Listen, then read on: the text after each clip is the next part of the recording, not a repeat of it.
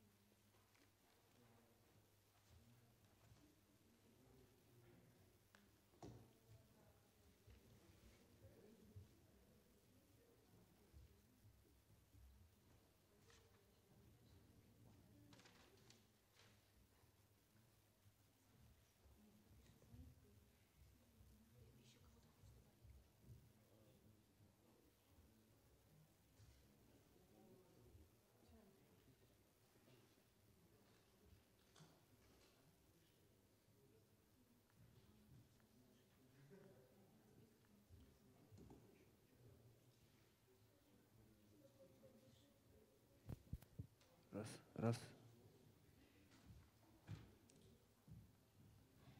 Раз, раз, раз.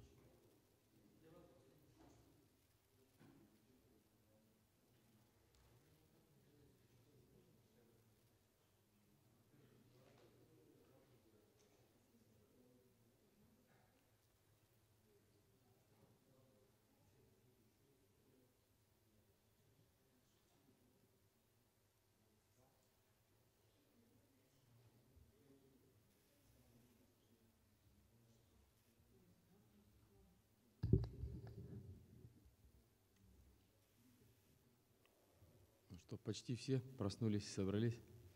Начинаем. Женя, установить.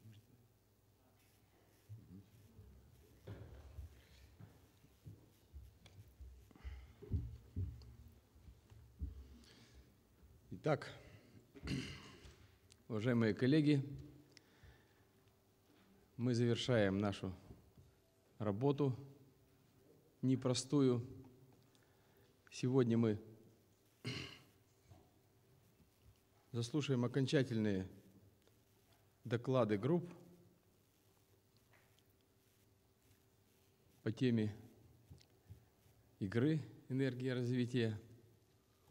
Это будут сборочные доклады, которые мы практически слышали вчера, но я думаю, что они, возможно, будут дополнены, уточнены, а может быть, они будут окрашены в какие-то тона, еще другие. Я не знаю, что происходило в группах а, в течение ночи последней, но я знаю, что, что а, жизнь кипела ночью, и, соответственно, она должна дать какой-то результат. Регламент у нас такой, порядок вернее. Мы сейчас просто по порядку энергия будущего, как здесь записано у нас в программках. Дом, образование личности, общественные организации, Министерство развития энергетики, наука развития, технологическое превосходство или лидерство. А, заслушиваем доклады, и эти доклады заслушиваются без обсуждения. Такой э, установившийся порядок и такое правило. Креатив закончился, мы были, я думаю, вполне креативными, и сегодня мы просто представляем друг другу результаты нашей работы. Кроме этого, у нас будут вторая часть – это рефлексивные выступления, выступления э, тех, кто э, хотел бы поделиться своими представлениями, своими ощущениями и впечатлениями а, о прожитой здесь жизни, о проделанной здесь работе, том деле, которое он здесь сделал, пытался делать, и о том, что из этого получилось. Хотелось бы, кроме этого, чтобы э, здесь мы услышали какие-то сигналы о том, что вы собираетесь делать дальше в своей жизни, именно э, что, на что сориентировала вас игра. И вот это вот должно проходить, на мой взгляд, в первую очередь в рамках мое место в развитии энергетики, прямо по теме игры. Но, может быть, я бы сейчас поправил эту тему, написал бы так, э, эту тему, мое место в развитии энергетики и не только. По большому счету и в развитии страны. Потому что вот я сейчас понимаю, что эта тема узка для собравшихся, а люди гораздо шире, чем а, профессиональная а, рамка, в которой мы работали, пытались работать, и сами мы правильно делали, на мой взгляд, что выходили за эти рамки изначально, а поэтому я бы даже не сужал вот до такой тематической рамки. Сейчас у меня какое-то другое видение наступило, просто мое место, что я собираюсь сделать, тем более, что я понимаю, что после окончания игры жизнь будет какая-то продолжаться, и вот интересно увидеть, как у нас было на первый день на самоопределении в группах, что кто собирается делать. Когда мы увидели друг друга, мы понимаем, что мы можем делать общее дело. Поэтому если мы увидим, услышим, во-первых, впечатления, мнения, а, но и какие-то намерения, вчера слово это прозвучало, то мы друг друга, да, то мы уже тогда увидим основания вступать друг с другом в взаимодействие. Взаимодействие это же очевидно вроде бы, да? С кем можно иметь дело? С тем, кто что-то собирается делать. Поэтому, если у вас есть даже короткая реплика какая-то на тему, до, до чего, скажем, я созрел, до какого действия, это для нас очень важно. Я прошу не стесняться, а с коротким просто, может быть, таким какой-то репликой здесь выступить, а, чтобы мы поняли, значит, что дала вам игра.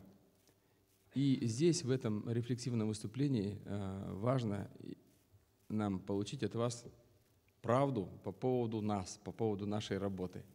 Ну, какая бы она ни была, естественно. Это может быть э, замечания, критика, предложения какие-то, и ваше видение, как это можно было бы делать, потому что ну, по вам это все шло, да, через вас э, и с вашей помощью, поэтому понятно, что вы э, равноправные участники этого дела, которое мы все вместе делали. И вы и имеете право, и, на мой взгляд, даже должны высказать здесь свои замечания, особенно, особенно замечания критические, если это были ошибки, недочеты а, какие-то, которые можно и нужно исправить. Вот такая в основном схема. Я думаю, что э, вот эти рефлексивные выступления мы начнем с игротехников, поскольку самый первый день, неделю назад, в субботу, они заявлялись со своими целями здесь, со своими задачами на игру, и они пытались их здесь реализовать, собственно, вовлекая вас в свои а, дела, в свои задачи. Поэтому важно, конечно, понять и что они делали тут, что они сделали тут. Ну и потом а, мы будем двигаться просто по желанию. Просто я а, прошу не стесняться, высказываться, если у вас какие-то соображения возникли, которые стоят того, чтобы с ними подели, ими поделиться, я вас прошу ими поделиться. Принимается? Принимается. Так, первый доклад. Группа «Энергетика будущего». Пожалуйста.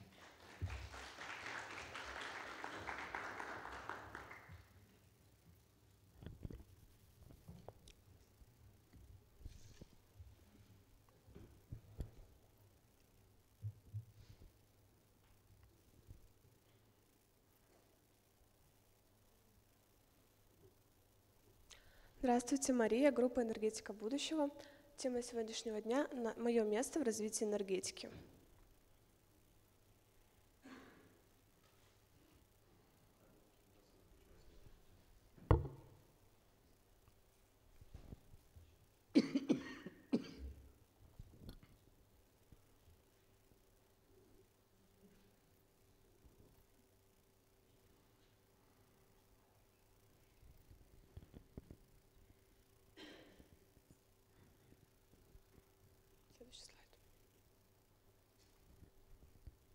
Самоопределение группы. Спроектировать компанию, способную довести российскую идею до внедрения, создание высокопроизводственных рабочих мест в экономике Свердловской области. Следующий. Мы считаем, что энергетика будущего – внедрение инноваций. Следующий. Направление прорыва. Освоение новых территорий и новая технологическая платформа. Следующий. Мы даем Министерству развития главное – схему создания ВПРМ на примере нашего проекта канатохода. Мы ориентируемся на продукт мирового уровня и на большой потенциальный спрос. При километраже 35 миллионов воздушных линий и 70 миллиардов рублей. Мы гарантируем около 10 тысяч ВПРМ энергетики Свердловской области – и высокую заработную плату больше 50 тысяч рублей. Следующий слайд. В ходе работы группы я узнала, как работает энергетика сегодня. Мы выделили два направления – это автоматизация, роботизация и новые материалы. Следующий. К автоматизации и роботизации мы относим назад.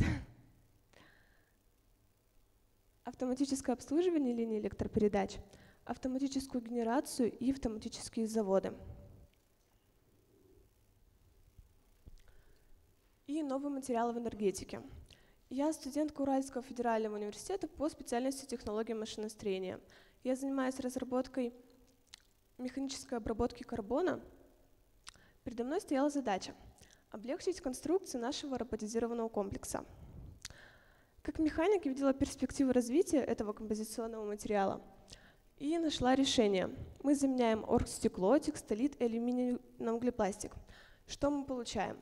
Это жесткость конструкции, это прочность, это ударопрочность и это легкость. Собственно, что нам и нужно. Следующий слайд. Углеродное волокно прочнее стали, легче алюминия и жесткое, как титан. Следующий слайд.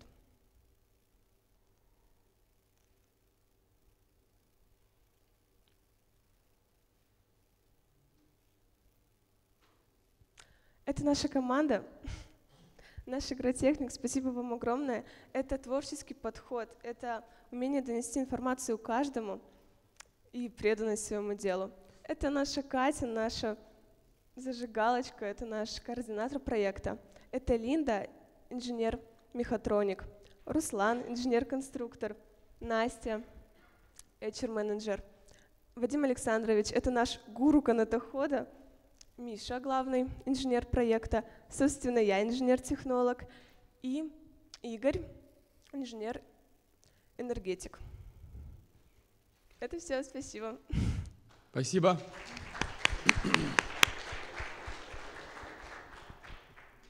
Я бы рекомендовал группе этот э, доклад взять за основу. Мне кажется, его можно развернуть а, и представить его на конференции энергетиков. Спасибо.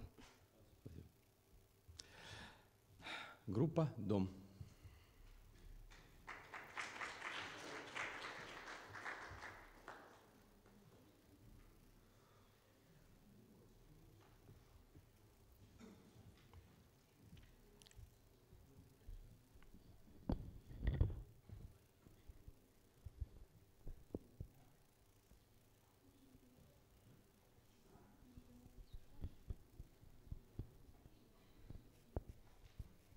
Доброе утро, меня зовут Дарья, это Светлана и Александр. Мы представляем группу «Дом» и представляем вашему вниманию нашу работу на протяжении всех дней.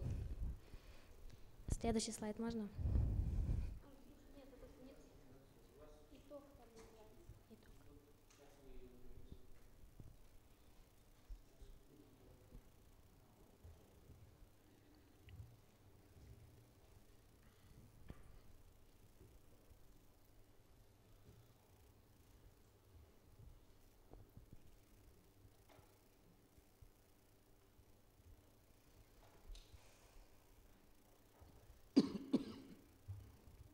Не наш итог, это вчерашняя тема.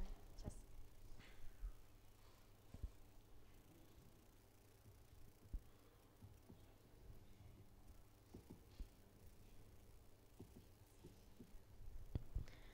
Итак, цель нашего доклада – это показать, что дом – это источник энергии для развития страны, а семья – это основополагающая сила для развития страны.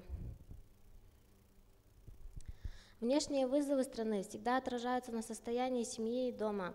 Например, геополитическая обстановка в стране, которая влияет на семью. Семья находится в таком подвешенном состоянии и нуждается в какой-то безопасности и ждет от страны, что она сможет предложить какие-то варианты для ее защиты. Дальше. Дальше можно. А внутренняя ситуация в стране и регионе также влияет на состояние семьи и дома. А, например, доступность жилья. Это не всегда возможно. А внутренняя ситуация в семье во многом зависит и от самой семьи. Например, история, какие-то культурные традиции семьи, ну и отношения, соответственно, семьи также влияют.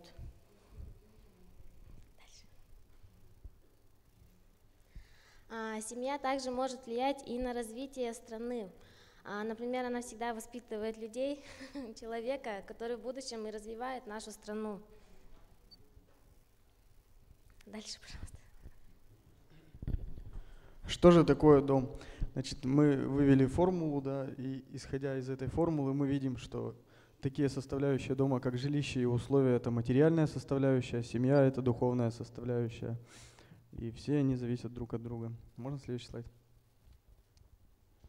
А, Значит, направление прорыва развития страны связаны с улучшением качества жизни.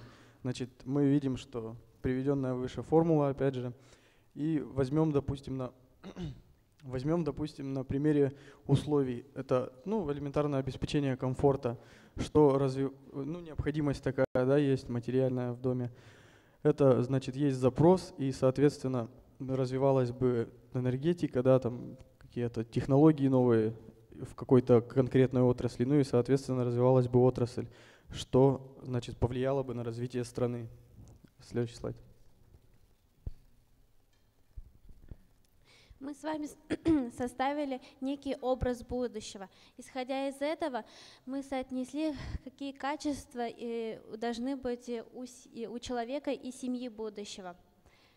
А, Можно следующий слайд?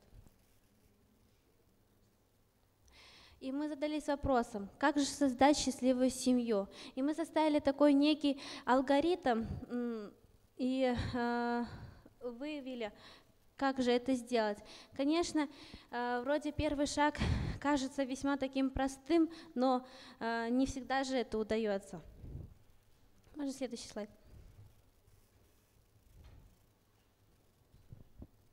А танцы-то удались? Первый шаг сделан? Как же построить дом? Значит, мы видим, что из этой таблицы, в принципе, те варианты, которые цифры черным, да, написаны, такие немного заоблачные. И вот, значит, даже при том, что существуют социальные программы, да, можно презентацию вернуть? Значит, такие социальные программы, допустим, как молодая семья, материнский капитал. Ну, молодую семью можно не учитывать, так как мы говорили, что там не дождаться. Ну, 400 тысяч, да, с материнского капитала как бы особо погоды не сделают. Как бы мы выявили, что самая такая реальная технология строительства это НИФ-НИФ. Можно дальше? Значит, рассмотрим поконкретнее эту технологию НИФ-НИФ. Значит, получается, что это не только как бы дешевый да, вариант, но еще и он экологичен, также он в плане экономии, значит, хорошо продуман, то, что дом очень долго держит тепло. Ну и дешевизна материала. И, в принципе, сроки строительства тут минимальные, там, 2-3 недели. Вот. Можно следующий слайд? Что же мешает развитию? Ну, на примере э, данной э, дома НИФ-НИФ. Это, конечно же, неверие, стереотипы в такой дом. Ну и, конечно же, страх на такой риск, то, что дом э, сделан из соломы. И новая технология в домостроении может быть ресурсом развития, решения жилищной проблемы для всей страны. Можно следующий слайд? Мы решили, что субъект развития – это человек, сила которому дает дом. А, Это у нас показано на схеме. И э, что, что же дает э, дом? Это а, что, что приводит человека к этому? Это ответственность за дом, а, заставляет человека преодолевать вызов. Мечта о счастливой семье ведет человека к развитию. Любовь и поддержка родных дает человеку силы. Дом дает человеку уверенность. Следовательно, ради дома человек может совершить подвиг. Мы пришли к выводу, что дом – это источник энергии для развития страны, а семья – основополагающая сила для развития страны. Спасибо. Спасибо вам большое. Ребята, а я впервые вот вижу такую группу на игре. Мы ее и задумали как-то, как-то, как необычную какую-то группу.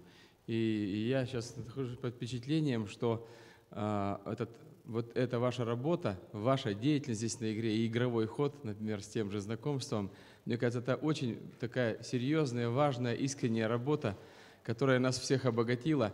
Было бы очень важно, чтобы вот этот э, след как-то э, остался. Мы по- после каждой игры стараемся оформлять материал, называем это книга. А, Мне кажется, что очень интересная статья бы у вас получилась.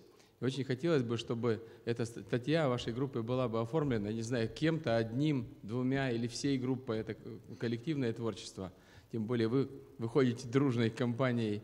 И вот этот, э, э, этот доклад мог, мне кажется, превратиться в очень интересную статью, э, которая вообще показывала какой-то иной взгляд, иной искренний очень. Я вижу, что группа очень искренне работала и, и как-то дополняющие какие-то профессиональные разговоры, а, вот, заполняющий тот дефицит, который у нас до сих пор э, вот, даже, может быть, не ощущалось. А теперь вот понятно, что э, наша вот странная, может быть, э, попытки понять, что делает ваша группа, увенчались, мне кажется, очень интересным результатом.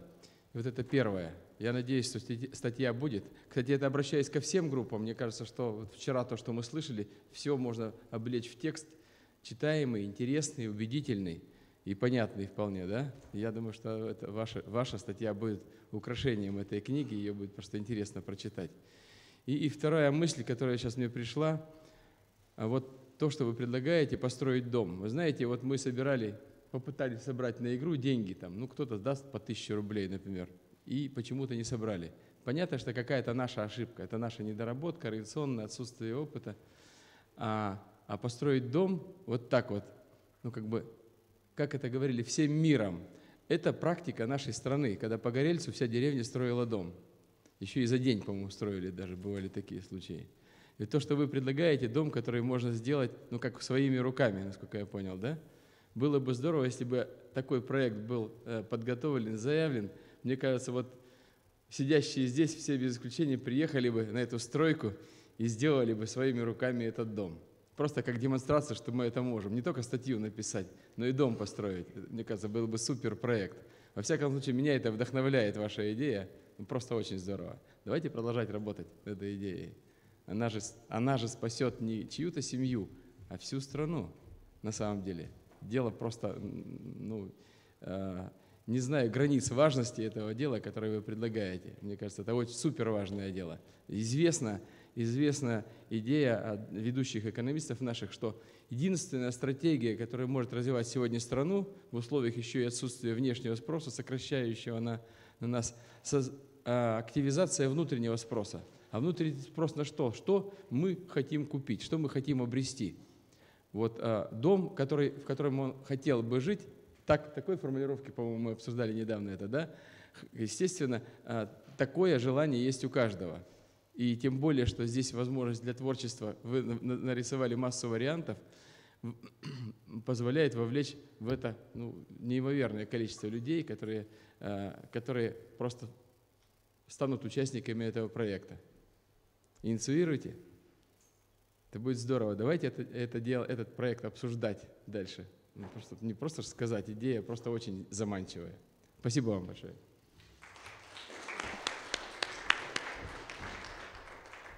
Группа образования личности.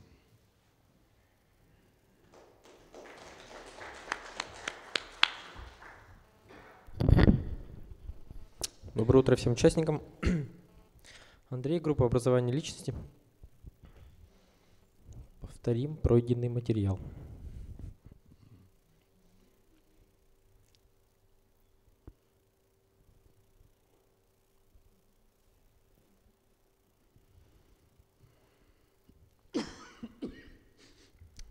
Можно дальше. Определение личности будущего. Личность будущего – личность с фундаментальными ценностями, такими как семья, родина, традиции и прочее, которая способна принимать на себя ответственность за судьбу страны и отрасли в процессе реализации своей мечты. Личностное самоопределение – это то, что каждый из нас делает каждый день и должен делать каждый день. Ну, кто-то определяется как личность, кто-то не как личность. Э, Личностное самоопределение – это про- процесс, в ходе которого с учетом интересов других ставятся цели, преодолеваются трудности на пути к ним и принимаются, принимается ответственность за свои действия. То есть тут очень важный момент, что с учетом интересов других, то есть э, личное само- сам- самоопределение – это такое действие, которое делается на благо кого-то. Вызов. Вызов – это внутреннее противоречие. В данном случае внутреннее противоречие э, это противоречие, которое возникает внутри человека. То есть это несогласие своего видения, как должно быть, и того, что происходит в мире. Э, Следующий слайд, пожалуйста. Ну, здесь две схемы. Первая схема – это где воздействие делается напрямую, воспитатель-ученик – то есть когда воспитатель пытается воспитать в ученике личность. И, к сожалению, эта схема не работает, поскольку действие связано с ограничением свободы выбора ученика. Человек, как правило, ученик это, это чувствует и может э, сработать, может не сработать. Вторая схема – это там, где э, воспитатель и ученик оказываются как бы в одном лице. Поэтому ограничение свобо- свободы выбора не, происходит, поскольку ограничение свободы выбора яв- является осознанным и само по себе является выбором. То есть человек сам выбирает э, такой путь. Он себя ограничивает для того, чтобы стать сильнее, стать более сильной личностью. Ну и схема с маятником, где есть состояние покоя и есть э, какая-то ситуация, которая вызывает внутреннее противоречие в человеке. Вот вчера мы рефлексировали вечером, и было очень интересно смотреть, когда люди по очереди э, высказывали мн- мнение э, об игре, сравнивали свои впечатления с тем, что они хотели бы достичь, какие были цели по приезду, и что в итоге у них получилось к выходу из игры. Э, Я вот смотрел, слушал, у всех были абсолютно разные цели, разные были причины. Э, Кто-то был полностью удовлетворен, кто-то не полностью, что-то понравилось, что-то не понравилось. Но вот эта вот схема с маятником, она работала вот на всех, несмотря на разность причин. И видно было по тем людям, которые не совсем удовлетворены сво- своим результатом, видно было, что у них есть как раз вот этот вот, это потенциальная энергия. То есть они находятся не, не, в, этой, не в этом положении, а в положении, когда все-таки есть какой-то угол. И вот эта внутренняя неудовлетворенность толкает их на саморазвитие. Они говорят о том, что мы бы вот хотели что-то еще бы сделать. То есть для них как бы игра ну, не совсем завершилась, что ли. Следующий слайд. Ну, здесь мы обозначили ресурсы развития. Без этих ресурсов э, человек э, не сможет э, двигаться к своей цели, осознание себя, что нужно развиваться и, собственно, развитию. Следующий слайд. Что мешает развитию? Ну, ли- э, развитию личности мешают отсутствие ресурсов развития. Следующий слайд, пожалуйста. В итоге делаем такой вы- вывод. Личность способна образовываться только сама. Критическая ситуация дает импульс сближения воспитателя и ученика, объединя- объединяя их в одно целое. Поэтому субъектом развития и объектом развития является сама личность. И следующий слайд, пожалуйста. Ну вот это все, кто работал над этой идеей. Спасибо большое. Спасибо большое, Андрей. Спасибо. А, ну, я надеюсь, что статья будет. Да, можно, в принципе, про- попробовать написать, но я думаю, она будет не очень большая, но можно Дело будет в качестве. написать, Я да. думаю, главное, что это интересная статья, и Да. главное, что она нужна каждому из нас для прочтения, может быть, даже каких-то а, пожеланий автору. Редакционная работа очень большая. Мы вот э, над книгами работаем тоже долго, иногда сложно, мучительно. Это, а, я помню, первый текст по поводу игры мы раз 13 вот так вот возвращали, редактировали от первого какого-то невнятного текста, но не, не устраивает. Мысли есть, но сказано как бы не очень качественно. Но последняя редакция, ее абсолютно не стыдно было публиковать, поэтому это тоже работа, конечно. Если настроиться на это как на работу, не просто написать и отписаться, тем более, что есть коллектив, который может поддержать, оценить, откритиковать. А, мне кажется, будет интересная, очень интересная статья. Я думаю, да, можно попробовать. М. Спасибо. Группа общественной организации.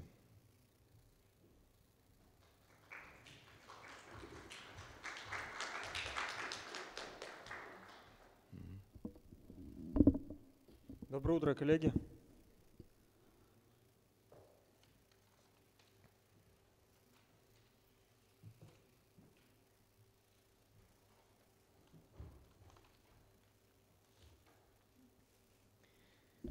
Итак, цель нашей группы и нашей команды показать сегодня, что роль общественных организаций все-таки могут и влияют на развитие общества, страны, энергетики и вообще мировоззрения.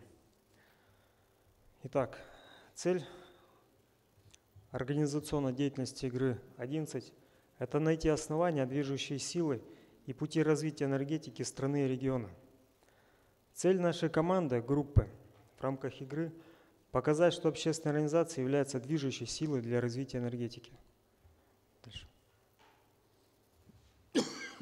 Есть внутренние и внешние и внутренние факторы воздействия на общество. Схематично мы попытались показать на, этой, на этом слайде. Следующая страница. Наша Россия в опасности. Что это значит? Внутренние факторы. Человек-потребитель.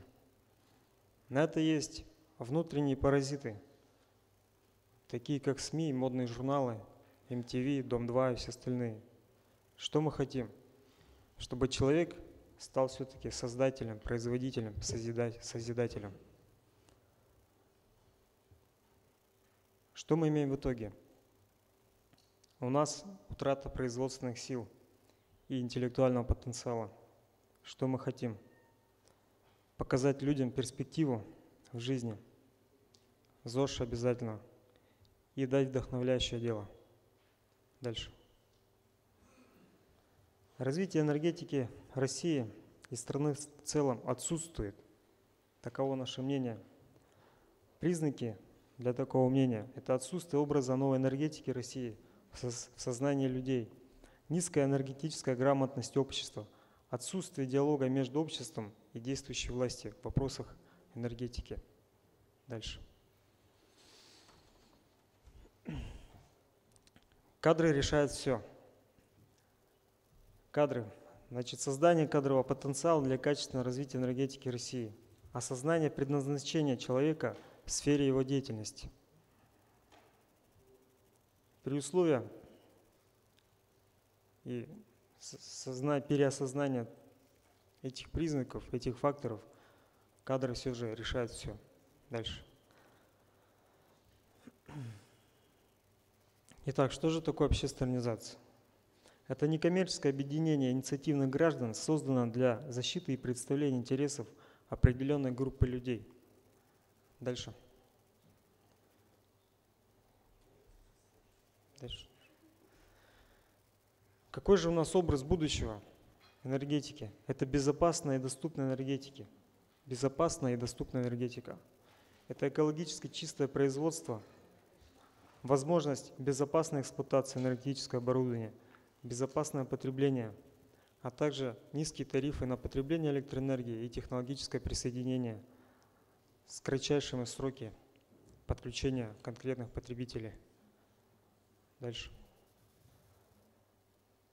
Цель организации – создание услов, условий, способных повлиять на развитие энергетики и страны в целом. Задача организации – формирование сознания людей образа новой энергетики России, повышение энергетической грамотности общества и организация диалога между обществом и действующей властью. Это в рамках деятельности общественной организации. Дальше. Дорожная карта. То есть как создать такую общественную организацию, которая могла бы повлиять на развитие нашей страны и энергетики, и вообще общества в целом.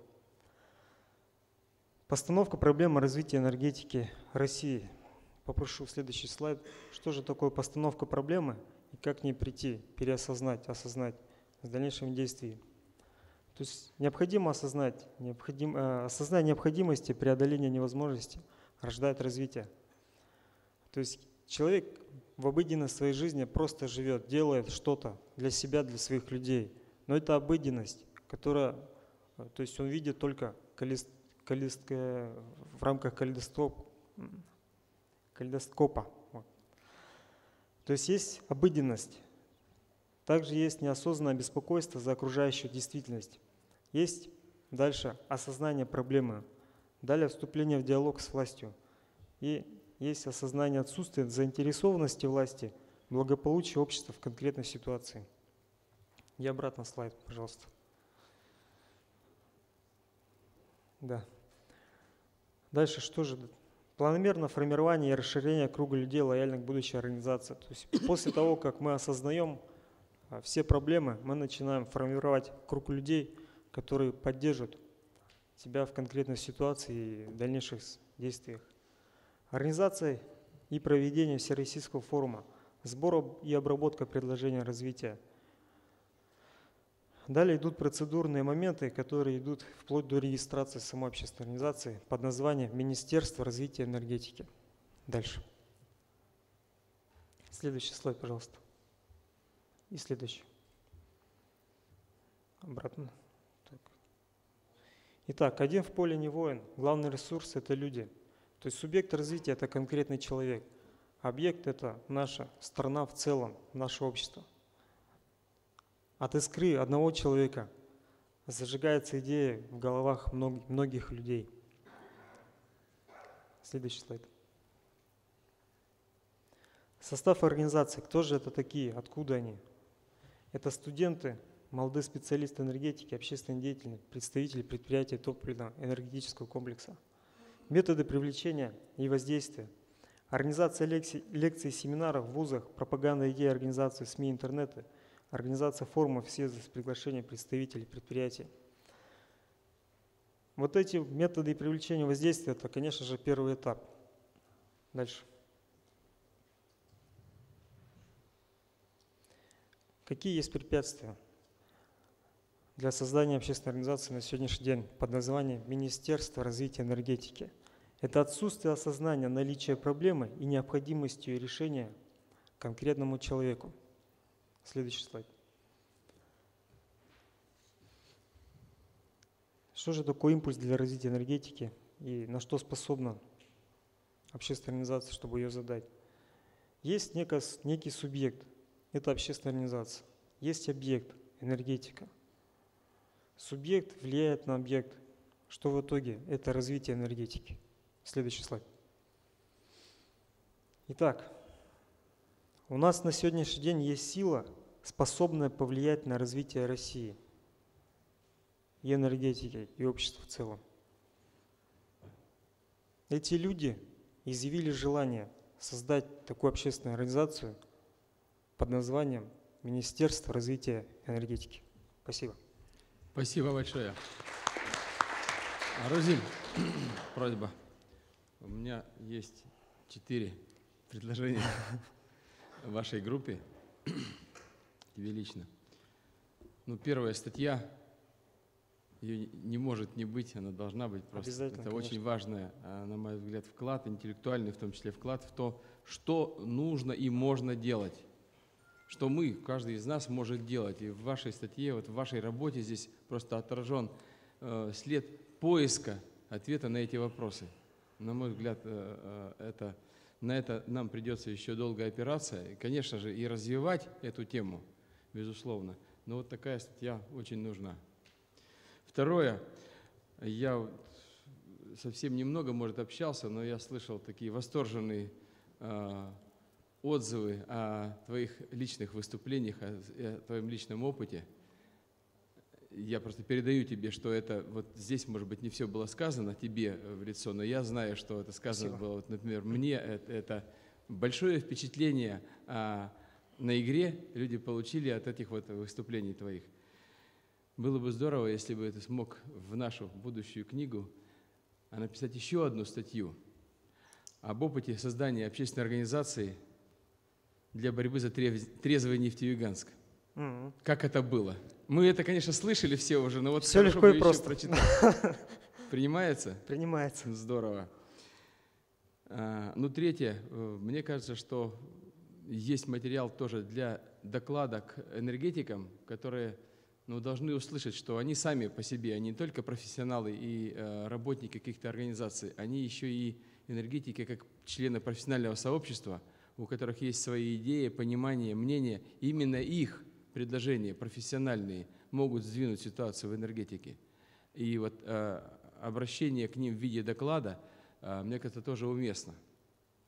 Тоже уместно, поэтому я понимаю, что здесь, наверное, как-то надо распределить обязанности в группе с тем, чтобы э, и скооперироваться, конечно, с тем, чтобы эта работа была сделана. Было бы здорово, если бы она сделана была. И вот четвертое. Ну, мы думаем, каким образом может э, расширяться то дело, которое мы делаем. и оно потихоньку расширяется, как-то появляется у нас из других городов наши товарищи, то есть вот наша общественная работа, она прирастает людьми и географией такой. А, Не исключено, что, что может состояться, разработан быть сообща и реализован такой, я бы сказал, сетевой, если не сказать сетевая ОДИ, то сетевой ОДИ-образный проект. Мы называем такие проекты КМД-проекты, проект коллективного мышления и деятельности, но только в сети. Мы сейчас понимаем, что можем сидеть в разных городах и онлайн одновременно. Есть такой у нас арсен- э, вернее, инструмент Google Docs. Мы можем создавать документ буквально в течение там, получаса. Этот документ создается, не выходя из дома. Один в Нефтеюганске, другой в Оренбурге, может кто-то еще и в Екатеринбурге. И раз, и, и текст готов.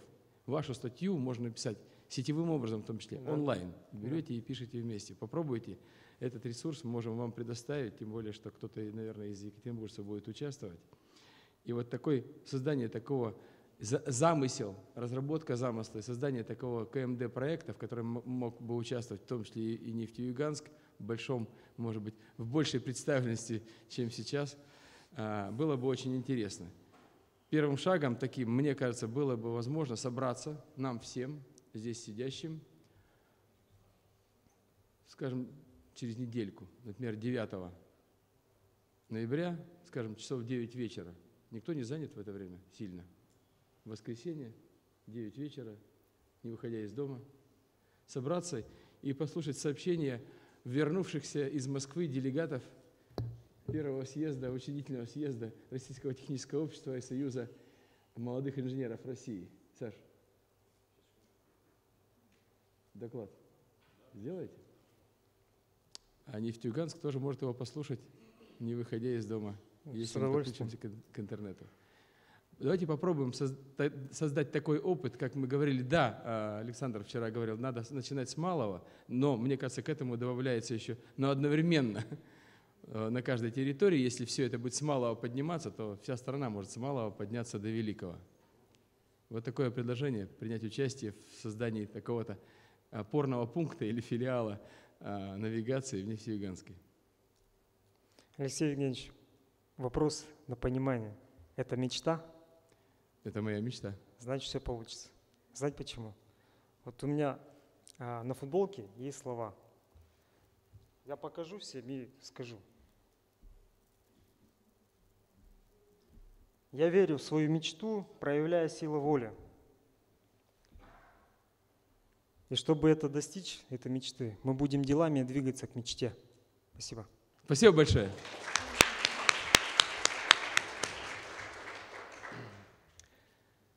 Группа Министерства развития энергетики.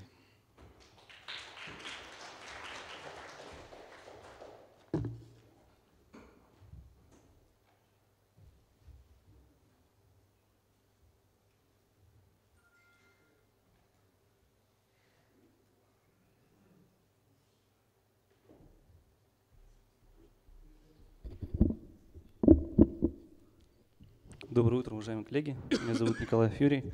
Я представляю отчетный доклад о проделанной работе группы Министерства развития энергетики. Хотел бы начать свой доклад с следующих фраз. Меня, как гражданина моей страны, не устраивает, категорически не устраивает положение страны в мире. Что я имею в виду? Меня не устраивает уровень жизни нашего населения. Я считаю, что при имеющихся ресурсах, будь то ресурсы энергетические. Я также уверен, что у нас в стране есть достаточный кадровый потенциал. Мы живем не так, как должны. Я бы хотел, чтобы моя страна, моя семья чувствовала себя в безопасности, чтобы моя семья жила в уюте, в достатке. В подтверждение своих слов наша группа нашла в обращении нашего президента. Можно следующий слайд? То есть ну, я не буду цитировать, можно познакомиться. То есть нам президент говорит о том, что нам, нашей стране требуется развитие. Я с ним полностью согласен. Мы видим это каждый день. Будучи специалистом в области энергетики, я убежден, что развитие страны невозможно без развития энергетики. Проведя анализ, наша группа пришла к выводу и вывела следующие характеристики существующей энергетической системы. Можно следующий слайд?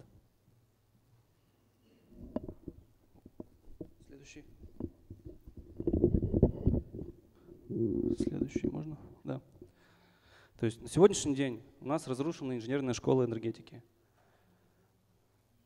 Являясь специалистом в- области технологического присоединения, утверждаю, что сроки реализации технологического присоединения не позволят нам при нынешней ситуации добиться каких-то результатов. Ну, срок от двух до четырех лет, я считаю, неприемлем. Высокие потери в электрических сетях, а также при производстве электрической энергии. Повышенные тарифы для населения, повышенные тарифы на доступ к энергоресурсам. Низкая производительность труда. Ну, я считаю, что это во многом из-за отсутствия должного мотивирования персонала. Неплатежи, опять же, из-за экономической ситуации в стране. Плохая экология, износ оборудования и большое число использования импортного оборудования в развитии, некоем развитии, модернизации, которая у нас каким-то образом осуществляется в стране. Проанализировав это, наша группа приш- пришла к однозначному выводу. Развития энергетики в стране нет. Что же делать? Следующим тезисом нашей группы является то, что действующая структура, казалось бы, Министерство энергетики не занимается в должной мере решением задач развития энергетики. Что же делать? Мы предлагаем создать Министерство развития энергетики. Можно следующий слайд?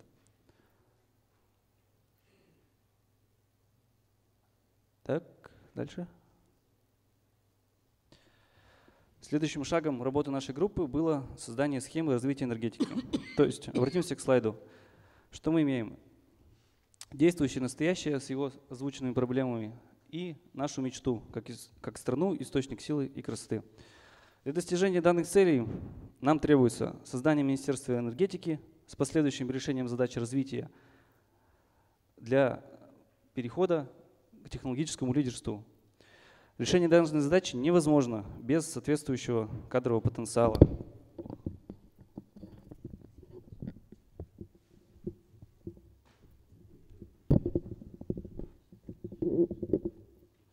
Без решения вопроса соответствующего, кадр, соответствующего кадрового потенциала, который, на наш взгляд, создается посредством взаимодействия общества, семьи и школы. Для достижения в последующем энергетики будущего. Энергетика будущего, на наш взгляд, по меткому выражению Глеба Максимовича Крыжиновского, дает нашей стране возможность стать источником силы и красоты. Можно следующий слайд?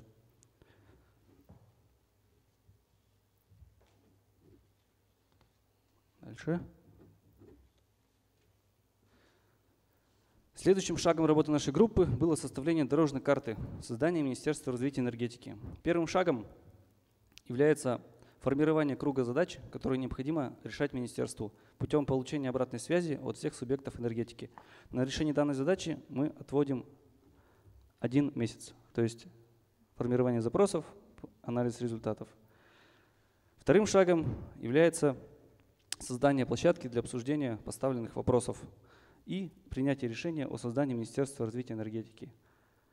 По нашей экспертной оценке, для, от момента принятия решения о необходимости создания до, собственно, создания Министерства развития энергетики требуется до полугода. Следующий слайд. Подводя итоги нашей работы, мы пришли к однозначному выводу, что без личности у нас не получится ничего. То есть личность играет определяющую роль в решении задач развития энергетики, как и страны в целом. Нам нужна личность, обладающая идеей, личность, которая верит в эту идею, личность, готовая служить на благо своего общества, личность, обладающая волей для решения задач. Спасибо. Спасибо большое, Юра. Очень хороший доклад.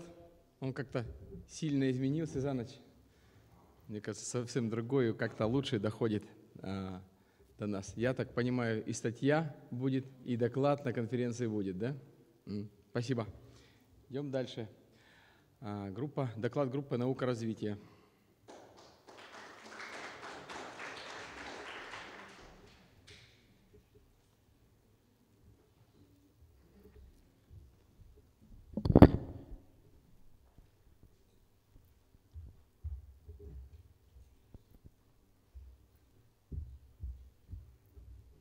А, Группа наука и развития, докладчики Константин и Елизавета.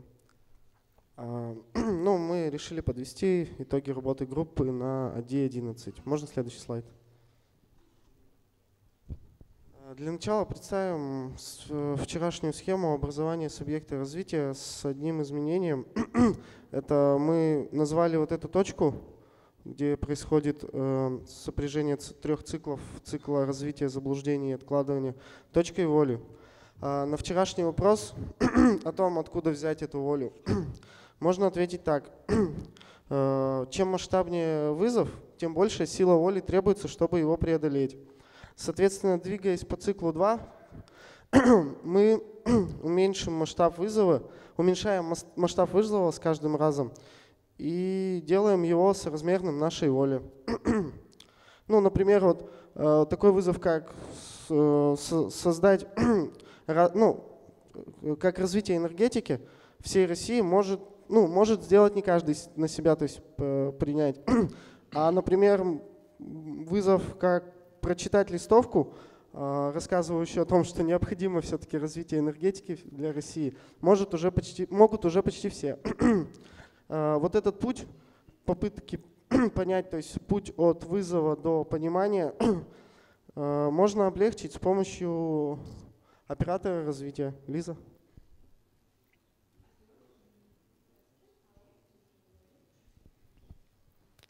Ам, так, к оператору развития мы перешли и спрашиваем, как понять, что ты на правильном пути. Вот мы только что видели на предыдущей схеме три цикла.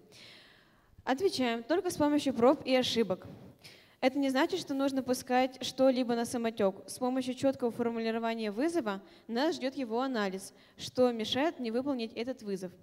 После выделения каких-либо задач, которые в свою очередь разбиваются на проблемы, при решении одной проблемы у нас выполняется процент развития.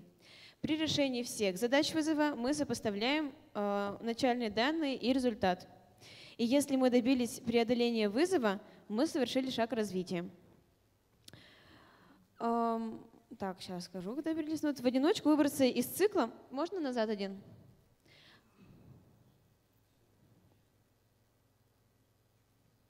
Можно пока спеть. Вот, например, мы запутались и не можем выйти из третьего цикла. Говорим, что в одиночку выбраться из цикла заблуждения, или заблуждения, например, да, поможет рефлексия. Но рефлексима дама капризная, и в данном случае уместна помощь товарищей. Для того, чтобы эта помощь была эффективной, необходимо взаимопонимание. Можно два слайда вперед. Евгений.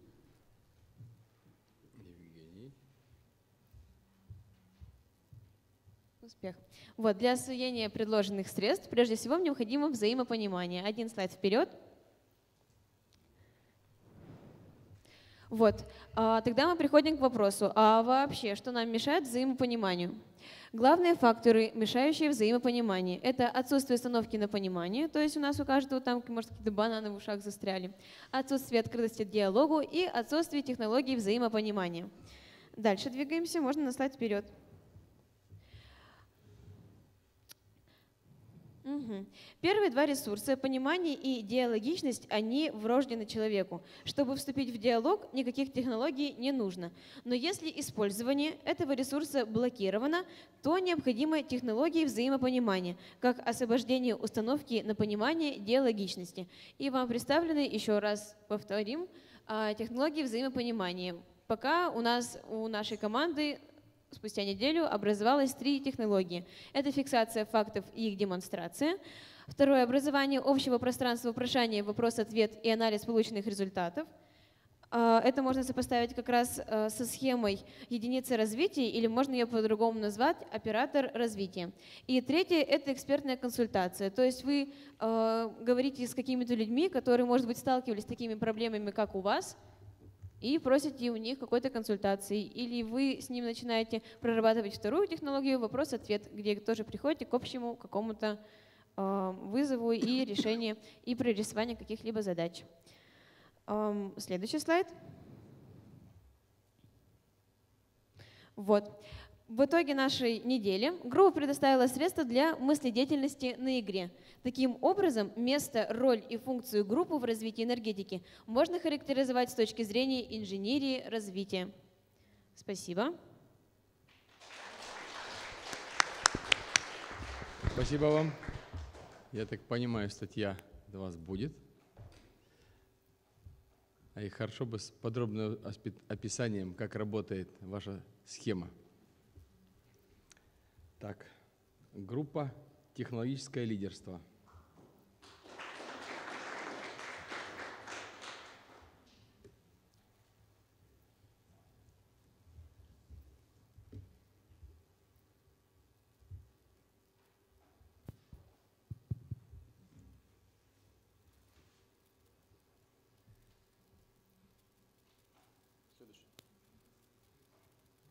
Целью группы «Технологическое лидерство» мы поставили поиск путей решения проблемы внедрения отечественных инноваций и высоких технологий в жизнь.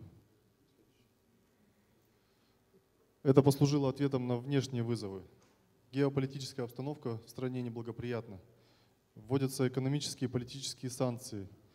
Э, Существует угроза технологической блокады, поскольку все высокотехнологичное импортное производство э, Производство импортное. Развитие – это усовершенствование, развитие – это улучшение. Мы определили основные направления развития. Это раз- развитие машиностроительной отрасли в энергетике для обеспечения технологического лидерства и достижения технологической независимости. Эта отрасль наиболее уязвима для импорта. И в случае ограничения импортных поставки импортных технологий э, у нас могут быть большие проблемы.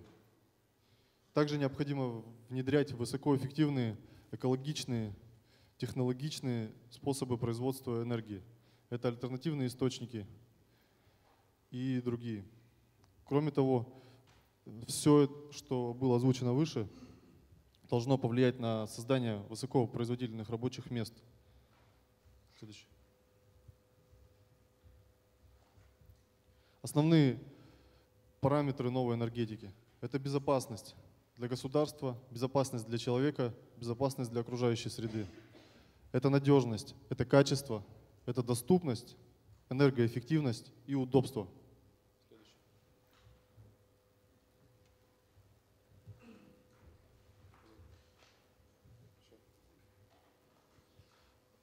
Какие пути, какие технологии сейчас зарождаются?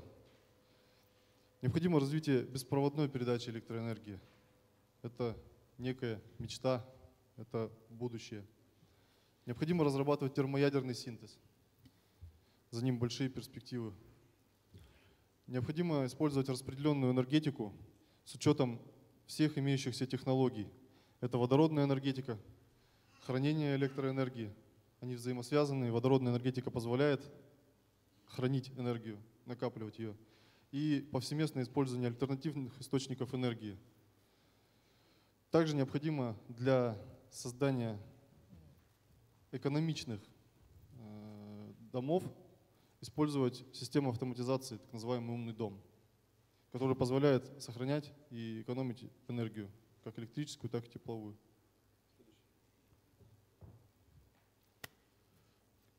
Э, Каким образом происходит внедрение, собственно, технологий?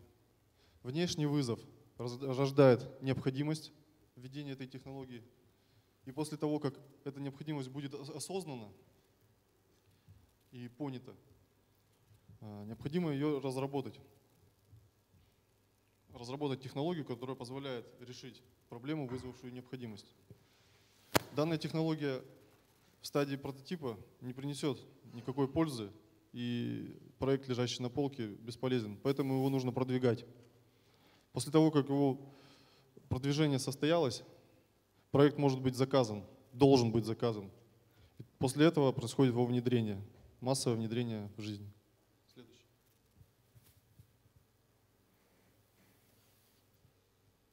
Что мешает внедрению отечественных технологий? В первую очередь отсутствие энтузиастов внедрения. Тех людей, которые, собственно, и будут это развивать. Тех людей, которые горят желанием, имеют идеи, мысли, и которые вдохновлены развитием технологий. Ну, на одних энтузиастах построить новый мир не получится, поэтому технологии должны быть заказаны.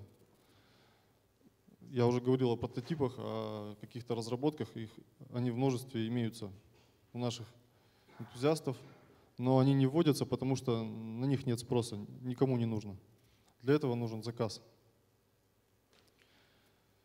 Следующий. Какие пути решения этой проблемы мы предлагаем? Необходимо возрождение проектно-ориентированного образования и создание национальной системы инженерного дела. Это та система, которая позволит найти существующих энтузиастов и дать жизнь новым. Если привести схему, приведенную группой общественной организации по цепной реакции,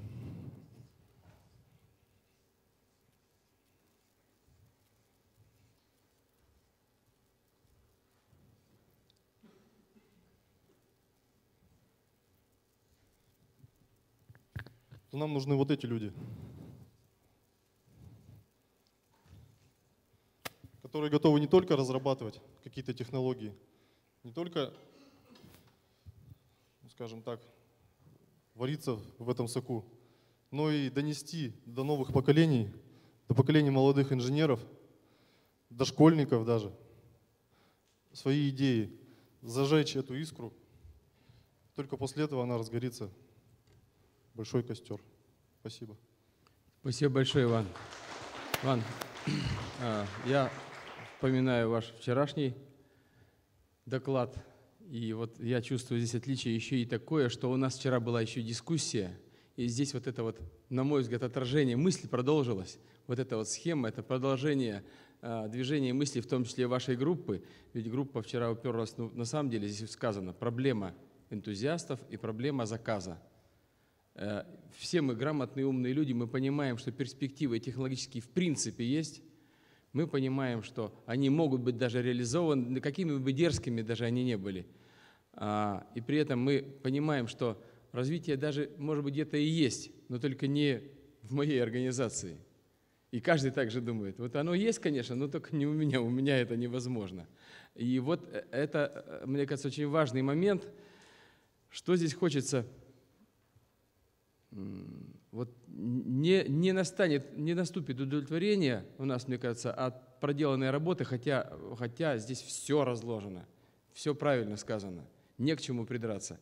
Не наступит удовлетворение, если мы не найдем, а, вот не выйдем именно вот на эту схему, которая вот сейчас только что нарисована. То есть что... А, еще возвращусь к предыдущему э, докладу, только что группа сидела и говорила, если, э, скажем, не хватает там, скажем, сил да, на масштабный проект, мы понимаем, что он, он, он неподъемен для одного, во-первых, во-вторых, для, для ну, просто нас достаточно как бы обычных людей, да, которые находятся в ситуации ну, такой аморфной, что ли, да, который сама по себе инерция этой среды, э, а, она сама по себе требует больших усилий, чтобы ее как-то хоть, хоть чуть-чуть сдвинуть. И вот в этом смысле, я понимаю, группа нам подсказывает, начни с малого – и потом все это будет нарастать как снежный ком, да и схема, мне кажется, должна заработать. Вот хочется проверить, на, а, получить опыт. Я вот обращаюсь в этом отношении к людям, которые занимаются, вот Юра сейчас выступал, техприсоединение. Это, вот, вот сказано было, мне кажется, важная вещь. Он этим занимается. Это позор нашей страны. И он знает, и я знаю. И мы пытаемся, ну как, пытаемся решить эту проблему. А, при этом Путин сказал позавчера на этой неделе – что Россия, находясь на 120 месте по Doing Business, по доступности бизнеса, за год а, вышла на 60 какое-то, ну в два раза. Ну здорово же, да, страна так рванула за год. Или, может, ему врут? Как это мы смели? Вот интересно, да, ну, мы же доверяем Путину, вроде бы он говорит правду, и одновременно ему же дают информацию, дают ему Всемирный банк. Мы знаем, как этот Всемирный банк мнение формировал по Свердловской области – Одна девочка из Всемирного банка позвонила всего одному парнишке, правда, молодому, вот что, что плохо. И он ей сказал, да у нас, там, правда, может, он сказал ей правду, но он не, непонятно, откуда это взял. По одному человеку, по одному мнению экспертному, вот анкета, составили мнение по Свердловской области. Это докладывал генеральный директор МРСК. И вот, пожалуйста, у нас, ну, с другой стороны, как ни странно, это привело в движение Э, Путин обидел нашего губернатора, оскорбил его, можно сказать, что вы самые отстающие. У него взыграло самолюбие, и он начал заниматься этой темой. На самом деле результаты практически точно есть. Но они точно еще ну, не такие, чтобы говорить, мы победили проблему. Она все равно еще остается, вот, э, доступность сети становится, остается недоступной. Так же, как внедрение иногда, я не знаю, там, э, например, нового класса напряжения. Ко мне выходят организации, которые говорят, давайте внедрим 910 вольт. Я даже не знаю, откуда они взяли. 910 вольт вместо 380. Видимо, есть разработки, не читал, не знаю. Ну, а 20 киловольт, например, сети среднего напряжения. Очень интересные концепции. Но, а кто же их будет развивать? Вот у нас есть ИСК, они говорят, мы готовы взяться за все, в том числе для за, за, за построение сети заправок для электромобилей в будущего в городе Екатеринбурге. Для начала взяли и купили электромобиль, и на выставке. Вот у нас уже есть электромобиль. Я не знаю, это показуха или это на самом деле амбиция к тому, что эту проблему решить. А, я к чему? Вот а, хорошо было бы, если бы ваша статья, я думаю, статья будет, было бы, она была бы еще дописана до какого-то одного, двух, неважно, пусть одного, одной какой-то конкретной задачи, посильной, которая в принципе может быть решена. Вот конкретно у вас на предприятии теоретически может быть решена. Видно, что она в принципе может решена. Нужен только энтузиазм. И нужно, конечно, чтобы, например, директор сказал, будем делать. Понятно, что пока, пока ты не директор, да, э, эта задача полностью не гарантирована ее решение. Но интересен опыт.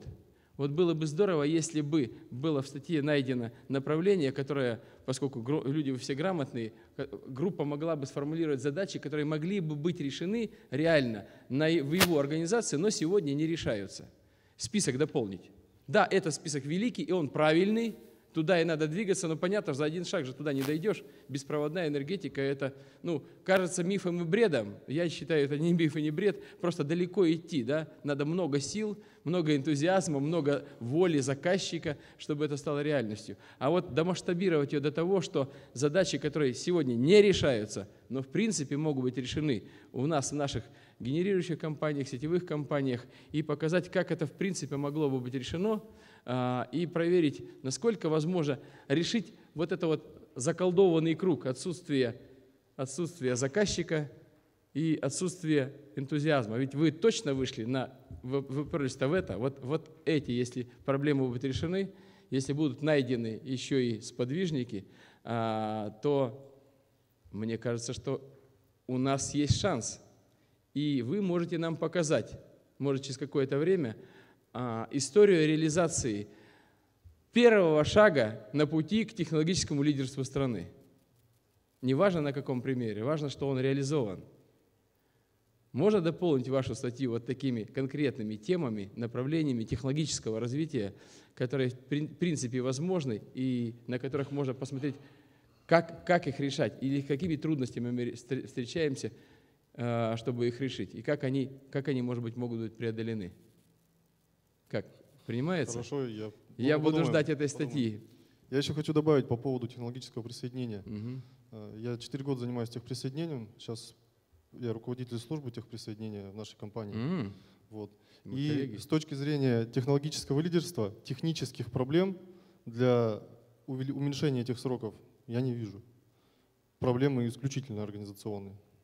Ну, я-то думаю, даже есть технологические идеи. Я, например, выдвигаю идею. А, кстати, давайте э, дружить вместе, потому что у нас есть э, люди, которые занимаются проблемой этого техприсоединения, и я прислал своего работника э, в Санкт-Петербург осенью. Там собирался лучший в стране опыт по техприсоединению. Мы его вот имеем, сколько имеем, можем поделиться с вами. Готовы. Там Ростов работает, Москва работает, то есть все бьются над этой проблемой. И, кстати, в Екатеринбурге, на мой взгляд, неплохой опыт тоже есть. Выступали наши представители в Санкт-Петербурге, и я так понимаю, что с интересом подключается к этому вопросу. Мы, например, издали закон, посмотрели сначала в Челябинской области закон, он оказался нам не работающий. Мы первыми по стране, земле, да? 75-й ОЗ по, э, по да, установлению случаев, в которых не требуется разрешение на строительство. Слышали, да, об этом? Вы его усовершенствовали, мы бы хотели перенять опыт. Надо, надо двигаться в этом направлении. У меня, например, такое предложение есть. Она на уровне идеи, к сожалению, пока я не могу давить до предложения. Сетевая компания может присоединить э, потребителя, который, который вот он пришел, а, в течение, там, скажем, 200 дней, там, 300 дней, а может она присоединить его, а, когда ему нужно.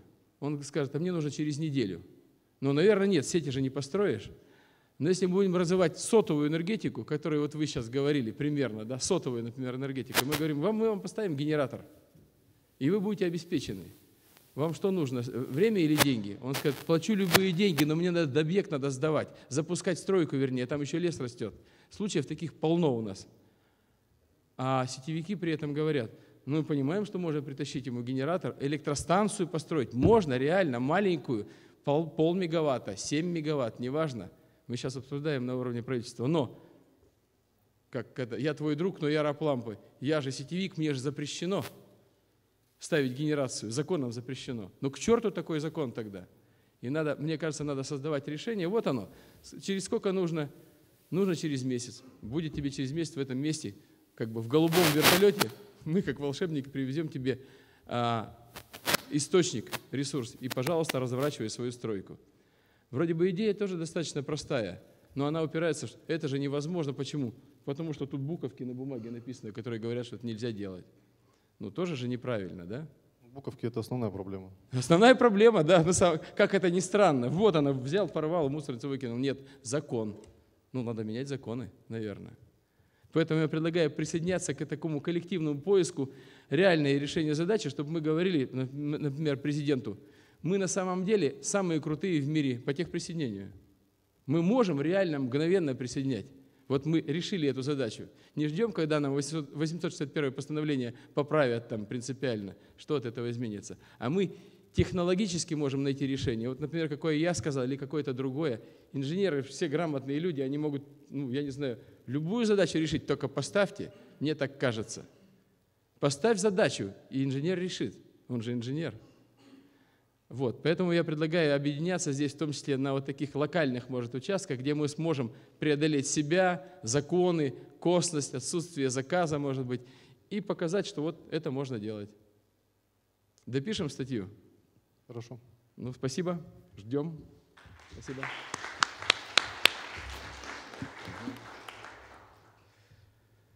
Так, ну вот, уважаемые коллеги, не прошло и полтора часа. Мы э, увидели весь результат нашей работы. Не весь, не весь, я думаю. Мы сделали большую работу, увидели э, вот какие-то обозначенные нами итоги.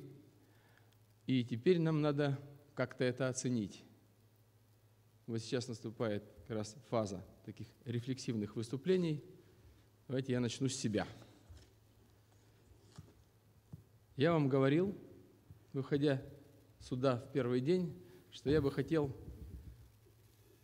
заявить и создать здесь группу под названием, мне кажется, точно отражающим суть проблемы а, Министерства развития энергетики, потому что я работаю в Министерстве энергетики и вижу, что Министерство развитием не занимается. И у меня был вопрос, что я должен делать для развития энергетики. Я с этим вопросом сюда приехал, и, в общем-то, должен был уехать с ответом. То есть я, если я работал над этим, то я должен что-то для этого получить. И большое спасибо группе и всем вам, потому что я-то, получается, уезжал работать, а вы тут дело делали. Делали мое в том числе дело. И как-то меня это продвигает. Вот что я понял. Дело не в том, что должно делать министерство. А дело в том, что должен делать я в министерстве. Это вот принципиальный момент, который а, сейчас мной достаточно точно осознан, потому что мы обсуждали в группе, есть разные слова, работа и деятельность. Работа, когда тебе что-то задали, одно, другое, третье задание, и ты его выполняешь. А вот дело свое – это не то, что кто-то задал, это то, что я сам делаю, то, что мне нужно, это где я сам ставлю цели и сам их достигаю. Если э, человек не становится деятельным, а становится замечательным, остается замечательным, хорошим, исполнительным, умным, талантливым работником, то он будет все время выполнять то, что ему сделают, то, что ему, вернее, прикажут, поручат, очень даже хорошо, но при этом – а, не будет достигаться никаких целей по причине просто их отсутствия.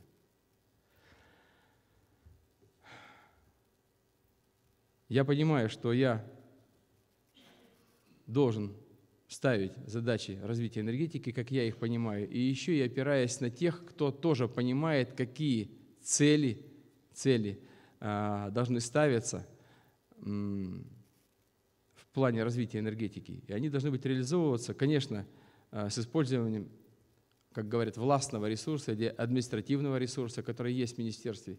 И его для этой цели вообще-то ведь не запрещено использовать. Потому что мы же декларируем, что мы готовы заниматься развитием энергетики. И положение, вот ребята прочитали о министерстве. В целях там все есть. Там в задачах ничего нет, как оказалось. Анализ положения показал об этом, что до дела это не доходит. Но никто не запрещает заниматься развитием энергетики. В министерстве, в правительстве, в государстве. Развитием страны никто не запрещает заниматься. Это уже хорошая новость, я думаю. Поэтому если найдутся люди, которые хотят это делать, они могут это делать. И вот еще очень важный для меня а вопрос энергии развития. Вопрос, который мы обсуждали до игры, э, обсуждали и размышляли над ним здесь и вчера в него тоже упирались. Вот откуда берется вот эта вот энергия развития? Я для себя очень четко понял, понял это не сейчас, признаюсь, понял это давно, но сейчас я вот просто это увидел. Увидел, что очень важно для меня знать, что я не один. Вот а, когда сидишь в своей консервной банке в душной атмосфере и думаешь, что никому это не нужно, и настроение у тебя плохое, а когда оказываешься вот в такой атмосфере, когда понимаешь, что это нужно всем, ну, всем сидящим здесь, это придает силы. Вот это, на мой взгляд, это важный результат, который я, я говорю, не, я давно к этому пришел, но я просто здесь вот это увидел. Константин сказал, что вот Овчинников, который здесь сидит, вчера сказал фразу такую, мне прошлой игры хватило на полгода энергии ее. Вот я понял, что он, собственно, говорил то, что я, наверное, подозревал для себя. На самом деле, вот эта подзарядка какая-то, энергетическая, говоря языком энергетики, да, она происходит здесь, а, происходит, вдохновляет идеями, Здесь появляются идеи. Здесь идеи оформляются в какие-то законченные, а, интересные, вдохновляющие картины будущего. Это здесь происходит. А, а без этого движения вперед нет, это уже мы слышали в разных докладах неоднократно. И это вот первый пункт. Здесь, ну, если очень коротко сказать, что здесь рождя, рождаются вдохновляющие идеи. И отсюда это первый пункт к энергии развития. Второе то, что ты, а, осознание то, что ты не один, дает силы. Третье, понимание то, что ты не один, порождает ответственность. И четвертое, вот эта ответственность, она ведь вот заставляет нас, просто вынуждает, можно сказать, или обязывает что-то делать. Вот такие у меня получилось четыре как бы, а, логических шага, появление, порождение в себе в том числе, энергии развития. На мой взгляд, игра получилась. Спасибо вам. И я получил э, внятный, вот сейчас более гораздо внятный ответ на свой же собственный вопрос, который я задавал. Я знаю, что делать. Спасибо вам. Спасибо большое. Александр Лемех.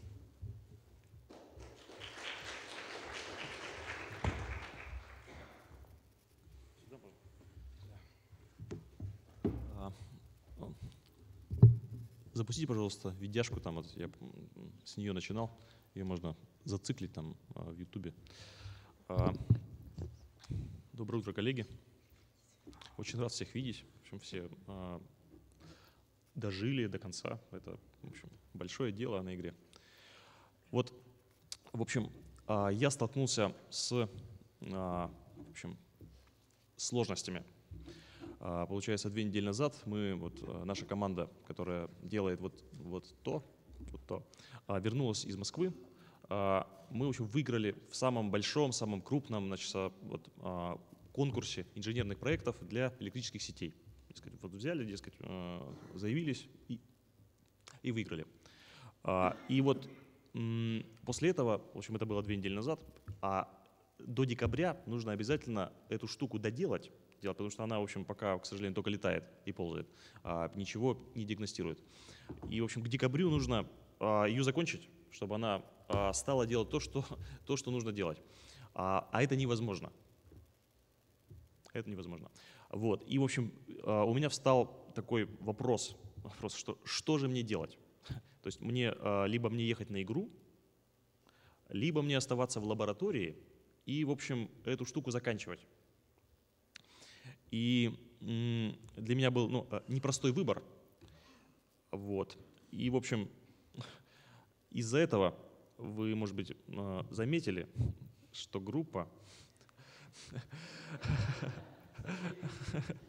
В общем, а, вот я считаю важным любую ситуацию, любую, какая бы ни была, использовать как ситуацию развития. Как ситуацию развития. А, И поэтому мной было, собственно, принято решение, может быть, немножко рискованное для игры, а, взять это все сюда, все сюда, и, в общем, здесь это, а, это осуществлять. И поэтому ну, я а, извиняюсь заранее у, всех участников игры, что некоторые наши доклады были, в общем, ну, так, может быть, не очень, а, собственно, по вашему мнению, возможно, глубоко проработаны по теме дня. Вот. Хотя я считаю, что мы, в общем, все, все как бы а, на все темы ответили на самом деле. А, у нас а, в группе был, был процесс, их было два процесса.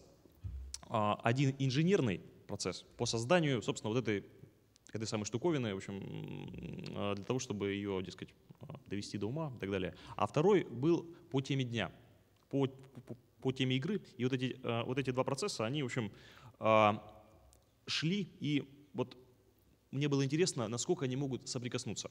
Ну, в общем, вот лично меня, лично меня волнует а, и, ну, как бы а, а, вдохновляют два вопроса или две, в общем, а, задачи. Две задачи. Первое. Как сделать так, чтобы а,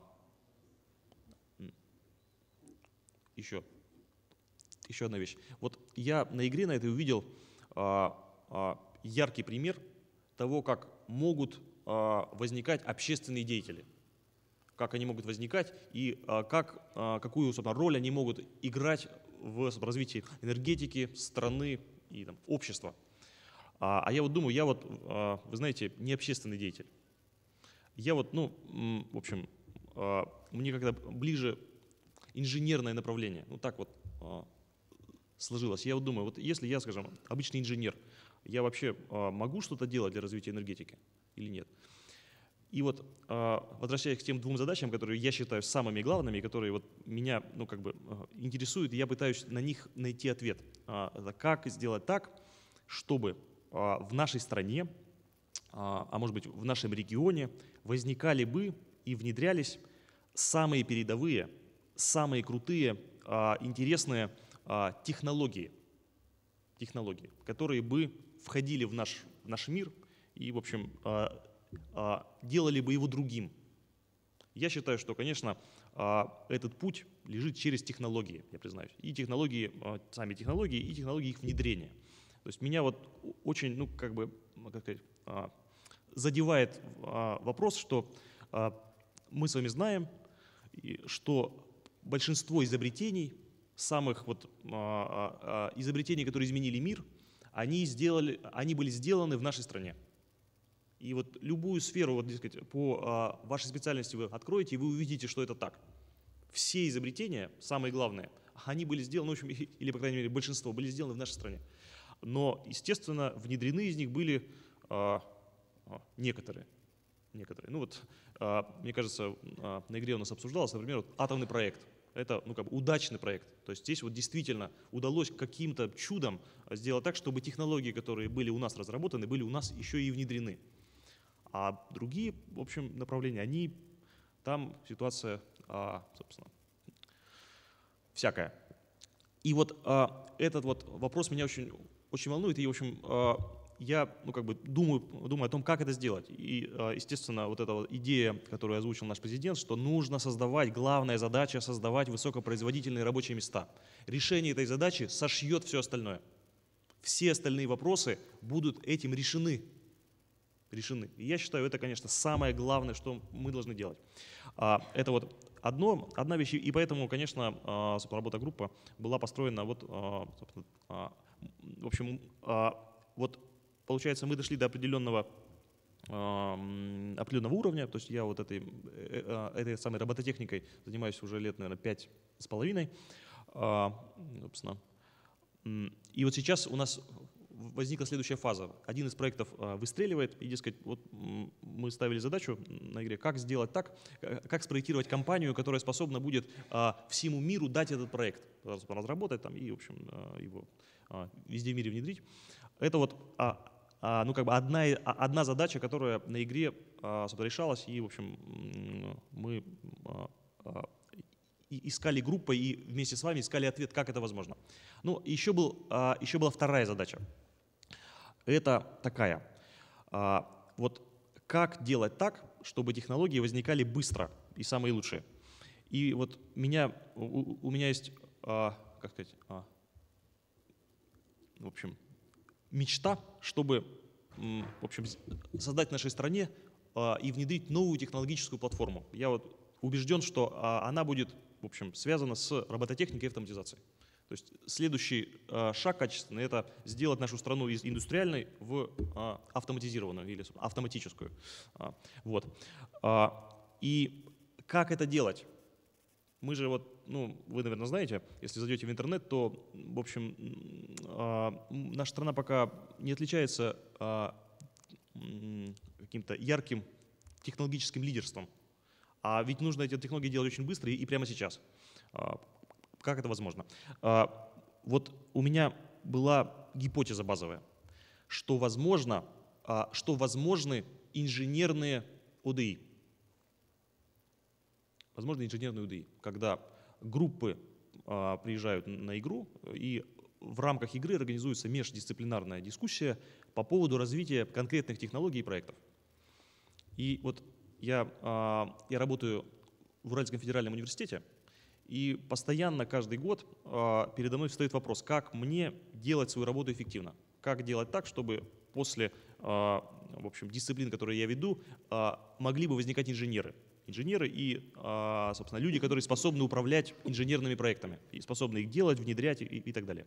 И, в общем, а, например, а, год назад я, в общем, ну, я сталкиваюсь с тем, что, конечно же, большинство студентов, большинству студентов этого ничего не надо. Ничего не надо, никаких новых технологий. В общем, и, к сожалению, часто наша система образования не позволяет выпускать инженеров. Они не выпускаются. А, а выпускаются а, в лучшем случае люди, которые способны обслуживать какое-нибудь оборудование, там, например, любое. И я понимаю, что из этого ну, как бы ничего не произойдет, если так будет. То есть это вот как сказать, а, мы берем, а, забрасываем в будущее прошлое. Берем прошлое, его забрасываем в будущее.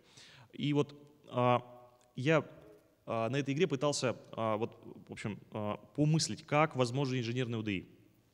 И вот если можно, там у меня еще есть один слайд, э, запустите, пожалуйста. В общем, а, вот на примере а, нашей группы. А, Вот наша группа в ходе разработки этого проекта замечательного прошла два этапа. Этап 0 и этап 1. И вот, если вы заметите, этап 0 он длился два года, этап 1 длился год и еще не- несколько месяцев, а этап 2 он длился, ну, в общем, он сейчас вот э, начался. А, Вот а, вы не поверите, поверите, но за ОДИ, а, в общем, нам практически удалось создать диагностический модуль для нашего этого самого, для канатохода. А, Да, собственно, здесь а, осуществить инженерную разработку, инженерную разработку, а, спроектировать новую, новую, а, новую машину, новую конструкцию сделать, в общем, отправить на изготовление, собственно, отдельные детали, в общем, э, собственно, сделать там несколько собственно, раундов взаимодействия со, Сколково, в общем, там вот у нас Настя, она, я так понимаю, два раунда переговоров с- ними, собственно, осуществила по скайпу, в общем, по поводу того, как там это делают всякие эти, эти гранты. Была практически заполнена за- заявка на грант, дескать, ну, в общем, там разработаны всякие, всякие технологии, там э, эти самые лазерные сканеры, в общем, э, заработали практически и так далее. И, в общем, мы вот а, за вот эти вот 7 дней сделали работу, которую мы до этого делали примерно год. Примерно год. Вот. Такие дела, да. Спасибо. Ну, а, я к тому, что вот мне кажется, ну как бы что-то получается. И вот это вот, а, я, я признаюсь, не знаю вот другого способа, как проводить, в общем, а, инженерную УДИ для того, чтобы в нашей стране возникали бы массово, быстро и, делались эти самые технологии. А, Так, что-то еще я должен сказать? Все вроде. Так. А, ну да, еще вот а, не могу не, не могу не отнестись, конечно, к вот этой вот дискуссии по поводу того, а, как а, возникает энергия для развития и так далее. Вот а, могу рассказать, как вот как это произошло у, меня. Вот я, я как четко помню этот момент. Это произошло на ОДИ-2. Я уже в своей группе это уже это дело уже рассказывал. В общем, я участвовал в ОДИ-1, а, получается, я был студентом четвертого курса. А, В общем, это была моя первая игра. А, Я ничего не понял. Как бы вот я всю игру, всю эту игру про- про- провел, ничего не понял. Я там что-то выступал с какими-то докладами, а, вот, но как сказать, не, не мог этот опыт отбросить. Мне показалось, что что-то здесь, что-то здесь происходит, что-то интересное, и вот вроде бы тот коллектив, который это организует, вроде они, ну, ну то есть у меня был выбор, либо они сумасшедшие, либо, либо нет. И вот я, ну как бы, естественно, а, было очень, ну как бы легко сказать, что, что вроде бы первый вариант, но я чувствовал, что вроде бы вот, ну как бы логика э, не позволяет так, что, э, сказать. И я понял, что мне э, необходимо ехать на, на э, ОДИ-2. И, в общем, когда она была объявлена, я, я был очень рад. И, в общем, мне очень повезло на этой ОДИ-2. Я, в общем, был, э, у меня игротехником был Алексей Евгеньевич Соколов. Вот. А как вы уже знаете, Алексей Евгеньевич, он, ну вот, э, он- был, собственно, э, по-моему, это бы день один и, собственно, день два. А потом он, ну, я помню, на минут на минут на как бы 20 э, заходил в группу, собственно, каждый день, и, и потом уходил, потому что у него всегда очень много дел. Вот. И, в общем, группа, ну, как бы э, сама работала. И вот мне, в общем, э, как бы очень повезло. Очень повезло. И, в общем, а, мне там пришла одна идея, что вот, что, судя по всему, а, главным ресурсом развития является ну, вот, а, вот эта вот а, личность. личность. И с тех пор у меня возникла идея, что, возможно, у меня тоже есть шанс. Возможно. И вот в этот момент у меня, в общем, а, ну, как бы затикал секундомер. Я тут вдруг понял, что, в общем, а, через какое-то время мне придется, в общем, давать перед собой отчет, а что же я сделал вот за, за как бы, эту жизнь. Вот. И, в общем, с этого момента а, у меня, в общем, ну, как бы включился, собственно, аппарат поиска. Я стал, в общем, я понял, что, в общем, мне нужно будет перед сам, мне нужно будет самому себе сказать, что я вот за жизнь сделал вот это, например, или, например, там, скажем, ничего, например, не сделал. И с этого момента я, я этот момент э, отчетливо помню. В общем, э, я стал искать, искать, значит, и вот, дескать, вот, э, дескать, э, что-то нашел. Может быть, конечно, это все, ну, в общем, а может быть, ошибочно, в общем, это время покажет. Ну, вот как-то так. Спасибо большое. Хочу сказать пару слов по поводу Сашиного выступления. А, Я, мне повезло, в этом году я ходил в горный поход в Гималае. Меня водил один альпинист из Одессы до базового лагеря Анапорны. В общем, такая мечта у меня сбылась. И все было здорово. Я, это был, но это было э, практически в марте-апреле, когда уже развивались, развивались события. Это еще было до 2 э, мая там, событий в Одессе, но это было уже там Майдан, это уже был Крым. А, в первом же э, там стоянке, что ли, он открывает газету, а там по-непальски все буквы непонятные, но картинка одна, там Крым нарисован.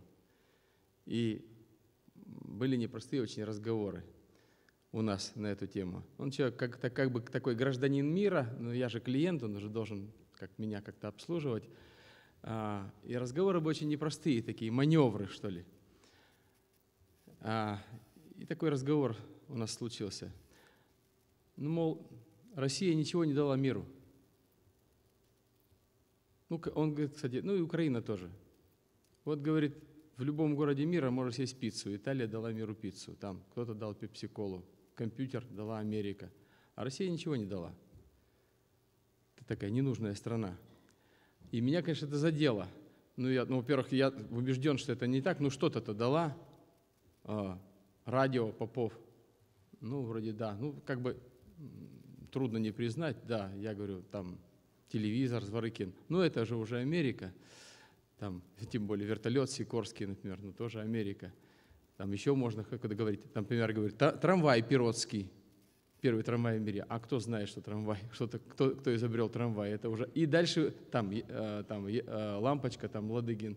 Э, и получается, что ну, с одной стороны, я могу сказать его, ну, ну, и, ну и все, он говорит. Вот сейчас выходит Саша и говорит, что все важное и нужное, что сегодня имеет весь мир, как минимум придумано, или все, или почти все, придумано в России вот этот прямо противоположный тезис. Россия ничего не дала миру путного и нужного, и, или почти все, чем сегодня богат мир, ну, как минимум придумано в России в очень большой степени. Это, конечно, заявка, ну вот слышал бы тебя Дима, там, этот, Тищенко, он сказал, ну да, конечно, щеки раздуваете. Так вот, где правда, да? А, мне кажется, правда здесь и момент истины в том, что надо знать и уважать свою историю. Это очень важно. А вот Саша же не голословно говорит, он же опирается на факты. Если вы спросите, ну-ка докажи, он докажет, конечно, он же не, не будет говорить, я вот так, мне так, мне так приснилось сегодня. А чтобы это утверждать, надо вот знать свою историю. Ну вот что интересно дальше. А, я увидел такой тезис, на мой взгляд, очень мощный. Возрождение инженерного дела. Возрождение – ведь русское техническое общество, как мы узнали из фильма, который вот нам предложила Амина, оно было самым сильным в мире сто лет назад. Сто лет назад русское техническое общество, его шестая да, секция электротехническая, она тоже была одна из самых сильных в мире, но это общество. И вот э, на днях будет возрождение этого общества. Я по поводу общественной деятелей и инженер. Ведь инженеров у нас в стране полно, и опять же, как Саша сказал, они э, умеют обслуживать, умеют обслуживать любое оборудование, потому что люди грамотные. Но уметь обслуживать, вот это работа, это работа, это, на мой взгляд, не дело. Вот эти слова очень важны и ключевые. А возродить, возродить надо инженерное дело. Работу-то мы работаем. А вот если мы возродим инженерное дело, вот, вот здесь тогда и будет прорыв и возрождение и страны в целом. Мне кажется, вот это исключительно важно. Важно еще и то, что человек, который здесь сидит, говорит, я инженер, я хотел бы заниматься предметной области, а, а делает реально он вот сегодня, он а, так получилось, что если руководитель уезжает с игры, или игротехник, вот мы знаем такие случаи, игротехник уезжает с игры, были такие случаи, группа распадается, а, она просто не может существовать а у меня волей обстоятельств практически на неделю обстоятельства выкинули из игры. А игра состоялась. И понятно, что она по-другому не, могла, не могла бы состояться, если бы кто-то не взял на себя ответственность за вот это, за эту общественную работу, за это дело. Саш, тебе очень признателен, большое тебе спасибо еще раз за игру, которая выжила благодаря тебе. Аплодисменты. Надежда Шимова.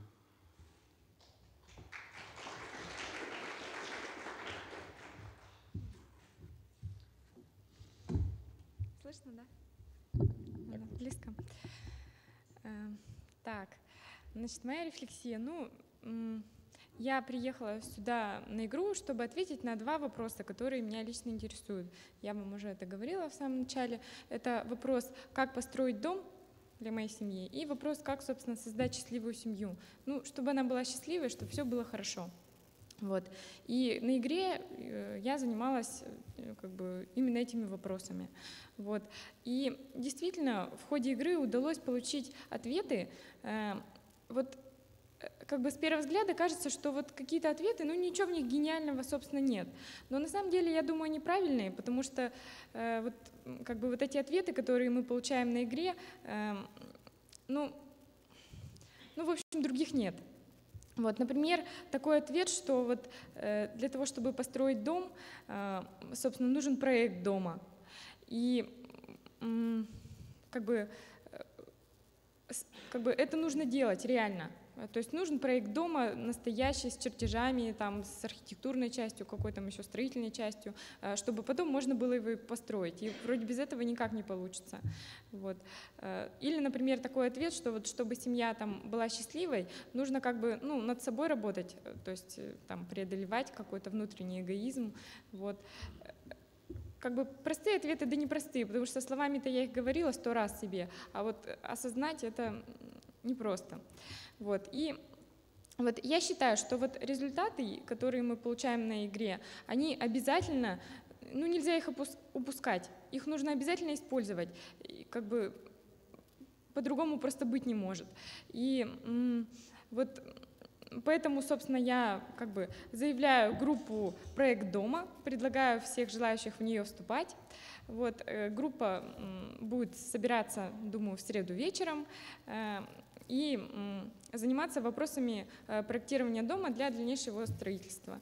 То есть вот эта идея с краудфандингом, поиском, э, как бы сбором средств финансирования э, на создание проекта типового дома, собственно, для всей страны, я думаю, она вполне жизнеспособна, надо начинать.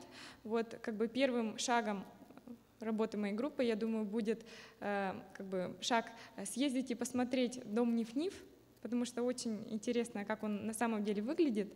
Эм, Вот, как-то так. Значит, еще, значит, э, так, так, так. Вот, э, была у меня еще одна задача, как бы, ну вот в организационном ключе, это стать игротехником, потому что я первый раз на игре игротехник и как бы, ну, волновалась, получится ли это у меня вообще. Вот. Пока не знаю, получилось или нет, то есть это надо будет как-то потом мне, видимо, осознать, но э, признать, что было очень трудно, очень тяжелая как бы работа. Ну и вот про энергию, откуда берется энергия развития. Э, Вот у меня она берется, как бы, когда мне мой муж что-нибудь говорит или просит что-нибудь сделать. Вот она обычно в этот момент у меня как бы возникает. Или когда мой э, сын, ну тоже там просит поиграть с ним, пойти погулять. Вот тут у меня появляется энергия, это как бы правда. Все. Спасибо большое, Надя. Надо сказать, что я поначалу, это была моя ошибка, э, не принял э, работу группы всерьез. Но вот когда про повышение зарплаты зашла речь, э, и я там, конечно, выступал как-то против этого, но вот когда я увидел искренность, стал задумываться, и я понял, что группа вот удивительное дело совершила, я уже об этом говорил, а то, что сейчас прозвучало как заявка, как план, как вот, вот здесь прозвучало мое место в развитии энергетики, на мой взгляд, и развитии страны. Вот эта заявка просто меня вдохновляет. Это, ну, я понимаю, что это просто реально. Вот реально я просто увижу дом Ниф-Ниф скоро. Реально. Если возьмут... А? Да? Ну вот здорово. Это вдохновляет. Спасибо. Идем дальше. Виталий Соломеин.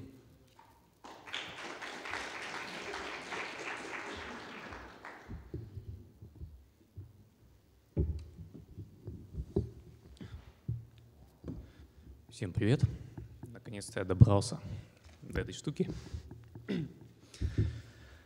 А, Так, вот м, у меня есть несколько ощущений по игре в целом. Э, Во-первых, э, для меня эта игра оказалась непростой. Э, Спасибо, конечно, группе за это. Вот.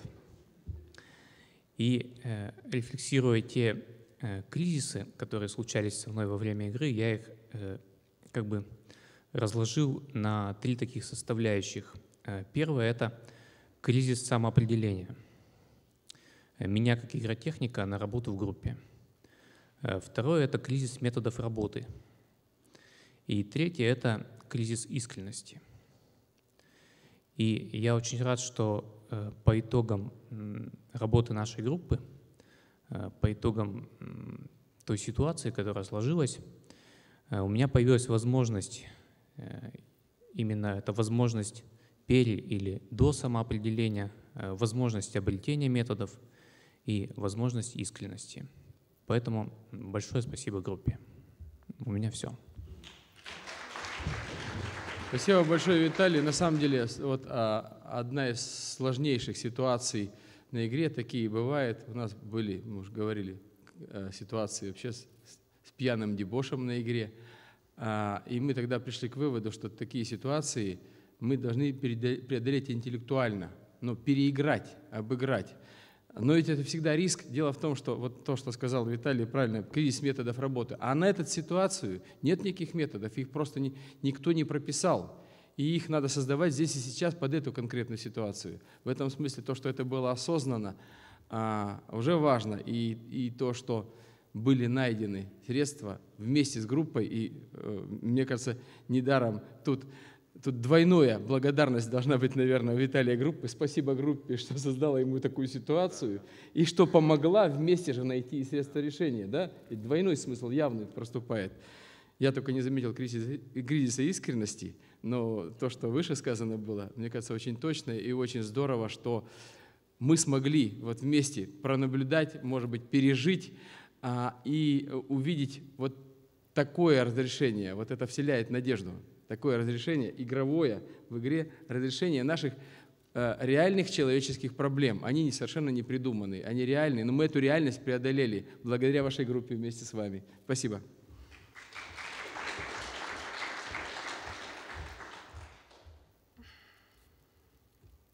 Амина Нигматулина.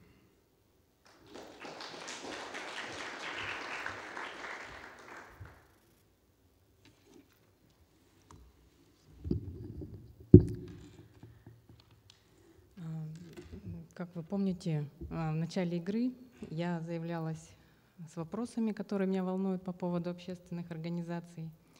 И они были следующим образом сформулированы.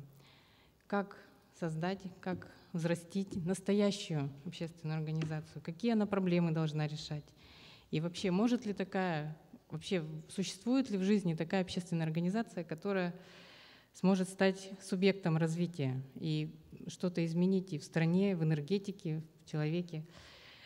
А Вот э, Алексей Евгеньевич, по-моему, говорил уже, что мы трижды или четырежды пытались, по-моему, это взять планку на играх, то есть три или четыре года мы пытались вопрос этот обсудить, понять и ну, каким-то образом ну, найти все-таки ответы на эти вопросы. И как-то мы ну, пытались приблизиться, но вот таких явных и четких ответов, которые бы вселяли надежду, что именно общественная организация сможет что-то сделать, мы не получали. Вот. И когда мы э, при подготовке к игре обсуждали, какие группы нужны, я сама предложила эту группу, и потом, когда мы начали думать все-таки, кто будет ее возглавлять, я думаю, ну, черт возьми, может быть, рискнуть все-таки попробовать там, в пятый раз это обсуждать. И у меня на самом деле был страх, вот как э, ребята многие говорили, ну, наверное, опять ничего не получится.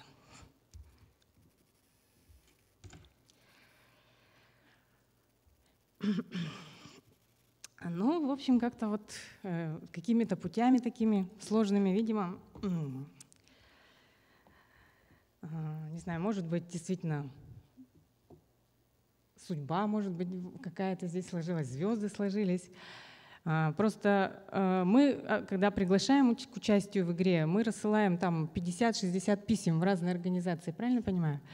Вот. И вот отклик находится, а, ну, вообще вот для нас очень таких неожиданных местах. Да, у нас есть э, традиционные партнеры, которые с нами постоянно сотрудничают там на протяжении уже всего нашего пути, там, значит, ну, электросетевые компании, генерирующие компании. Вот, с, ними, с ними у нас уже тоже один язык, и мы с ними знаем, как, э, о чем говорить, да, вот, и как можно приглашать к нам на наши события. А вот когда мы отправляем письма, и они приходят к какому-то, ну вообще, человеку, который не представляет, что здесь происходит на игре, и ему, который значит, принимает решение все-таки отправлять участников, командировать кого-то или нет, очень сложно ну, вот это представление получить из нашего приглашения. Но, видимо, э, вот и наше тоже осознание, и наша формулировка этих приглашений уже, возможно, как какое-то приобрела такую вот силу, энергию, которая находит отзыв э, в душе, там, я не знаю, в разуме человека, который читает это письмо. И в этом году э, в нашей группе собрались общественники с опытом, кто с большим, кто с меньшим. Вот. И я считаю, что только благодаря им и благодаря нашим совместным усилиям в понимании друг друга нам удалось все-таки прорваться каким-то образом. И на этой игре я считаю, что вот идея превращения Министерства энергетики в Министерство развития энергетики с помощью общественной организации, с помощью силы, которая может направить, родилась именно на этой игре. То есть вот я считаю, это получилось. Вот. А, ну вот по поводу того, что а, как бы почему все-таки я не э, я рискнула, да, и сделала выбор в, в то, чтобы постараться работать в этой группе. А, половина дела была то, что я поверила в себя и не отказывалась от своей идеи, от того, что можно с этой проблемой разбираться. Вот. Это первая половина. А.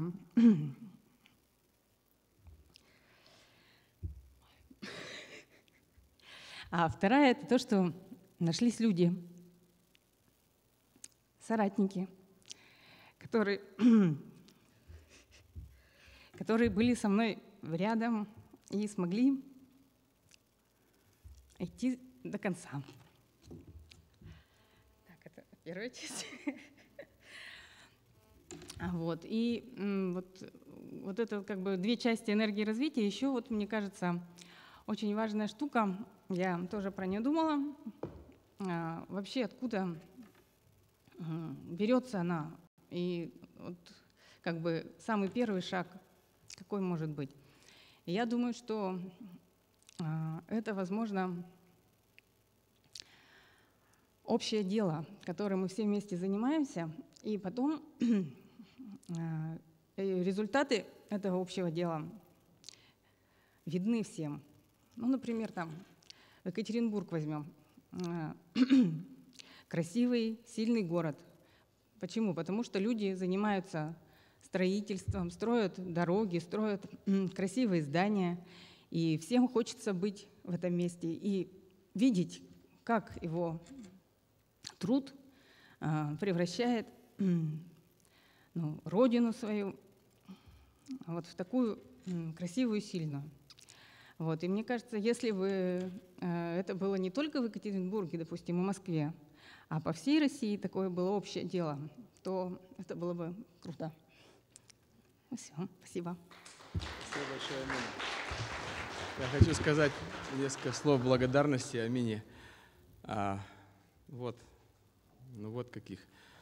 Да, вот я согласен, здесь прозвучало слово «прорыв». На самом деле случился прорыв, у нас получилось, наконец, продвижение к какому-то результату, к ощущению результата. А, вот в этой теме общественной организации. Их роль, понимание, что, как они возникают, что они должны делать, что они могут делать. А, вот, а как это получилось? Ну, вообще, можно сказать, Георгий Петрович говорил часто слово «свезло». Но на самом деле бывают случайности. Вот кто знал, что Рузиль приедет? И вот свезло. Но смотрите, а кому и почему? На самом деле, первый раз, Константин Филиппович может мне напомнить, он лучше помнит историю наших игр. группа общественной организации была заявлена на ОДИ-4, на Иволге. Когда Юлия Лекомцева пришла в группу, там, там просто все было мертво, она начала просто эту работу. Но первый раз не получилось, семь лет назад.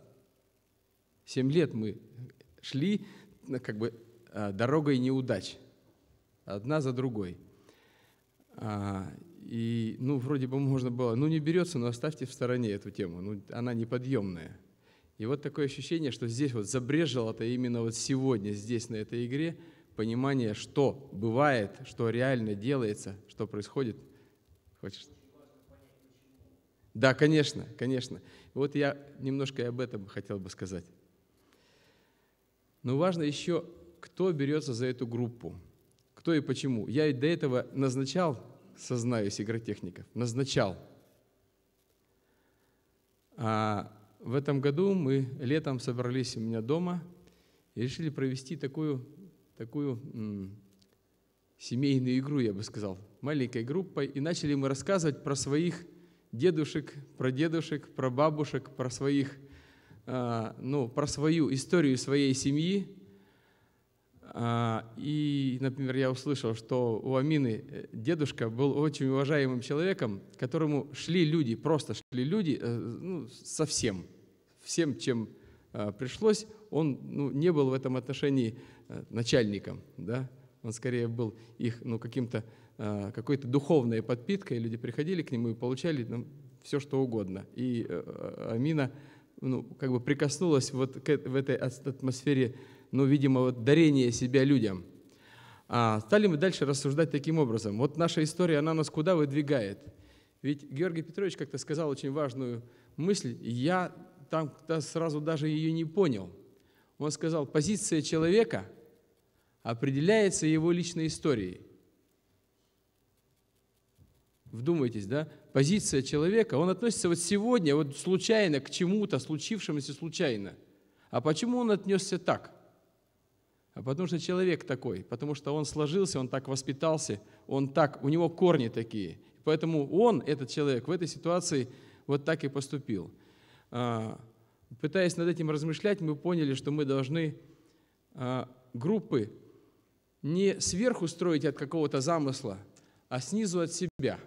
Вот что мы вам изначально и предлагали. Идти от своей мечты, от своей позиции, от своей истории, от своих ценностей – от своей, может быть, проблемы, от своей, может быть, драмы какой-то, от того, что э, я чувствую, что я, ну, что я, скажем так, унаследовал. Это наследие, может быть, это не богатство, а бремя. Это вот то, что обязывает, да? Наследство – это то, что обязывает. Фамилия иногда обязывает. Расскажу этот случай. Георгий Петрович его рассказывал э, как мгновенно случилось воспитание. Это поразительный случай. Он рассказывал про своего товарища Никиту Глебовича Алексеева, э, своего сподвижника. Э, я его видел тоже, это седой, такой высокий, статный, красивый мужчина, член, многолетний значит, участник Московского методологического кружка. Он говорит, Никита в детстве, в детстве своем, рос он без отца, отца расстреляли – а, с матерью одной и жил, и как-то пришел домой, курил. А мама спросила, Никита, ты что, курил? Он сказал, мама, все курят. На что она ему сказала, Никита, твой отец был аристократ, и он был бы очень огорчен, узнав, что ты куришь. И, говорит Георгий Петрович, на этом все воспитание кончилось. Интересный случай, да? Фантастика. Отца-то он и не видел, а отец его воспитал. Как это работает? Вот э, поняв это, мы пытались двигаться как раз от себя и пытаясь понять, что мы должны, обязаны, может, не просто хотим, да, должны, обязаны сделать, в том числе, если мы организуем такое сложное мероприятие, сложно составное – как рождественная игра, когда там разные интенции, разные люди с разными целями начинают двигаться, ну, вроде бы хаотически, хотя вроде тематическая рамка есть, как они будут взаимодействовать, непонятно, никто заранее не знает. Но есть одна отправная точка, истинная и искренняя, от себя. И мне кажется, вот это и послужило залогом успеха в том числе, а, что сегодня у нас случился прорыв в этой теме. Поэтому спасибо тебе большое, Амина.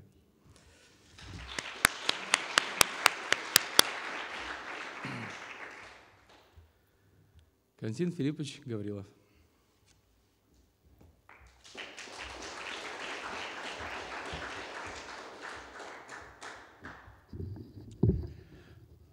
Готовился когда к выступлению, значит, вот по мере того, как тут шли выступления, у меня несколько раз менялась логика, материал, дополнялось. Я тут небольшие открытия совершал попутно. Поэтому, не может быть, сейчас буду говорить немножко сумбурно, вы уж извините. С чего начать-то даже не знаю. Так много хочется сказать. Может, помолчим? Ну, молчим, вот молчим. Молчим. А, в общем, вот начну тогда вот прямо, а, чтобы логика была с Алексеем Евгеньевичем. Вот, э, вот эта подготовка на инновации в подготовке игры, про которую говорил Алексей Евгеньевич, значит, то, что вот он предложил начинать от себя. Мне кажется, э, во многом вот это, конечно, сработало на скрытое такое взаимодействие между группами. То есть оно не было специально как-то организационно здесь э, сделано или еще что, оно срабатывало, потому что было заложено в орг-проекте, а орг-проект основывался на выведении групп из, значит, э, игротехников индивидуально. Вот это, мне кажется, главный, э, главная новизна, которая сработала, как я понимаю, очень, так сказать, перспективно. Это надо еще думать и думать и думать. Почему? Потому что я что обнаружил? Что э, вот сколько в играх я участвовал, такого рассогласования между своим ощущением, видением и пониманием и движением игры у меня еще не было. То есть я натурально, вот у меня, скажем, в третий день была небольшая проблематизация, а позавчера я впал в полный пессимизм, считал, что вообще игра провалена, что это самая неудачная игра за всю историю навигации, что не то, что ничего не получилось, а как бы получился минус, и, в общем, находился вот в таком отвратительном пессимизме. Потом, когда, значит, группы стали выходить с докладами, я понял, что я э, глубоко ошибался, что я не видел процесса вот этого объединения – и, значит, я стал себя э, спрашивать, а что, почему происходит? Ведь вроде как бы э, я тот же самый, на всех играх, так сказать, такого не было. Э, и я понял, что какие-то скрытые вот эти вот духовно-мыслительные процессы и структуры, они подкатили, они подперли игру изнутри. Вот. И я понял, что это э, вообще само по себе, как привлекать вот эти духовно-мыслительные, так сказать, уровни. Ведь какой ход э, был задействован на, в играх ГП Щедровицкого и, соответственно, э, у тех его последователей, кто шел по, по его пятам. Это на игре личностное восхождение, так сказать, туда, э, к вершинам мысли и мыследеятельности, в так называемое чистое мышление. Вот. Но это очень, так сказать, трудоемкий и во многом э, рискованный процесс. Он требовал в том числе создания таких волевых концентраций, которые э, ГП делал на играх, позволяя в том числе э, насиловать людей, как бы унижать их у, всех, у всех на виду, жертвуя, жертвуя тем самым, он же понимал отлично, что происходит, жертвуя тем самым собой, и, значит, ну, он выбирал, так сказать, того, кого он считал нужно наказать, и, людьми для вот этого результата. И я был внутренне всегда противник этого. Но что ну, можно было противопоставить этому? И вот я считаю, что ну, мощная находка, гениальная, не побоюсь этого слова Алексея Евгеньевича, что он предложил, может быть, сам того еще до конца не осознавая, другой ход. Другой ход. Снизу. Не нам туда восходить, а притянуть наши корни, нашу историю, нашу вот эту вот скрытую в нас энергетику. И это, мне кажется, основное, что позволило этой игре произойти. Вот. А вот это вот как бы раздвоение вот, э, потоков индивидуально-личностных и вот как бы заложенных в проекте, это, мне кажется, одно из условий э, развития вообще говоря, игрового движения, развития игры. Вот. Это первое. Затем, значит, что я, так сказать, какая мысль возникла, что вот это вот э, рассогласование индивидуально-личностного движения и общего движения по игре, если его а, засечь, я его засек, как бы сказать, э, ну, в плане результатов уже, когда поздно было что-то с этим делать. А вообще говоря, это своего рода такой чувствительный конденсатор. Вот как знаете, есть термин ВОКС, да? То есть за счет изменения емкости, значит, преобразуется в звук. Знаете, да? То есть это самое. Одна обкладочка, и, значит, человек рукой играет. То есть он меняет емкость, да? И, и поле вот это вот емкостное. Примерно то же самое можно было бы использовать таким образом себя вместо инструмента. Но понял я это, значит, слишком, слишком поздно. Вот.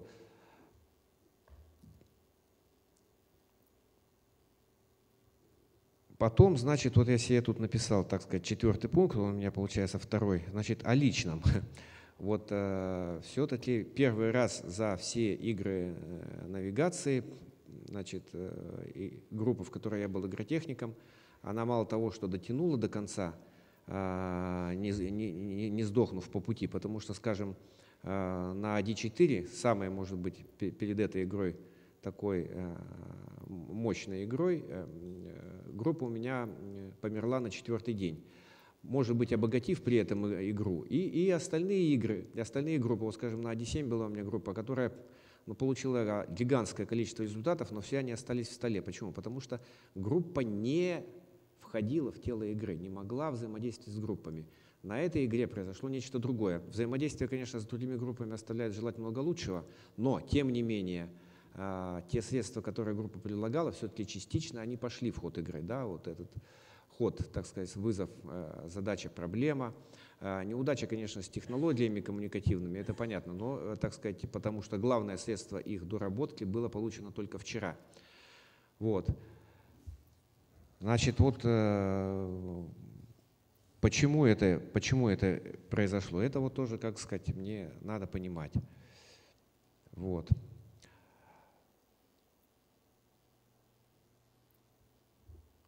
Потом, с чем я ехал на игру?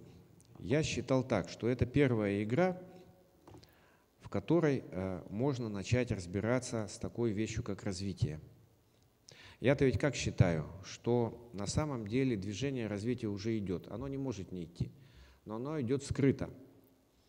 И э, самое главное – приобщаться к этому движению, то есть как туда попасть, как туда прорваться – то есть э, просто какими-то конструкциями там, понятий развития или еще чего не прорвешься. Нужно войти в непосредственное взаимодействие с этим движением. Вот. И вот, э, вот, это, вот это каким-то образом получилось.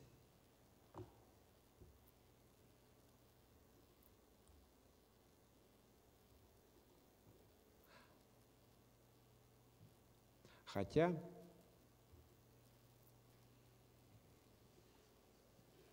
Нет, наверное, вы знаете, наверное, наверное, я закончу, ничего больше сказать не могу. Значит, расползлось у меня содержание. Вот. Ну, в общем, я просто очень благодарен э, всем э, как бы и участникам игры, и э, э, членам группы наука развития, потому что э, я считаю, что некий шаг развития и игрой в целом, вот, и индивидуально, практически каждым участником, во всяком, во всяком случае, я точно совершил некий шаг развития, потому что меня как бы игра и отдельные люди, в общем, учили где жестко, где мягко, но я это воспринимаю именно как, как учебу, потому что, вот как сказал в той статье э, Мамонов, каждый человек, кто встречается на пути, ангел, он или любит тебя, или послан, э, значит, тебе как испытание. И здесь то же самое, значит, произошло в этой игре, поскольку игра есть концентрированная жизнь. Вот. Как был совершен этот шаг развития, это еще надо понимать, понимать и понимать, потому что этот опыт ни в коем случае нельзя расплескать. И то, что вот э, пока не воспринято то содержание, которое было изложено э, в сегодняшнем докладе группы, это не значит, что оно э, как бы мимо кассы или мимо игры. Его нужно понимать, его нужно постепенно исследовать, потому что вот такие как бы амбициозные, конечно, заявления, что группа вышла на инженерию мыследеятельности – я считаю, это факт. И как бы это нужно показать, значит, раскрыть, может быть, в статье, в книгу, и э, внести это в работу э, группы навигации, в какие-то семинары и так далее. То есть ни в коем случае нельзя от этого отказываться. Это будет просто, ну как это сказать, западло, что называется. Вот, поэтому вот я поздравляю и членов группы, и всех участников с тем, что каждому в отдельности, в той или иной степени и всем вместе – удалось все-таки совершить вот этот шаг развития. То есть я поздравляю всех, и себя в том числе, с пропиской в Доме развития. Спасибо.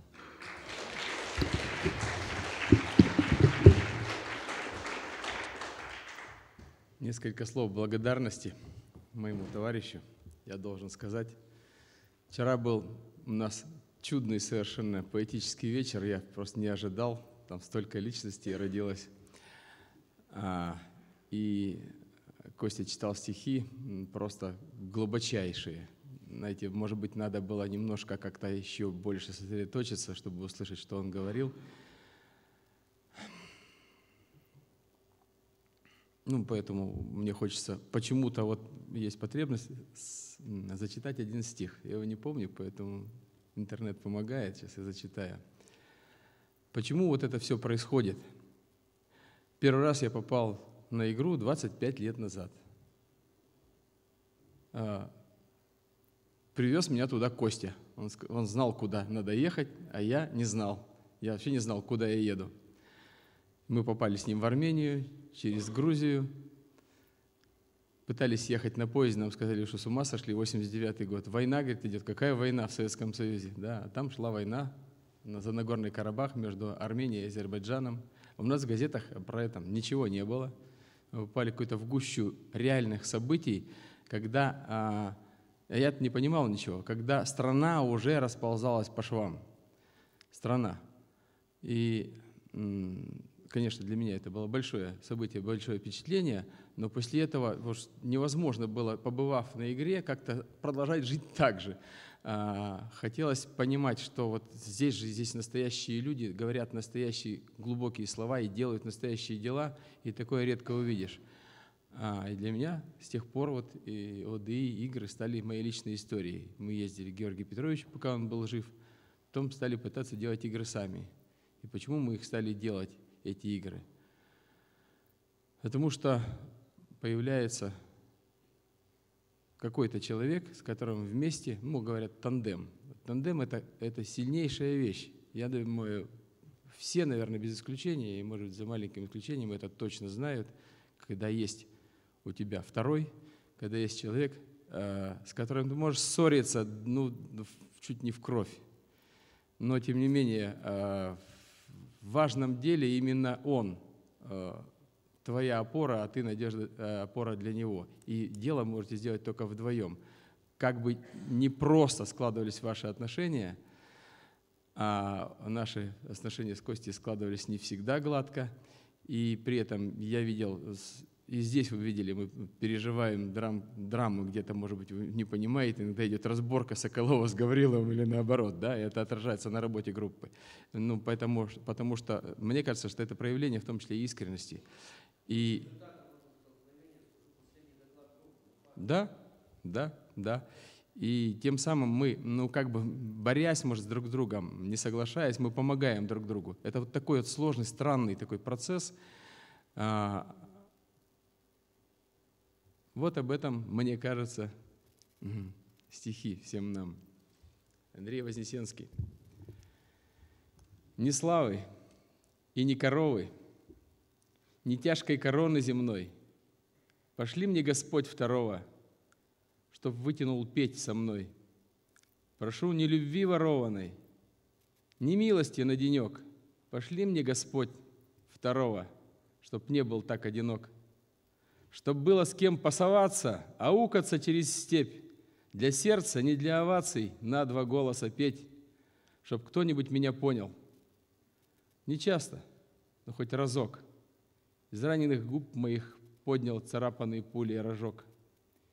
И пусть мой напарник певчий, забыв, что мы сила вдвоем, меня, побледнев от соперничества, прирежет за общим столом. Прости ему, он до гроба одиночеством окружен. Пошли ему Бог второго, такого, как я и он. Костя, спасибо тебе.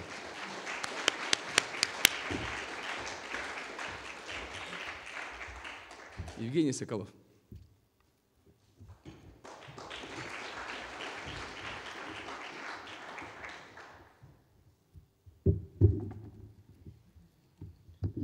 Тоже спасибо, это подстава говорить после такого стихотворения. Очередь. Да. Ну, я ставил перед собой вопросы и цели на игру, как оказывается, очень близкие к тому, что говорил Саша Лемех. И при этом я чувствую, что мои результаты, конечно, гораздо слабее, чем у него. То есть он делал реальное дело, и он его сделал.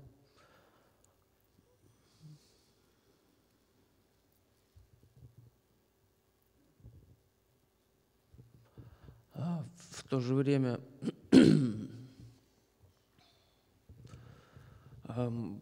те вопросы, которые мы ставили перед собой, которые я ставил, мы в группе проработали честно, добросовестно.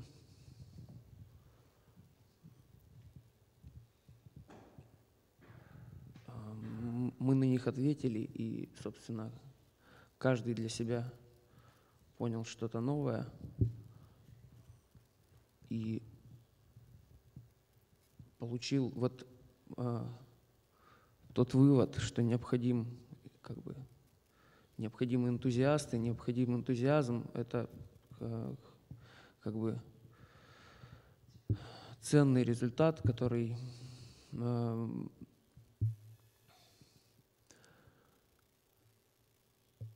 ну, то есть все же понятно. Если хочешь, чтобы было развитие в, там, в своей отрасли, в своей компании, в своей стране, бери и делай.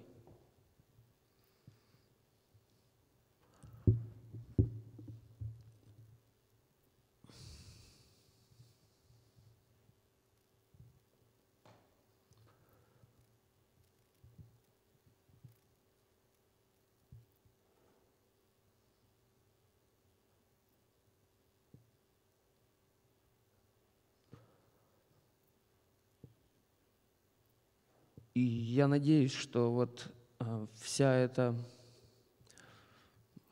процедура прохождения через игру, через вот эти вот волнения, внутренние конфликты, она для каждого из нас послужит некоторым, как бы как раз вот даст возможность решиться на нечто большее, чем, а, чем до игры.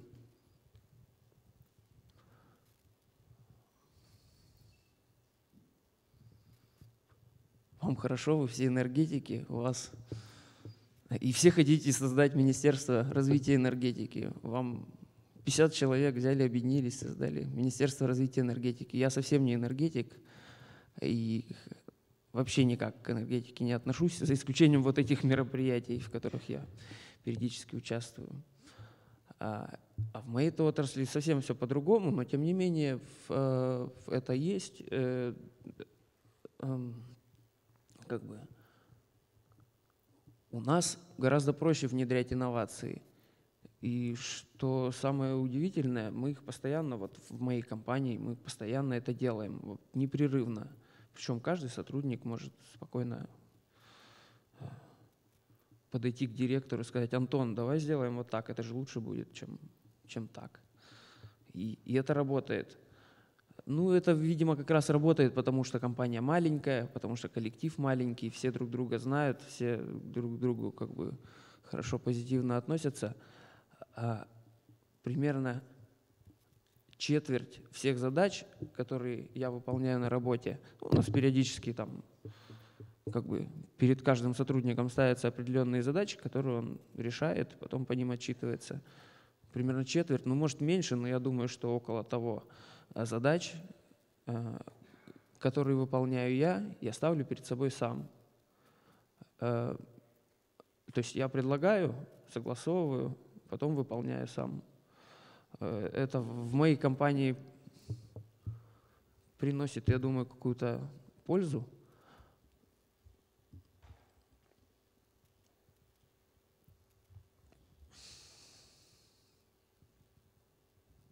Ну, это как раз вот ам, как бы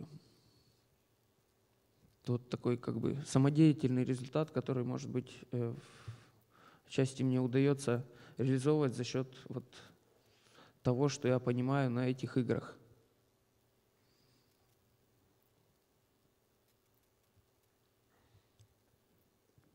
Пока все. Спасибо. Второе несколько слов. В этом вообще год какой-то такой кризисный во, во всех отношениях. Вот, вот все складывается не в пользу нас, не в пользу игры. В прошлом году у нас были игры техники с э, вот таким хорошим накопленным стажем, как опытом, такие боевые.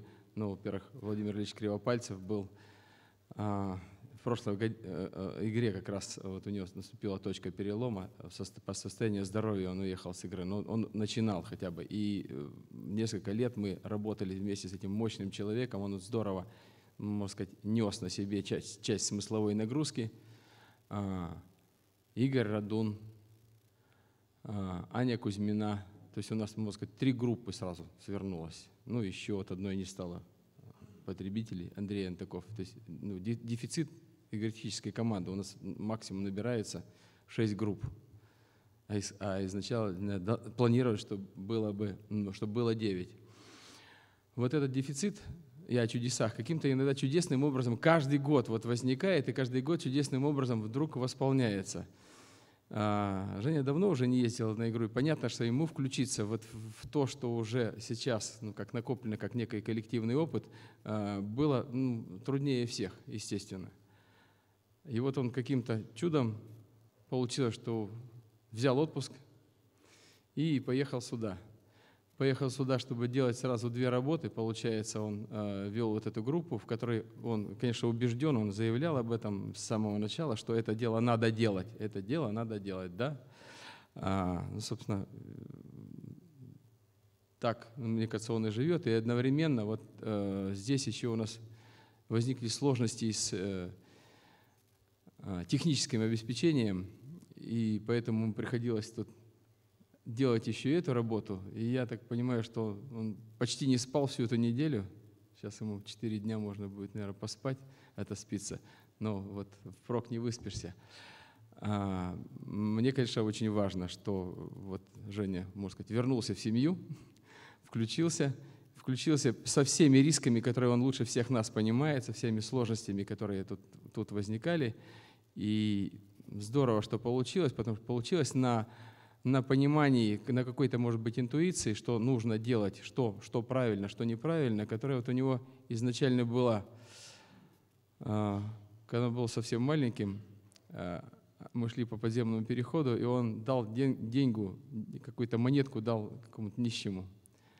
А его кто-то спросил, по-моему, моя жена, а, а зачем ты это сделал? Он сказал, так нужно. И вот Несколько лет назад, я уже рассказывал, они с Настей тут решили, Евгеника, видимо, тут в имени, э, решили, что они должны родить мне здорового внука, и отказались от употребления спиртных напитков, любых вообще. Вот. Ну и долго я как бы с этим просто так жить не мог, пришлось мне тоже отказаться. Поэтому учиться можно у всех, но у тех, у кого нужно учиться. Я считаю, что это прав, прав Константин Филиппович, который говорит о том, что дети, а, ну, как бы гениальнее своих родителей, надо только понять это родителям, потому что дети всегда моложе, менее, менее опытные, и нам кажется, что они ну, там, чего-то там не понимают, а скорее иногда наоборот. Спасибо, Женя. Спасибо.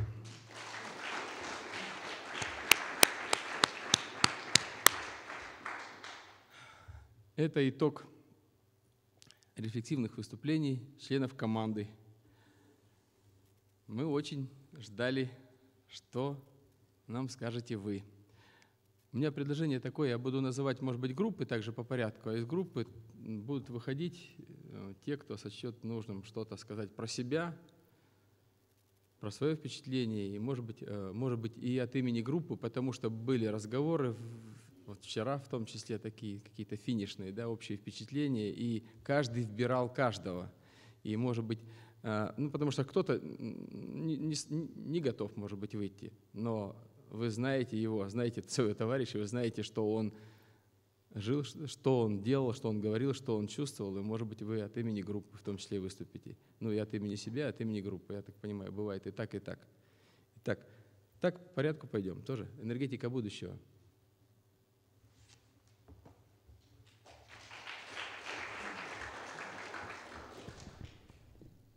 Э, Добрый день.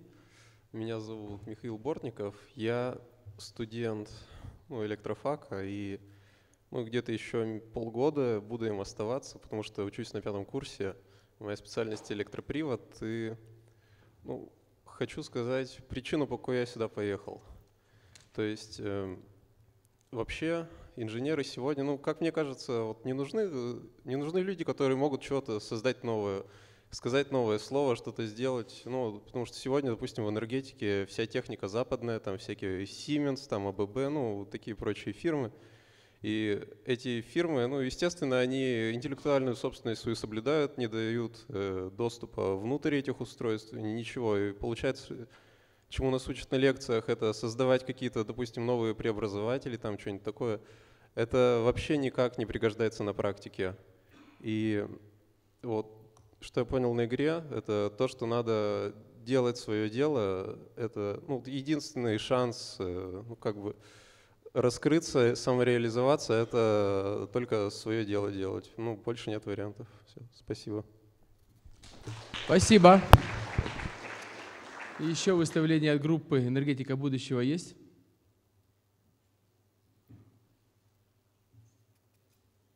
Нету. Группа «Дом».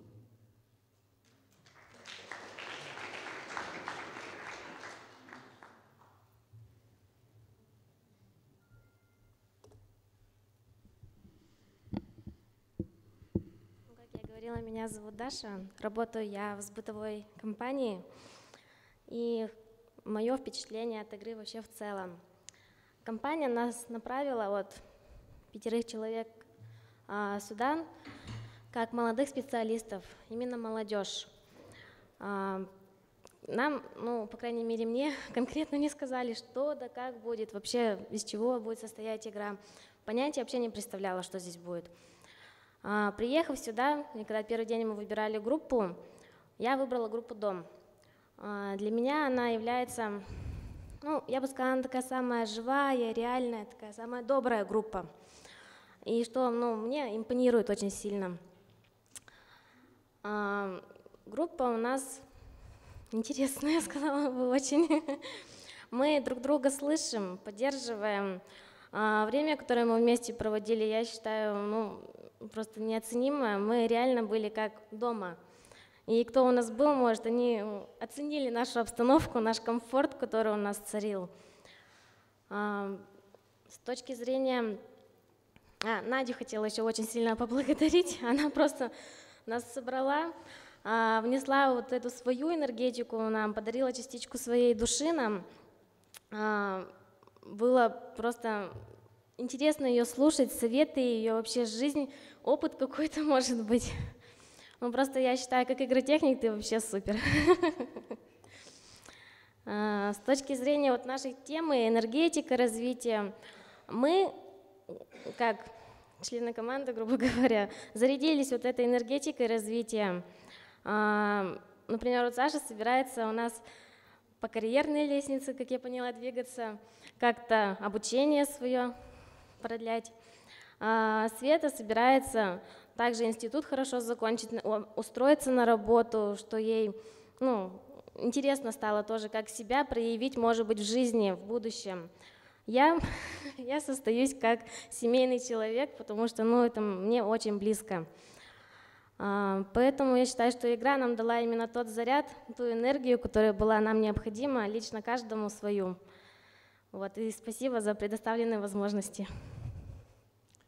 Спасибо большое. Кто-то еще от группы «Дом»? Нет, да? Образование личности.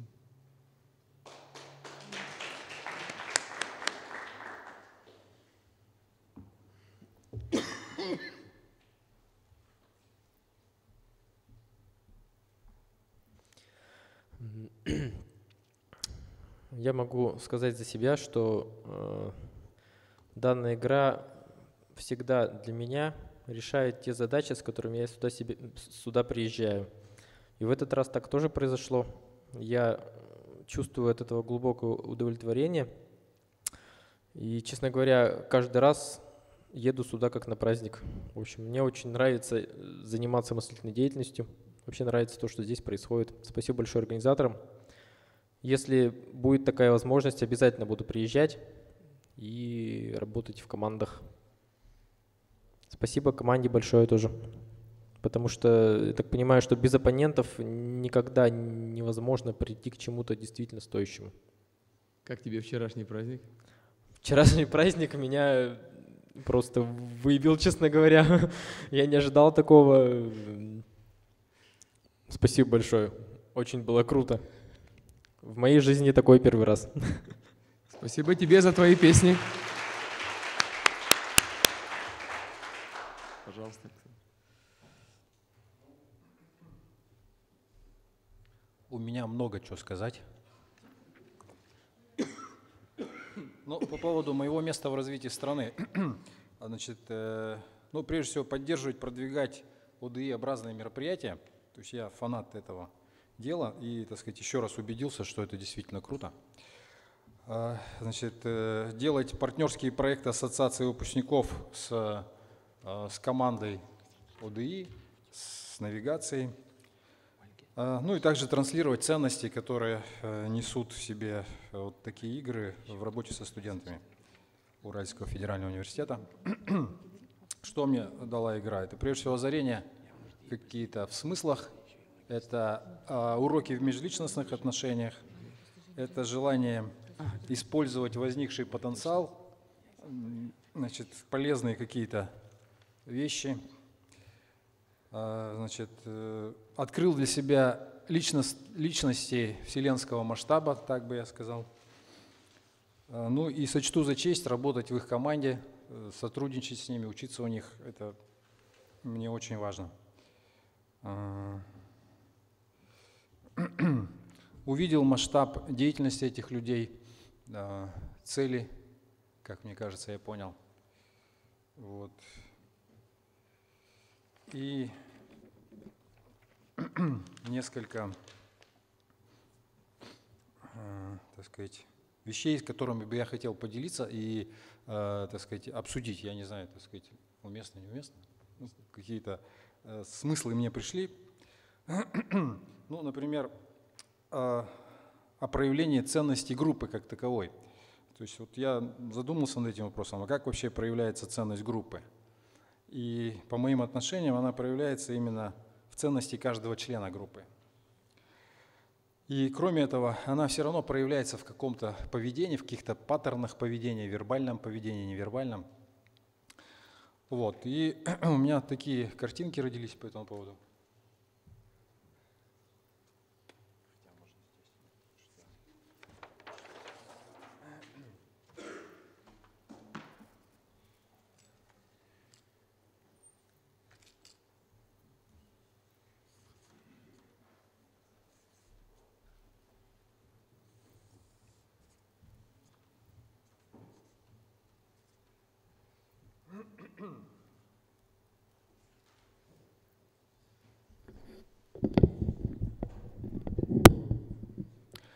Ну вот, например, существует какой-то человек, у него есть э, представление о том, э, ну, об отношении к кому-то, об отношении к какому-то человеку. Это отношение может быть э, совсем таким незначительным, а может быть значительным. То есть на одном краю такие, как сказать, э, ну, не знаю, на уровне,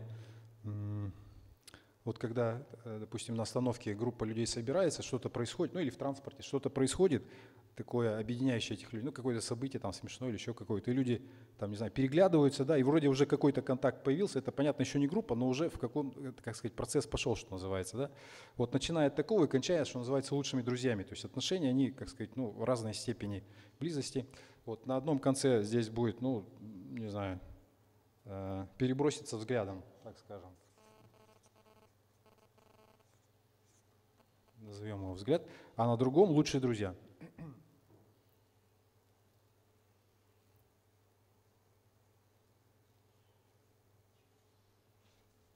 Вот. И, и у каждого есть какое-то свое э, значит, представление э, по этим отношениям. Есть второй человек.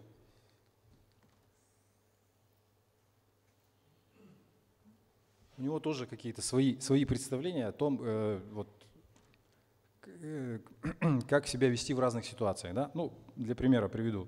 Назвал я это дилемма пяти пяти в столовой, пяти человек в столовой. Вот есть, например, пять человек.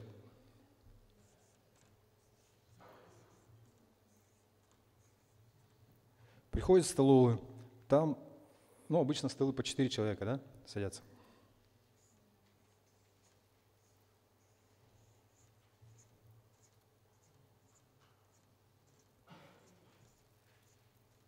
Ну и варианты какие тут возможны? Прийти, пять человек пришли, которые, ну как бы команда там, пришли и садятся каким образом? Какие варианты? Два, два на три, да, либо четыре один. Вот. Оно вроде пустячок, ну, сел один, ничего, так сказать, так сказать, э, вроде, ну, вроде какая-то ерунда, да? А для кого-то это важно, да? И получается, э, например, ценность э, вот такого, как сказать, командного ощущения, да, у одного где-то вот здесь, а у другого здесь общаюсь с людьми, говорит, ну, ну да, то есть я вот там три, три, три на два. Мы садимся, когда мы с друзьями. Да, мы с друзьями так садимся, то есть как понимание есть, да? А, а вот здесь не садимся, там 4 на 1. То есть как бы вот, ну вроде не друзья еще, то есть не настолько друзья, чтобы вот как бы сесть так. А, и вот такой возникает гэп или там дельта ее можно назвать.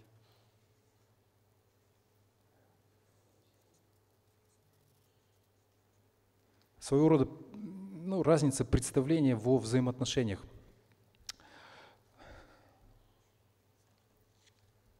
А, вроде, ну, вроде какая-то ерунда, да? на самом деле какие-то вот большие последствия это может вызвать. И для кого-то на самом деле важно оказаться. А, это проявляется не, только, вот, так сказать, в этих случаях, оно во многих, так сказать, проявляется. Я просто ну, накидаю, как это может быть, чтобы было понятно. Значит, ну, кто-то может сам определиться в конфликте, это не мой конфликт. То есть чего, чего я в него полезу, да? Ну, как бы вот это, вот это же не мои друзья, да? Я, это вот для меня вот так вот. Ну, вернее так, если были мои друзья, то, то я бы вот э, там вмешался, да? А это же не мои друзья, я, я не вмешиваюсь. А, я, допустим, вижу, что происходит, какие-то важные для другого человека вещи, но я промолчу я промолчу и, и не выскажу, и это тоже повлияет на ход э, игры, на ход команды, на взаимодействие. Или, например, делаем вместе общее дело, то есть уже какой-то группа образования прошло, да, то есть для одного это уже ну, какие-то контакты, совместная деятельность, уже совместные результаты э, и так далее. То есть для одного-то это как бы ого-го, а другой, для другого это ничего. То есть другой может с этим легко расстаться важный для тебя момент, он может от тебя отвернуться или откреститься или еще что-то. То есть вот как бы... И возникает такая дельта. Э, или, например, ну, может, не совсем про групповую, но тем не менее из этой серии, мне кажется. То есть, когда э, что-то хорошее порекомендуешь, ну, например, посмотрите такой фильм. Фильм посмотрели, ни спасибо, ни ну, не, вообще никакой реакции, как бы, ну, понравился, не понравился, то есть, э, ну, мне, мне вот это непонятно, честно говоря. То есть, я так подумал, у меня несколько гипотез по этому поводу, вот хотел с вами посоветоваться. Значит, гипотеза номер один, что это какой-то тренд поколенческий, да, что вот сменяется поколение, слышали, там теория есть, а, значит, бэйби-бумеры, иксы, игреки, сейчас вот Z нарождается. То есть, может быть, это такая поколенческая вещь, э, где вот как бы ценности, они смещаются, и а, ну ничего с этим не поделаешь.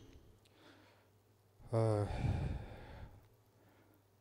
вот. Вторая, вторая гипотеза, что ну, просто так сложилось. Ну, вот люди вот таким образом собрались, что именно такие, ну, такая случайность.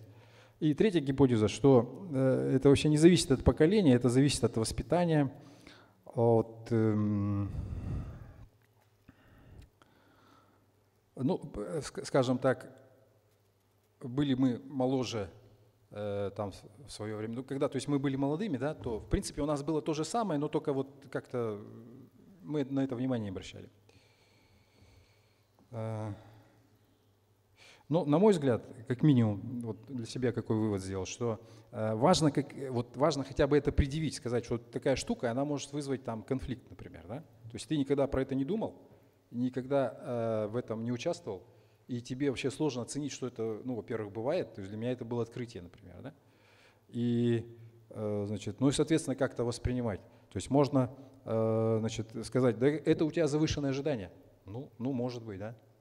В принципе, но решит ли эту проблему? Вот, то есть все-таки, ну, как минимум про это, про это говорить. Так.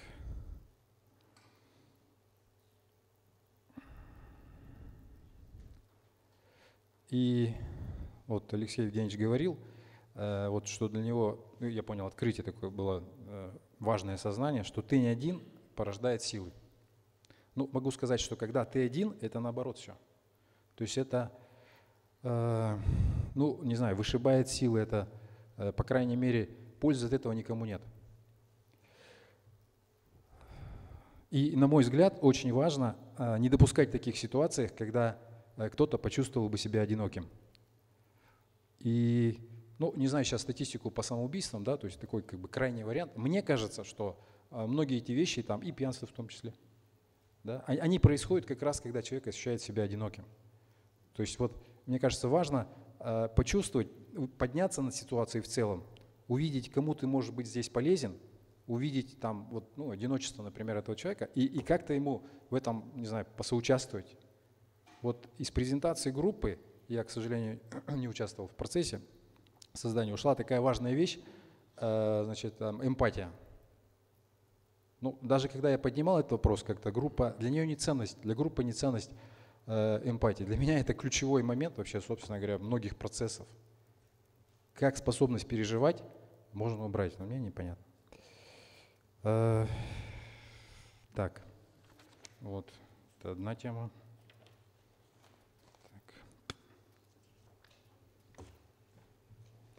Вот вторая тема.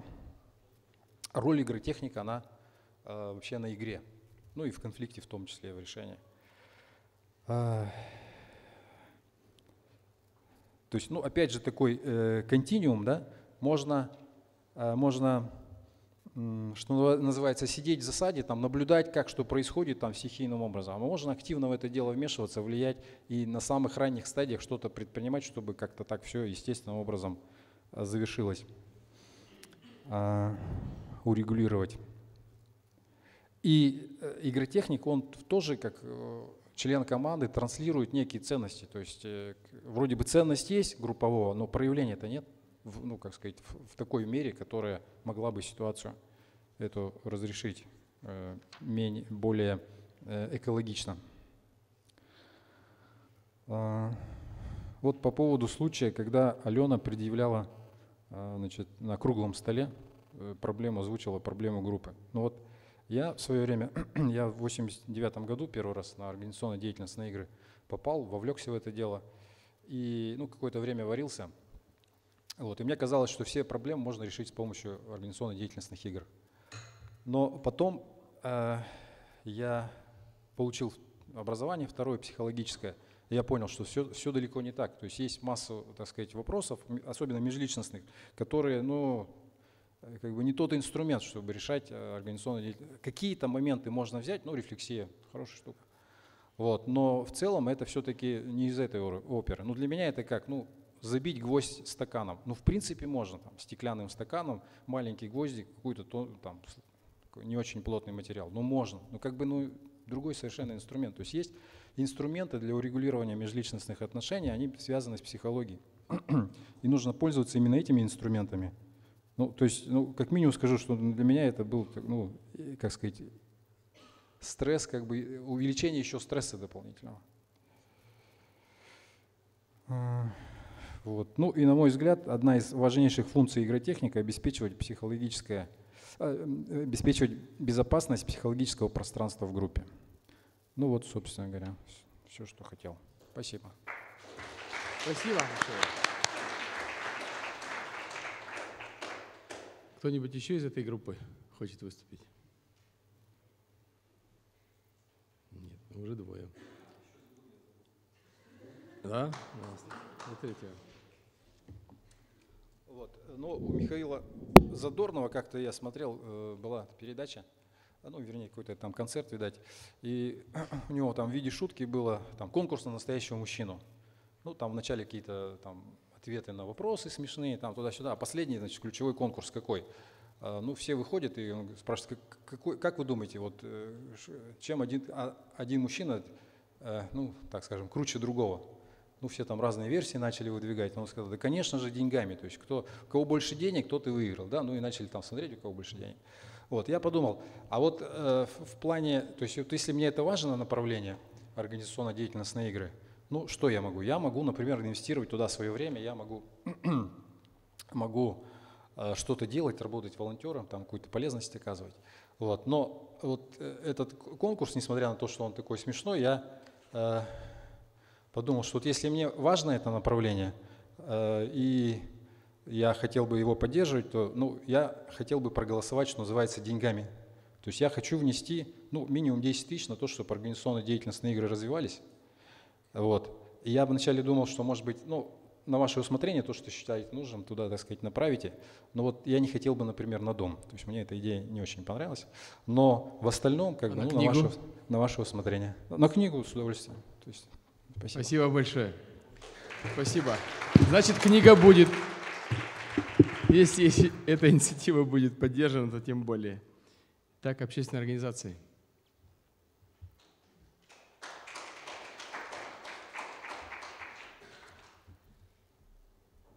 Добрый день. Михаил, общественная организация.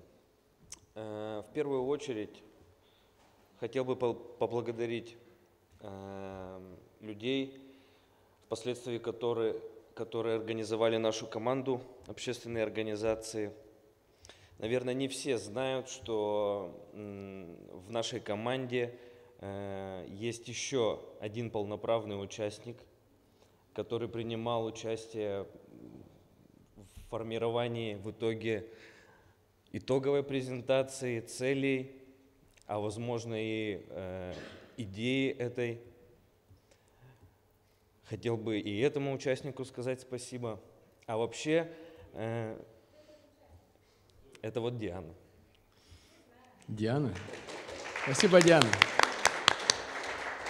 И эм, хотел бы говорить тезисно, этому меня здесь научили, дабы не занимать время. Итак, для, для себя я э, произвел э, определенную переоценку ценностей.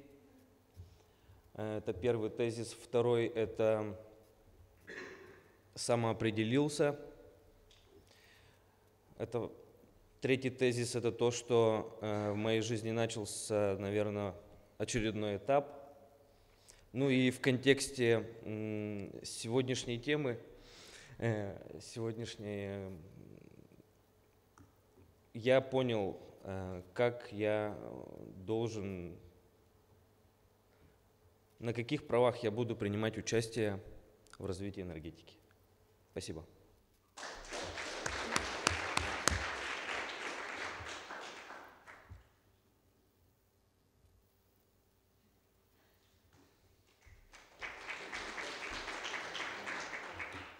Добрый день еще раз. Честно говоря, я подготовил доклад небольшой на несколько страниц, но я не буду ваше просто отнимать время. Я сейчас все это уберу в сторону и так скажу, что поначалу мне также показалось, что игра какая-то, ну, непонятно, видимо, чиновники очередной раз пытаются что-то сделать для галочки. Почему я это увидел? Потому что когда я работал на своем рабочем месте, э, мне специалист по связям с общественностью принесла письмо, я тут же увидел Министерство энергетики ЖКХ, думаю, ну, очередное какое-то непонятно для галочки дело. Но когда я начал читать дальше письмо, увидел маленькое такое вот предложение, что организационная деятельность ИГРУ организовывает именно инициативная группа сообщества, а в дальнейшем я понял, что это команда все-таки, навигация. И тут меня озарило, что все-таки что-то в этом есть. Вот именно есть почему. Не просто там группа сообщества, а именно инициативная. Пусть она будет, как написано было, при министерстве. Мне тоже не важно было. Я увидел слово инициатива. И я понял, что все-таки стоит туда поехать, потому что я также был в поисках, в поисках, возможно, и себя, и дальнейших моих каких-то событий, действий в жизни. Хотя, впрочем, я так много знаю, что я хочу. Но все же я в поиске постоянном, то есть и, и после игры также я в поиске буду. Но все же я сам определился также, что я буду дальше делать. Я продолжу дело, которое э, я начал со своими ребятами, с нашими ребятами, с нашей командой. Я буду помогать русским людям понять, что они все-таки центр, стержень цивилизации не только в России, но и, наверное, в мире. Это вот такой первый момент. И второй момент, я думаю, по поводу развития энергетики. Вот если бы все чиновники у нас в России, а тем более в Министерстве энергетики были такие люди, как Алексей Евгеньевич Соколов, то у нас действительно Министерство энергетики стало бы Министерством развития энергетики. И у нас бы все было хорошо, это точно, это факт. И я думаю и уверен, что все мы увидели, поняли, что все-таки стержень инициативной группы – навигация это Алексей Евгеньевич. Спасибо, Алексей Евгеньевич. И я буду помогать вам в том числе. Я хочу вступить в вашу Надеюсь. команду. Я уже сказал, что...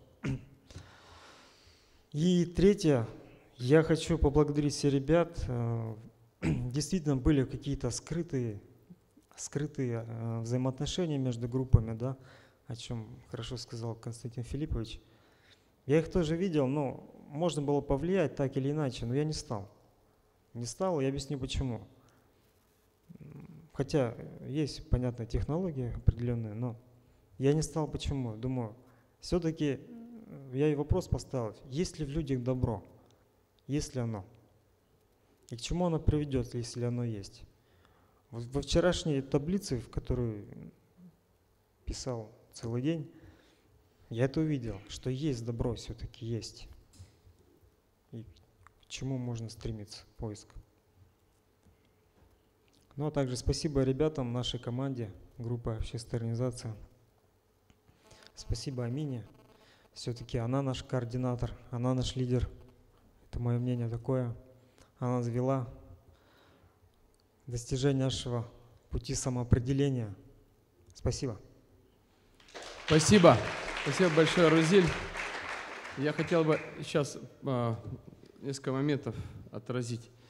Первое, а, то, что сказала Рузиль, что я подготовил доклад, а я упустил. Некоторые вещи упускаешь, потом вот обидно иногда, даже стыдно, что упустил, но вот ну, догонять надо.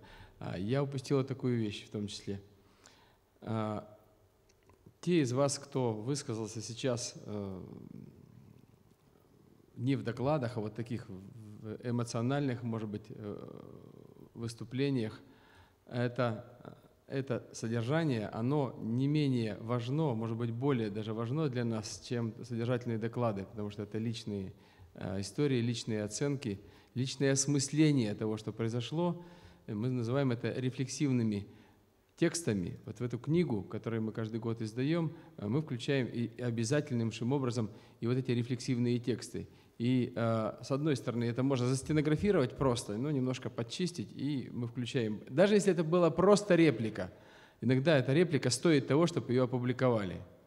А иногда есть развернутые доклады, вот как было у Александра. И знаете, вот мне было еще сложно вникнуть во все. Голова еще занята некоторыми другими делами. И я бы это с интересом перечитал, обращаясь к Александру Попову. Но а вот то, что сказал Рузиль, есть, есть у меня, мол, заготовленный текст. Вот он должен быть опубликован. Рузиль, я прошу а, оформить этот текст выступления, раз он тем более есть. И мы его в книгу обязательно, конечно же, включим. Но что я упустил? Я обращаюсь к каждому, кто сегодня не высказался, но тем не менее сегодня что-то что-то есть, что сказать, может быть. А может завтра появится. Бывает так, что завтра, через какое-то время, вот а, формулируется мысль. Она может быть короткая, но она, вы чувствуете ее важной. Пришлите ее, и эти тексты, рефлексивные тексты, это будет специальный раздел книги.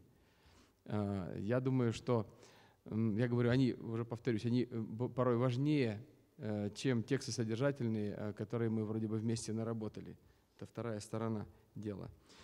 То, что сказал еще а, Рузиль по поводу своего самоопределения и по поводу того, что значит, он готов работать вместе, делать наше общее дело, для меня это очень дорого. Вот очень на самом деле. И я понимаю, что вот таким образом происходит развитие а, как там, от огня к огню. Очень важный тезис – вот я, соответственно, недавно читал текст, серьезный такой, грамотный текст, а, но то, что э, ну и отравляющий просто. Вот читаешь, он тебя просто отравляет, этот текст. И он даже, наверное, стоит прочитать, что русские люди не способны ни на что. Это вот отголосок, я уже говорил на конкретном примере, он так был так, эмоциональный, а тут фундаментально законченный, аргументированный текст – ну, конечно, мы все свое существо просто э, протестует против этого. А мне его пересылал товарищ из Америки, который уехал отсюда туда жить и вот шлет там всякие типа приколы, прорашку, да? Ну вот, вот раздражает, задевает и возмущает. А, и одновременно я недавно прочитал, а, по YouTube, по YouTube увидел ролик одного политолога, француза, который говорит, весь мир сегодня смотрит на Россию, как на надежду, а, что здесь вот как раз есть ну, некий источник развития цивилизации. А я думаю, какая, какая великая э, мысль, важная, причем она оттуда исходит. И, а мы порой сами, сами занимаемся самоуничижением. И вот это один, одна из самых больших наших проблем – некое самоуничижение, мы ничего не можем, мы ничего не стоим, мы ничего не, не сделаем, нет у нас никакой перспективы. Это опасность, это просто большая опасность, может быть, даже больше, чем алкоголизация нас самих. А вот то, что русские люди, люди стержень цивилизации, как идея, мне кажется, за ней стоит это не просто проект, а некоторое, на мой взгляд, движение, а, которое, которому сейчас, на, на мой взгляд, Рузиль нас призывает – к этой мысли. Он говорит, я это буду делать. Но на самом деле, мне кажется, мы все это должны делать. Хоть он никого и не приглашал, но понятно, что эта заявка говорит о том, что ну, это наш долг. Говорить о том, что а, о, чем, о предназначении, да, о, о нашем предназначении. Спасибо тебе большое, Рузель. Спасибо.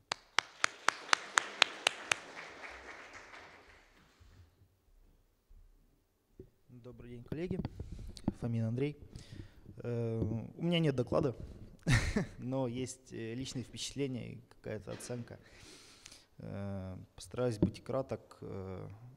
Когда я сюда ехал, я осознавал, что вот на каких-то подобных мероприятиях мне уже доводилось быть, это, ну, по студенчеству.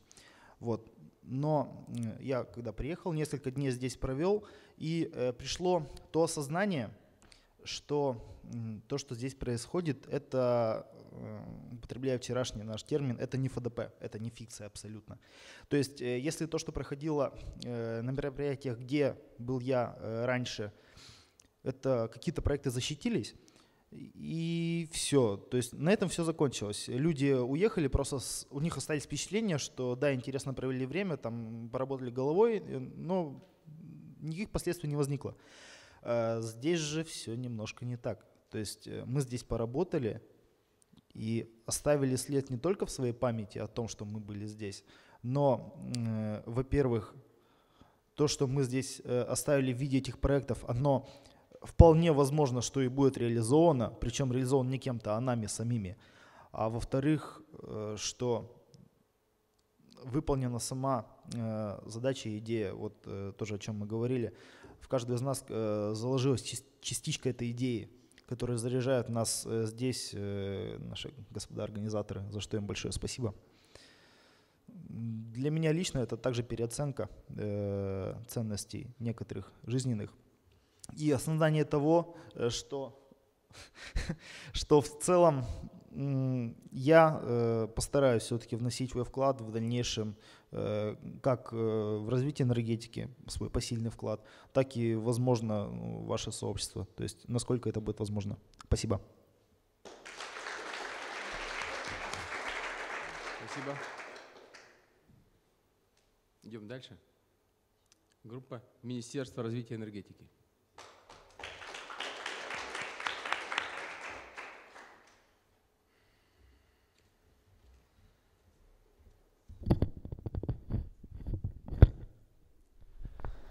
А, Ну, вообще, честно говоря, сегодня не планировал что-то говорить. Просто вчера на рефлексии группы я все сказал и, наверное, повторю, что, во-первых, мне кажется, что игра на цена не, не, не только э, с- с- э, как сама э, сама по себе, плюс каким-то итогом, но и тем, что она дает очень большой импульс каждому из нас, и мы, возвращаясь на, на свои места, мы начинаем это э, делать то, то, что нам кажется, ну, по крайней мере, я по себе сужу, я начинаю делать то, что я должен, не то, что вот надо, а пытаюсь самоопределиться, э, найти себя и э, быть э, полезным, скажем так. Это такое общее вступление. И мне просто хотелось бы сказать очень про группу. Прошлая игра у нас э, так получилось, что наша группа состояла из двух человек. Вот мы с Надеждой были, она еще игротехником в это время практически была. Э, То есть как такового ко- командного взаимодействия практически не было. А на этой игре у нас сложилась э, э, команда из семи человек. И вот вы понимаете, когда в команде у нас не было конфликтов, каждый, каждый, не знаю, или это случайно, или это специально, я не знаю, как так получилось, но каждый занял вот то место, ту нишу, и все вместе мы, ну это, конечно, очень высокопарно, но мы творили. И это было интересно и, наверное, взаимо, вза- взаимопродуктивно, взаимообогатительно, что ли. Вот. То есть вот первый опыт такой ко- командной игры, он для меня очень важен. Я думаю, для всех. Спасибо.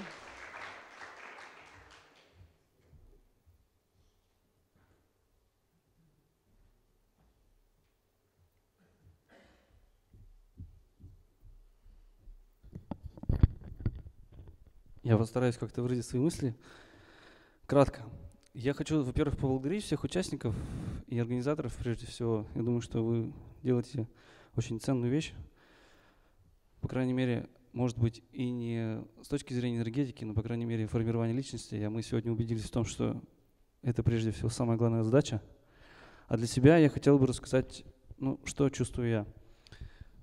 У меня пришел такой период времени, когда ну, я в силу своих студенческих амбиций занимался, помимо там учебы, еще поучаствовал в структурированном движении. Оно для меня дало большую точку опоры и вообще развитие моей личности. Там очень как бы командный дух развивается. И от этого я как бы за, вот за последние два года начинаю отходить и понимаю, что мне эту нишу нечем заполнять. А здесь, возможно, а, ну и сидя на работе, я каждый день почти что ловлю себя на мысли о том, что я не могу найти себя как бы на работе. То есть я хочу что-то делать, во мне все кипит. Куда применить свои силы, я не знаю. Возможно, эта игра как бы для меня меня подталкивает к каким-то действиям. Я, мне нужно что-то переосмыслить. Ну, как с этим жить, я пока не понимаю. Спасибо. Спасибо большое.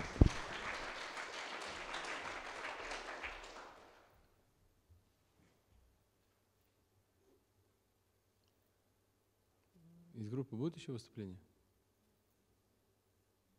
Нет? Идем дальше? М? Что? Следующая группа. Хорошо. Наука развития.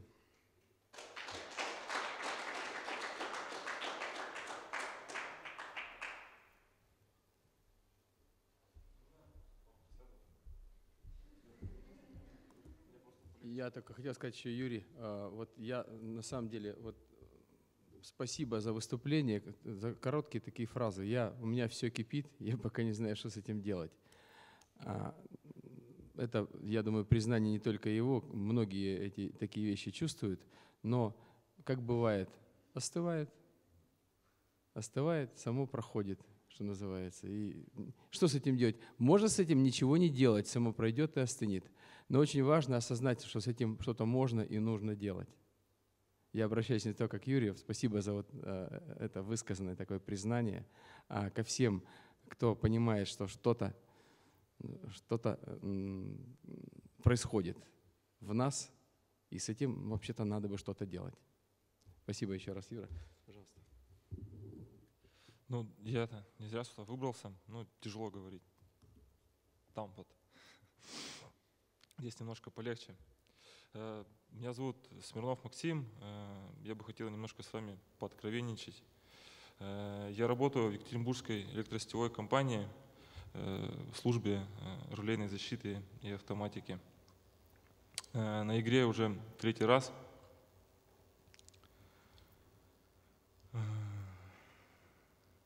Предыдущие игры помогали мне открыть глаза на многие вещи – Э, которые я не замечал э, или не хотел замечать. На эту РГУ э, я приехал для того, чтобы досамоопределиться со своим развитием. Думаю, что это у меня получилось. Работа в службе релейной защиты требует большого количества знаний и умений – не обладая техническим складом ума и не имея профильного образования, мне было очень трудно, повторюсь, очень трудно, но очень интересно постигать азы данной профессии.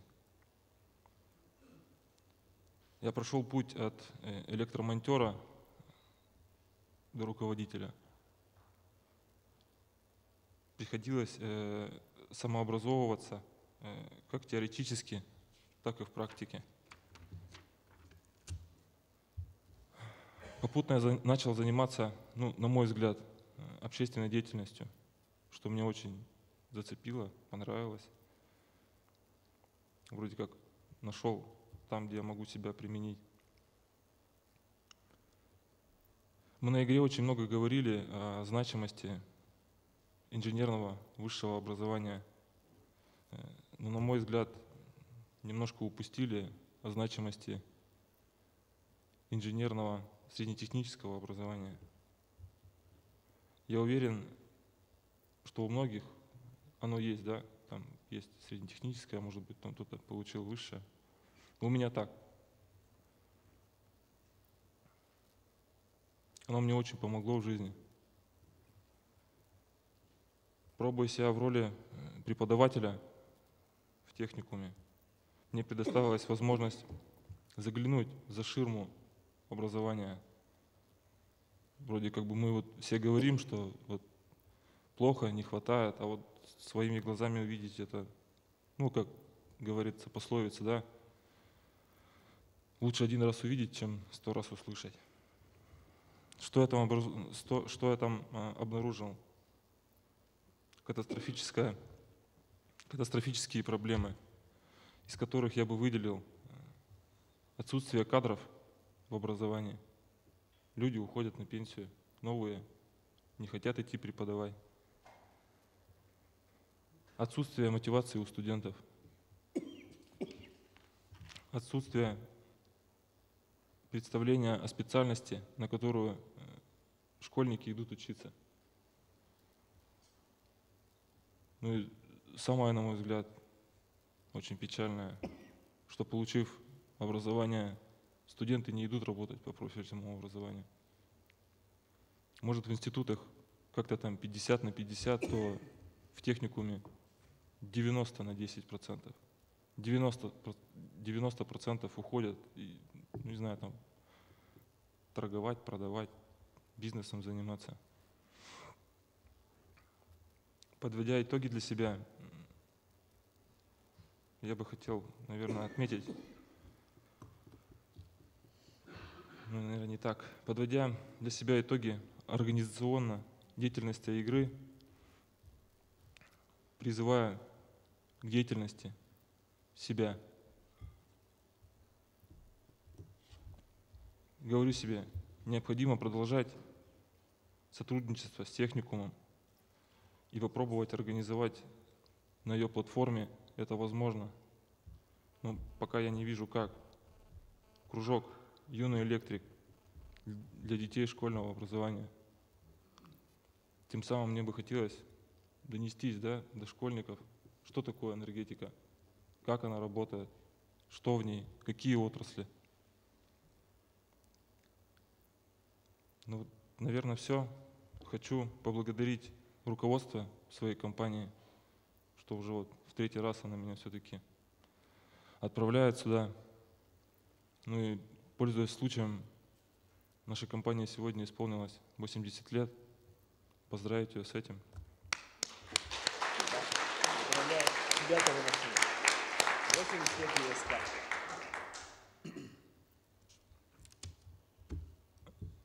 Ну, еще немножко у меня тут пару слов осталось. Э, Эта игра была на самом деле э, ну, необычной, да, то есть команды создавались здесь и вот в живом ключе. То есть, что было очень необычно. Э, Я благодарю ребят, с которыми меня свела судьба, игротехника, к которому я стремился попасть.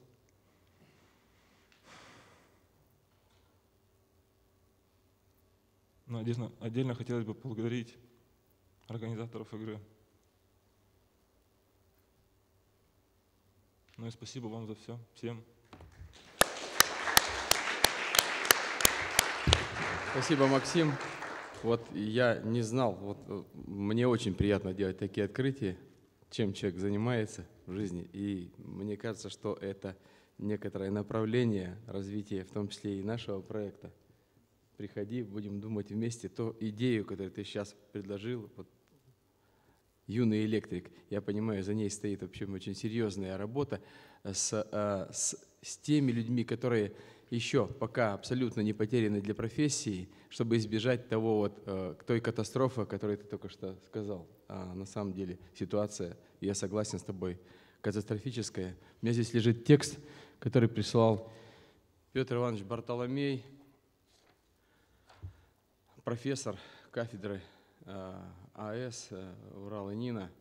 Он прислал с извинениями, он сейчас занимается, он в Томске, как раз э, там проходит конференция очередная «Энергетика глазами молодежи».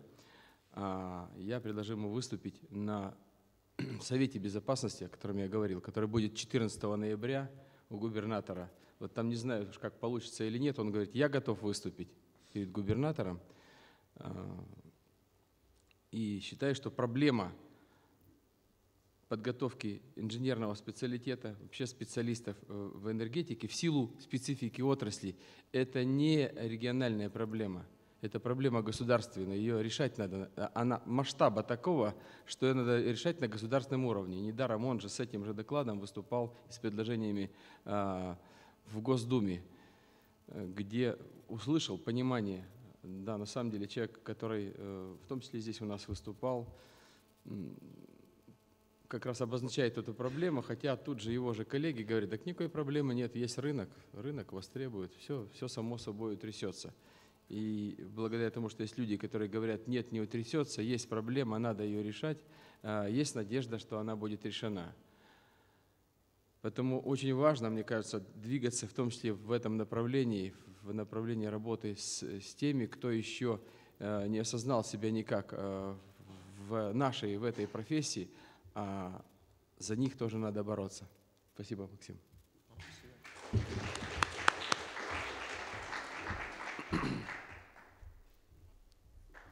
Еще, пожалуйста.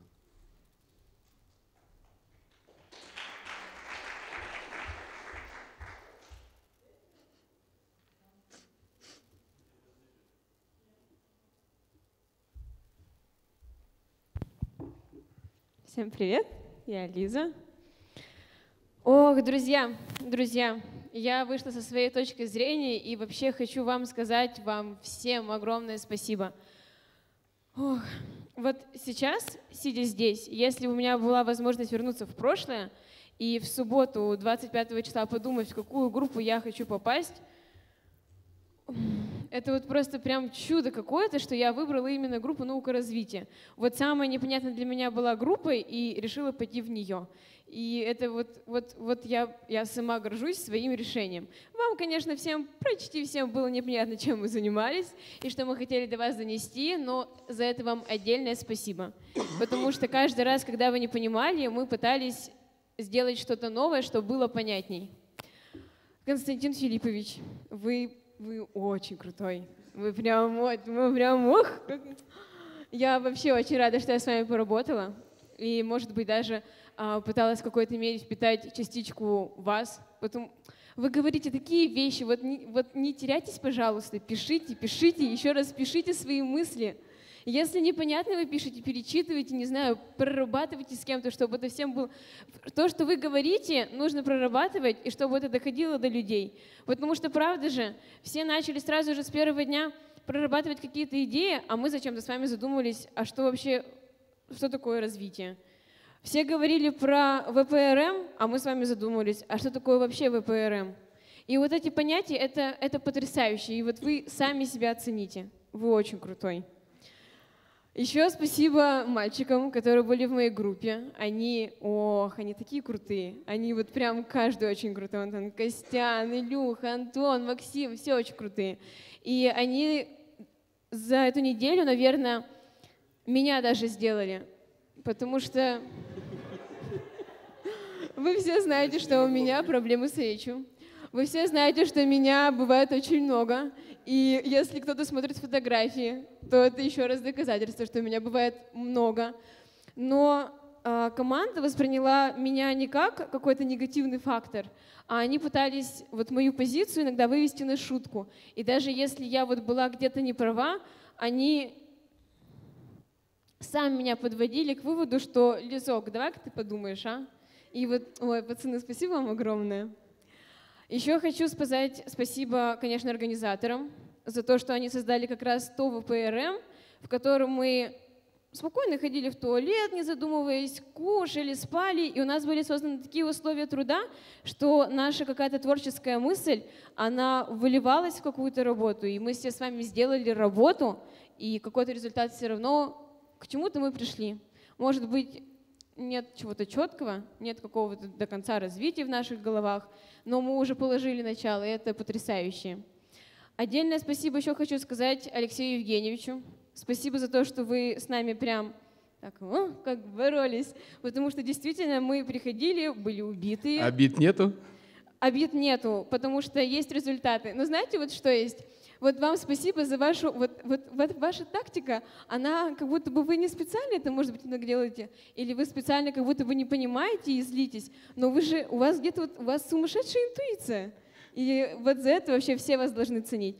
Спасибо огромное, что сейчас каждая группа выступала с отчетным докладом. После, каждого, после каждой группы Алексей Евгеньевич сказал хотя бы пару слов положительных выступила наука развития. Что Алексей Евгеньевич сделал? Он просто нас посадил. Вот это вот это какое-то уничтожение нас. Спасибо вам за это, потому что уезжая отсюда... Чем мог? Уезжая отсюда, остались какие-то недоработки, так сказать, и было бы здорово их не потерять, и чтобы действительно во что-то вылилось. Мы с вами сделали огромную работу в течение всей недели и говорили правда о важных вещах. И было бы здорово, чтобы мы с вами сейчас не просто все разъехались, не просто сейчас какие-то громкие слова бросали о том, что да, мы делаем, да, будет здорово, что если мы сделаем. А вот чтобы у нас эта рефлексия после вот этой недели с вами не прошла, а во что-то вылилось. И вылилось вот прям во что-то прям существенное, уже значимое. Спасибо огромное всем. Спасибо большое, Лиза. Вот э, благодарности по поводу того, что вам было комфортно здесь жить, это адресовано конкретно Оле Гощеевой, чтобы все знали. А не всей команде. Команда тоже так же комфортно жила, спала и работала благодаря ей. А, я хотел сказать...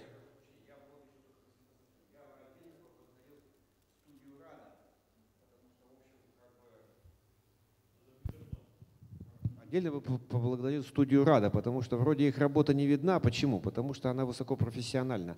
А вот посмотрите, вот все это будет выкладываться э, в, значит, э, в интернет, на сайт группы. Вот, скажем, выложена вся AD10 а, предыдущая игра, и потом вся наша вот работа над книгой и так далее, во многом она была обусловлена вот, вот, вот этой работой студии «Рада», понимаете? То есть они с каждым годом делают ее все более качественно, все более, так сказать, ну как, а чем выше качество, тем э, больше информации о том, что у нас происходило. То есть все это как бы не проходит, то есть все эти игры оставляют вот такой вот след. Вот. И отдельное, конечно, спасибо руководителю Рады э, Владимиру Михайловичу, который ночами сидел, чтобы делать нам вот эти вот нарезки. Они свою роль сыграли очень большую. А где он? Вот, то есть, то есть я вот попросил, попросил бы всех поприветствовать студию Рада.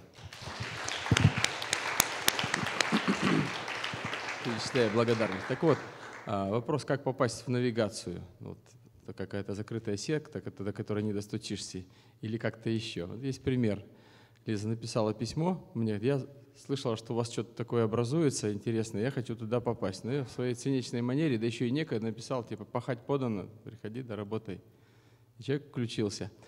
А, и я очень рад, что вот, вот мы сейчас увидели такую личность, очень интересную, а, про которую снят еще и фильм, можно сказать, киноэпопея. Вчера посмотрел несколько серий, я понимаю, что это, это просто э, большой и длинный фильм. И это первый опыт создания фильма, что происходит с человеком здесь на игре. А, я думаю, что он тоже будет нам всем доступен, и я поэтому рекомендую его посмотреть. Следующий. Группа технологическая лидер. А, еще наука развития, пожалуйста. Антон Лугинин, наука развития. Эм, собственно, ну, начну со слов благодарности. Спасибо большое всем организаторам. Спасибо каждому человеку, который внес свой вклад в создание тех условий, которые у нас есть с вами. Условия реально, они максимально приближены вот к жизни.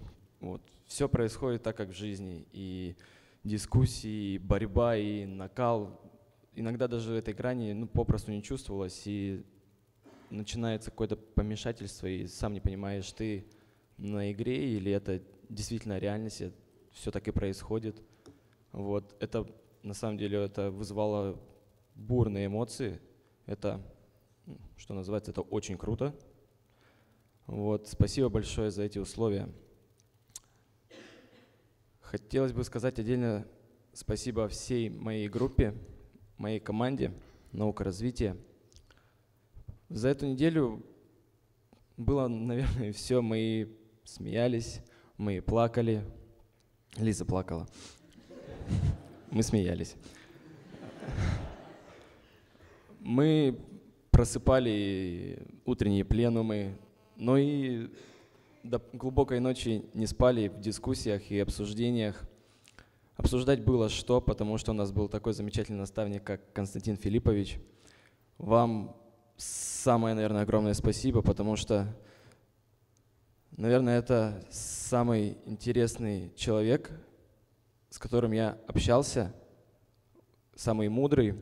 Так уж получилось, что у меня нет опыта общения с дедушками – и нет, я имею в виду родных дедушек. То есть у меня не было там, меня никто никак не наставлял, там, разве что отец где-нибудь. А вот именно чтобы такая мудрая рука, такого не было. Поэтому это вам большое спасибо за ваш опыт, за вашу мудрость, за ваши напутственные слова, потому что то, чего достигла группа, было бы невозможно без Константина Филипповича. Он так грамотно нас наставлял, что вот либо он гениальные идеи придумывает, либо мы. Но наши гениальные идеи не были бы гениальными, если бы их не развивал Константин Филиппович. Поэтому, наверное, все идеи, которые родились у нас, у нашей команды, это все благодаря ему. Один только треугольник Филипповича чего стоит.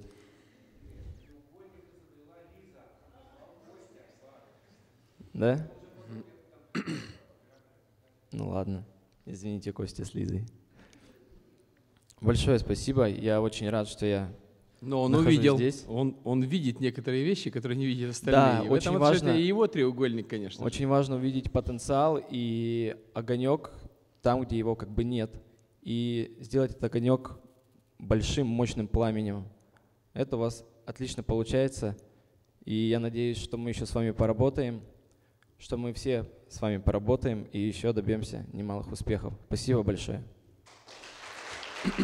Спасибо, Антон. Вот мне э, Филиппович говорит, у меня вся группа гениальная. Ну, я да, ну, конечно, конечно. Но он всегда так говорит, поэтому что тут как бы принимать это всерьез, что называется. Но вчера вот я увидел Антона, вчера вообще был замечательный праздник, а, в котором Антон так, видимо, ждал, когда придет его очередь, а люди один за другим раскрывались. Вот это было здорово, когда один за другим, потому когда эти парни запели вдвоем, это было что-то. Вот пошла какая-то энергетика. А потом а, выступал Антон. Ой, выступал. Он выступал. Антон, что ты делал вчера? Вот спасибо тебе за то, что ты вчера делал. Я не знаю, как назвать то, что ты делал, но это что-то было, это было нечто, да? Это было не, не просто вот какое-то, какое-то, ну какое-то было раскрытие себя, нам и какое-то обретение какого-то какой-то вот нового состояния, а он еще прошелся по всем нам там, да? И как-то нас зарядил и объединил. Это, это было маленькое чудо.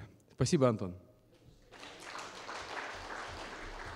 Еще не могу пройти мимо и не сказать о том, какая здесь сильная энергетика, потому что здесь происходят действительно мистические какие-то вещи, и мы сами даже не можем найти объяснение тому, что здесь происходит со всеми нами.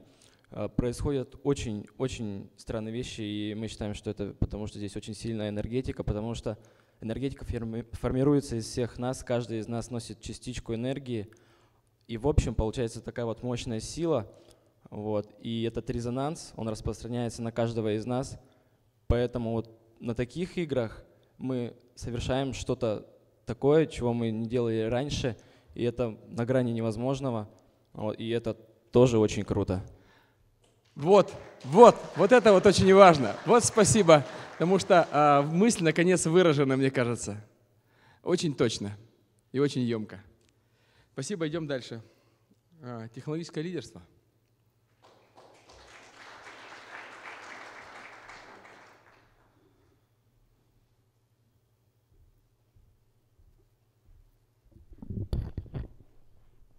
Я хочу поблагодарить нашего игротехника, нашу команду. Спасибо вам. Я хочу поблагодарить организаторов игры и всех участников. Большое вам спасибо. Э, Это было очень здорово, как здесь говорят, круто. Ну, я, честно, не ожидал, ш- что так бывает вообще. Первые четыре дня, я впервые на игре, первые четыре дня для меня было абсолютно непонятно, что это, что это вообще, что здесь происходит и что я должен здесь делать. Возможно, это помешало достичь результатов, которые можно было бы достичь. Я считаю, что ну, я не- достиг их. Но тем не менее игра послужила неким импульсом, ударом, который был нанесен по панцирю закостенелости, какие- какой-то стереотипов, обыденности. И этот панцирь дал трещину. Спасибо вам за это. Спасибо, Иван.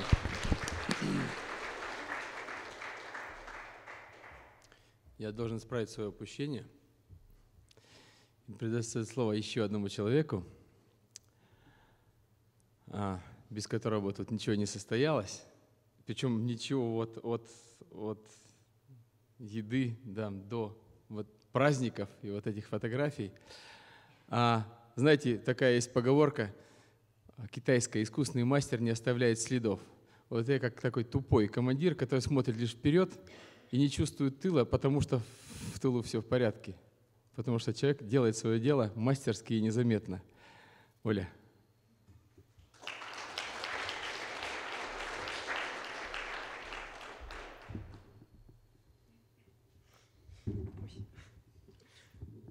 Вот. Сейчас сижу и думаю, вот только бы не позвали меня.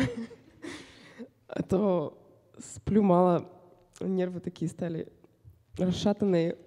Думаю, сейчас, сейчас, сейчас расплачусь. Ам, Да не знаю, что говорить-то вообще. Круто, как говорят тут теперь. Все круто. Спасибо всем. Ну, не знаю. У меня к тебе есть вопрос. Вообще, на самом деле, вот на жутких дефицитах готовилась эта игра, а у нас до этого была первая вот такой опыт мощный, очень хороший опыт. У нас была большая логистическая команда.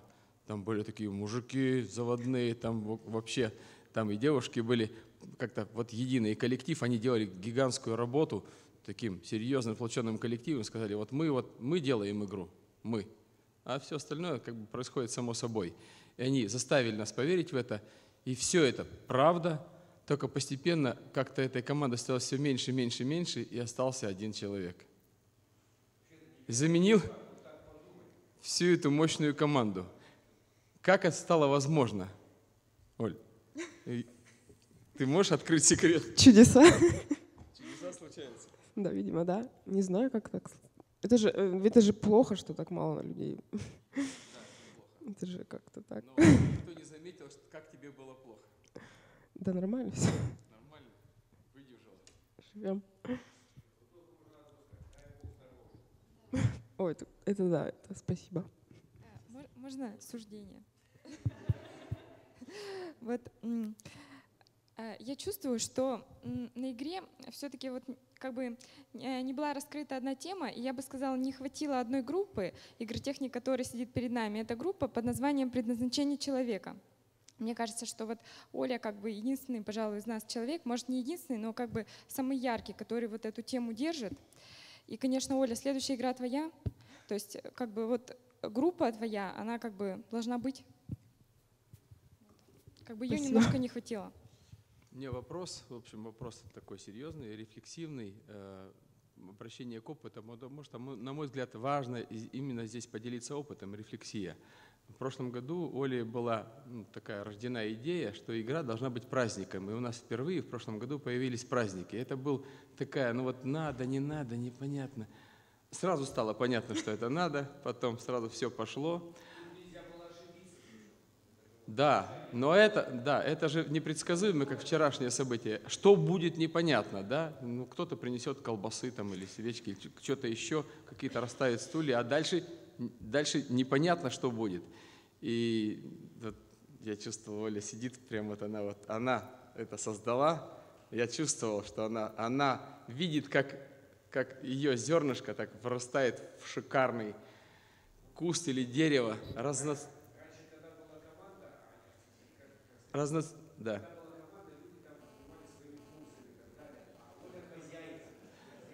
Ну да, но это, это реверанс, да, реверанс. А вопрос у меня такой серьезный, рефлексивный.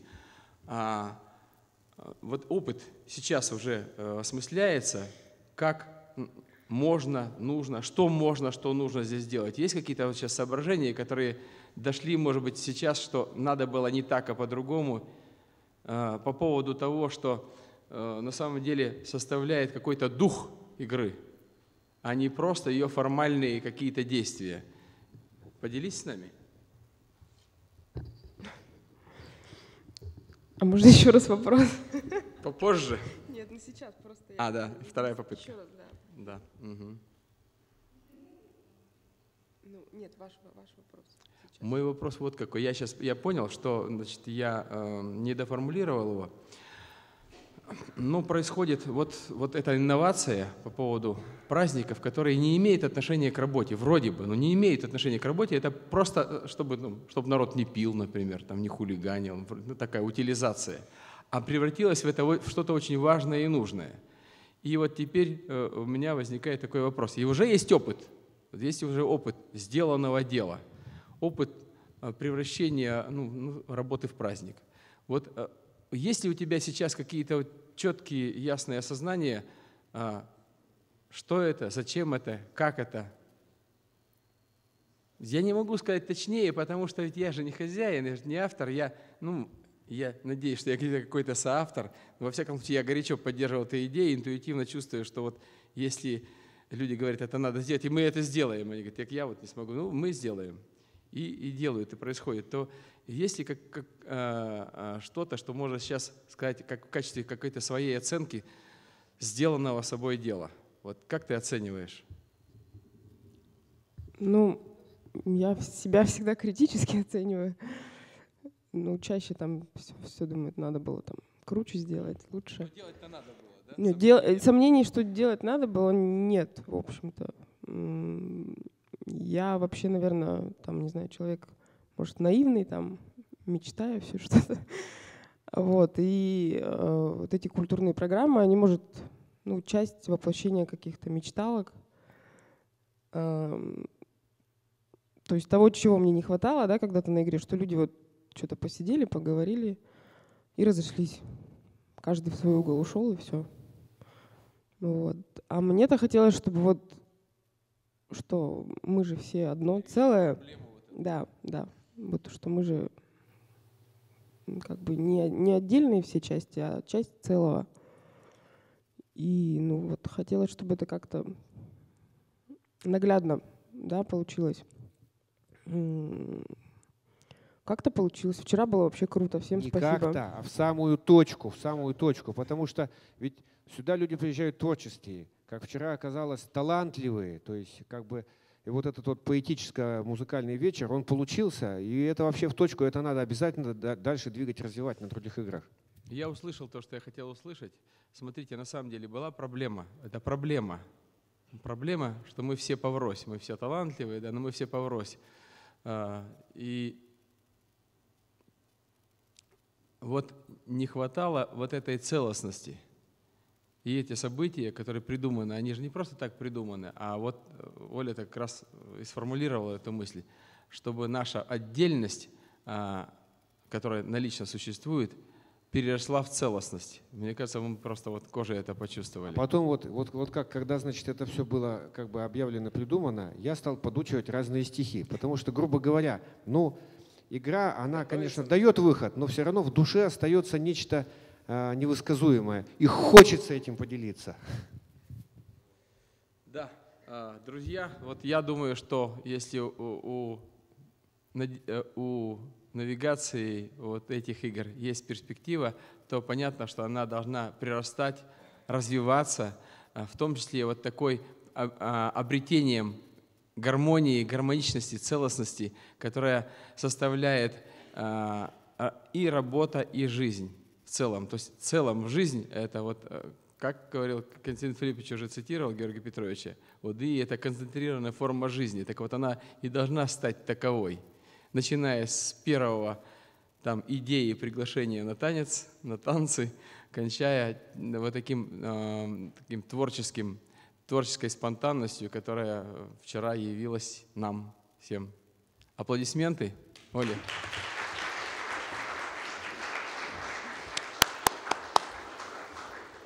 Итак, мы переходим к заключительной части награждения. Девушки, вперед.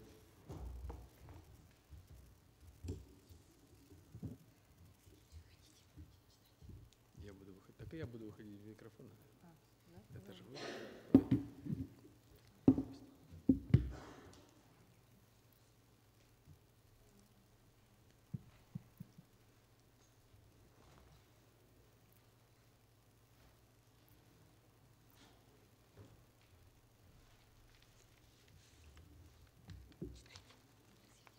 Я думаю, ты будешь зачитывать. Да, готовились и мы. Да, вы выходите, будете вручать. А, ну ладно. А, диплом участника а, Вручение. Уральского молодежного энергетического форума 2014 «Энергетика развития» вручается Гашкову Сергею за служение Министерству развития.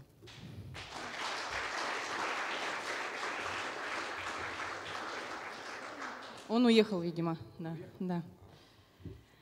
Диплом участника форума «Энергетика развития» вручается Овчинникову Константину за служение Министерству развития.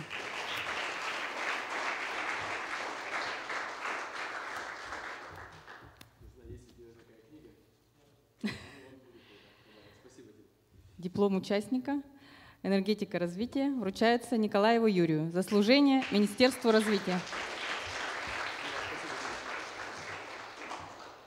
Диплом участника энергетика развития вручается Михееву Владимиру за служение Министерству развития.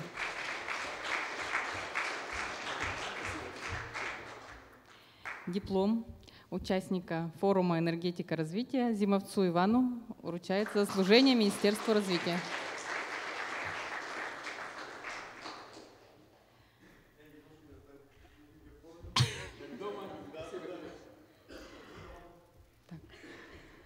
Диплом участника форума энергетика развития вручается Быковой Алине за волю к развитию страны и энергетики.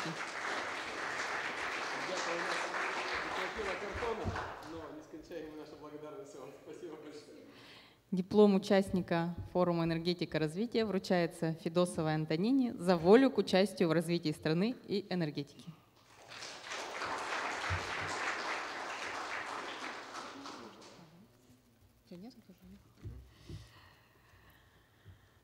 Диплом участника Уральского молодежного энергетического форума «Энергетика развития» вручается Андрюхину Ивану за энтузиазм в развитии технологий.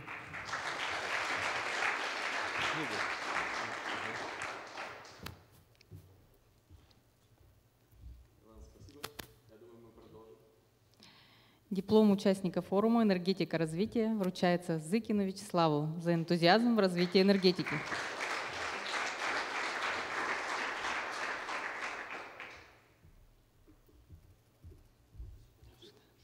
Диплом участника форума «Энергетика развития» вручается Лепихину Егору за энтузиазм в развитии энергетики.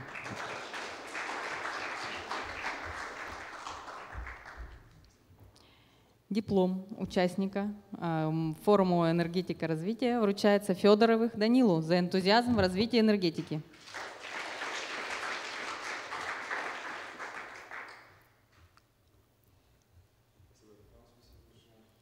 Диплом участника форума «Энергетика развития» вручается Самареву Александру за энтузиазм в развитии технологий.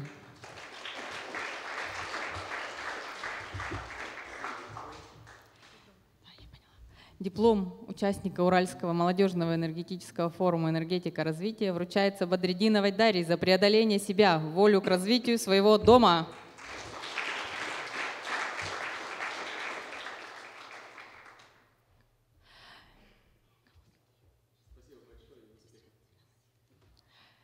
Диплом участника форума «Энергетика развития» вручается Малафеевой Марине за волю к развитию энергетики и дома.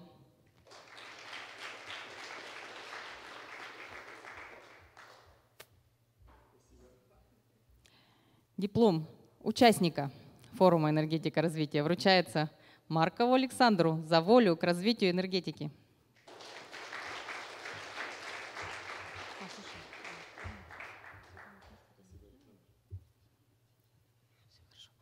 Диплом участника форума «Энергетика развития» вручается Шакуровой Светлане за внутреннюю энергию и свет.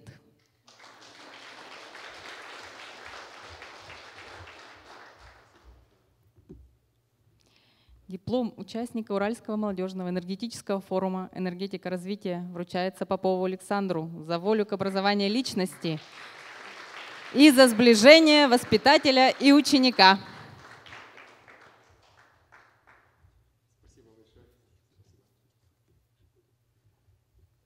Диплом участника форума «Энергетика развития» вручается Исмагилову Андрею за развитие личности в энергетике.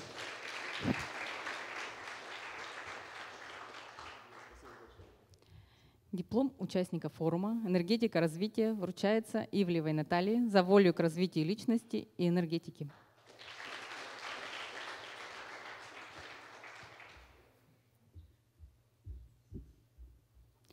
Диплом участника форума «Энергетика развития» вручается Пуртову Александру за волю к образованию личности.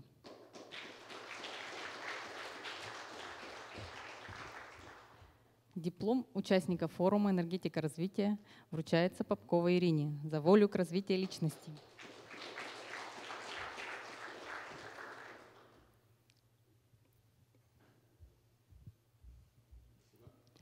Диплом участника Уральского молодежного энергетического форума вручается Лахтину Станиславу за волю к образованию личности в энергетике.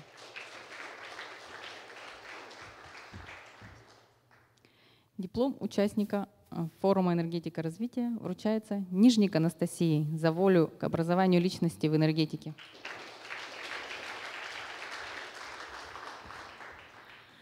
Диплом участника форума «Энергетика развития» вручается Кумченко Алене за волю, образование личности и участие в игре АДИ-11.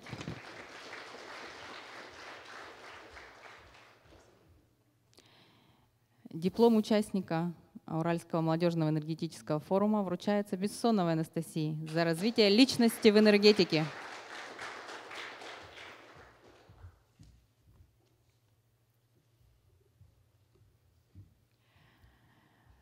Грамота вручается участнику форума «Энергетика развития» Токареву Константину за выдающиеся исследования в области развития.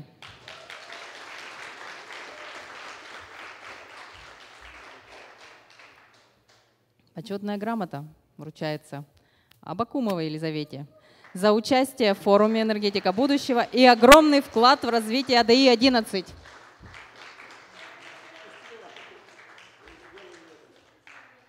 Грамота участника Уральского молодежного энергетического форума «Энергетика развития» вручается Смирнову Максиму за волю к развитию энергетики и исследования в области развития.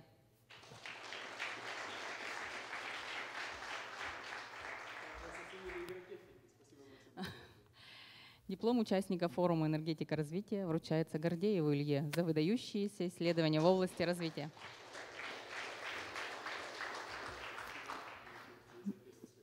Диплом участника форума «Энергетика развития» вручается Лугинина Антону за выдающиеся исследования в области развития.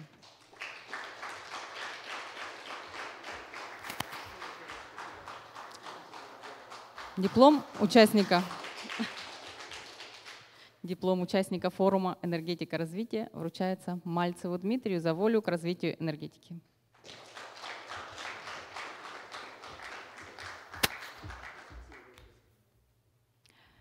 Грамота участника Уральского молодежного энергетического форума 2014 «Энергетика развития» вручается Криворотову Вадиму Александровичу за волю к созданию энергетики будущего.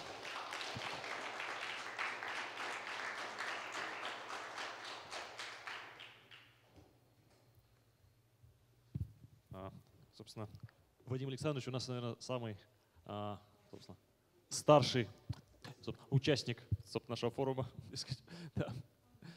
а, собственно, а сколько вам лет?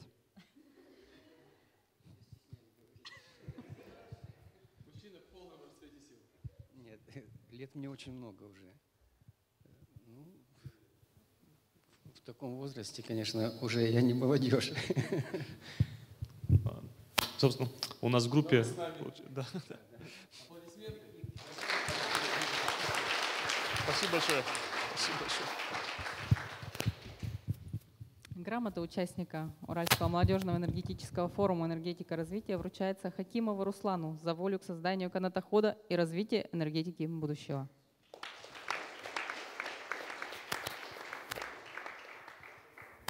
Нет, уехал. Грамота участника Уральского молодежного энергетического форума «Энергетика развития» вручается Елдиновой Анастасии за волю к созданию энергетики будущего.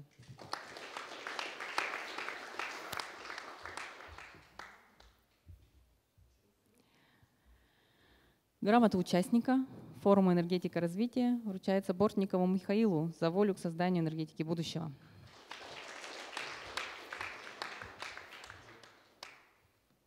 Грамота участника Уральского молодежного энергетического форума вручается Костаревой Екатерине за волю к созданию энергетики будущего.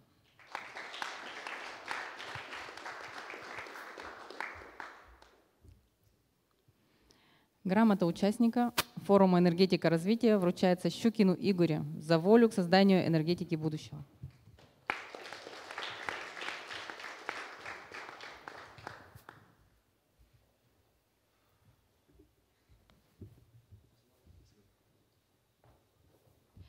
Грамота участника Уральского молодежного энергетического форума «Энергетика развития» вручается Шакировой Линде за волю к созданию энергетики будущего.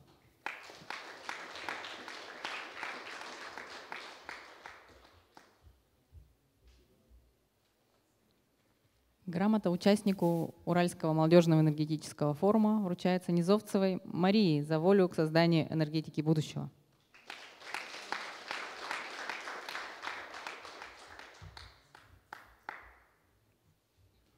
Диплом участника Уральского молодежного энергетического форума «Энергетика развития» вручается Давлетову Рузилю за волю к развитию энергетики и общественных организаций.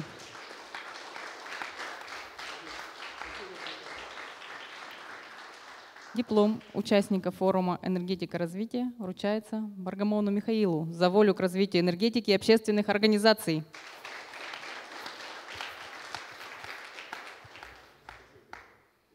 Диплом участника форума «Энергетика развития» вручается Фомину Андрею за волю к развитию энергетики и общественных организаций. Диплом участника Уральского молодежного энергетического форума вручается Нигматулиной Диане за волю к развитию энергетики и общественных организаций.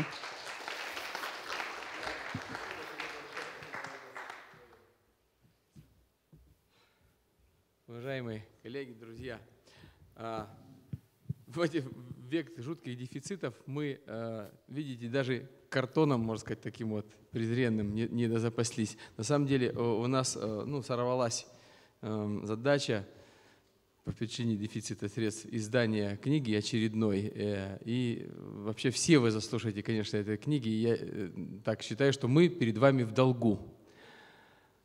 И придется его отдавать, вы имеете право его востребовать а, ну, я думаю, что и книга не одна, и книга, а, которой еще нету, но есть только такая просто идея книги, что она должна быть. Книга по ОДИ 11, она тоже ваша по праву, если она будет. Я думаю, что она будет, сомнений не должно быть никаких, если мы, если нам она нужна. Так что вот с нас две книги – на этом мы заканчиваем. Наверное, снова я должен Оле слово передать. И мы уложились в регламент. Удивительно, что происходит. Происходит у нас сейчас, конечно же, обед. Последний раз Ровно едим 13 часов вкусной столовой.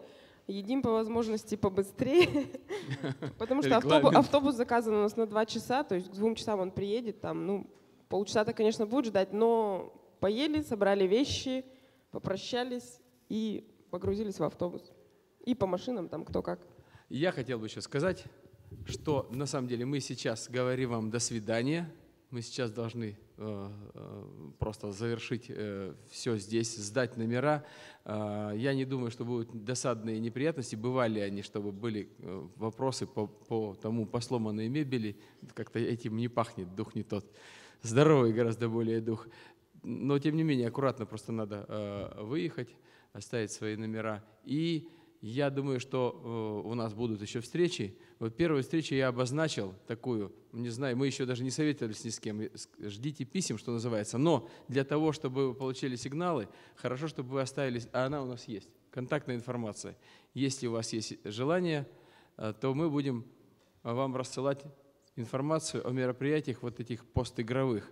И первое, возможно, состоится именно 9 когда наши коллеги вернутся из Москвы, что там было, расскажут. Может, там ничего и не было интересно, а может быть и было. И таким образом мы можем устраивать такие встречи для того, чтобы э, разобраться со всеми вопросами, которые у нас возникли во время игры, которые здесь в том числе прозвучали, сделать выводы. Мы будем вам очень признательны, что если вы нам поможете и пришлете в том числе свои рефлексивные тексты. А Кроме этого, мы будем формировать план своих задач, план, э, собственный план нашей работы, который будет вытекать из этих же оценок, из этих же выводов. Поэтому предлагайте свои заявки, тем более, что вам же их и выполнять. Пожалуйста, называется, пахать подано. Если же вы хотите, что вам, вас спамом не грузили, вы можете отказаться от рассылки к вам новостей, предложений и приглашений от сообщества навигация. Спасибо вам большое за все, что мы вместе с вами сделали. Спасибо и до свидания.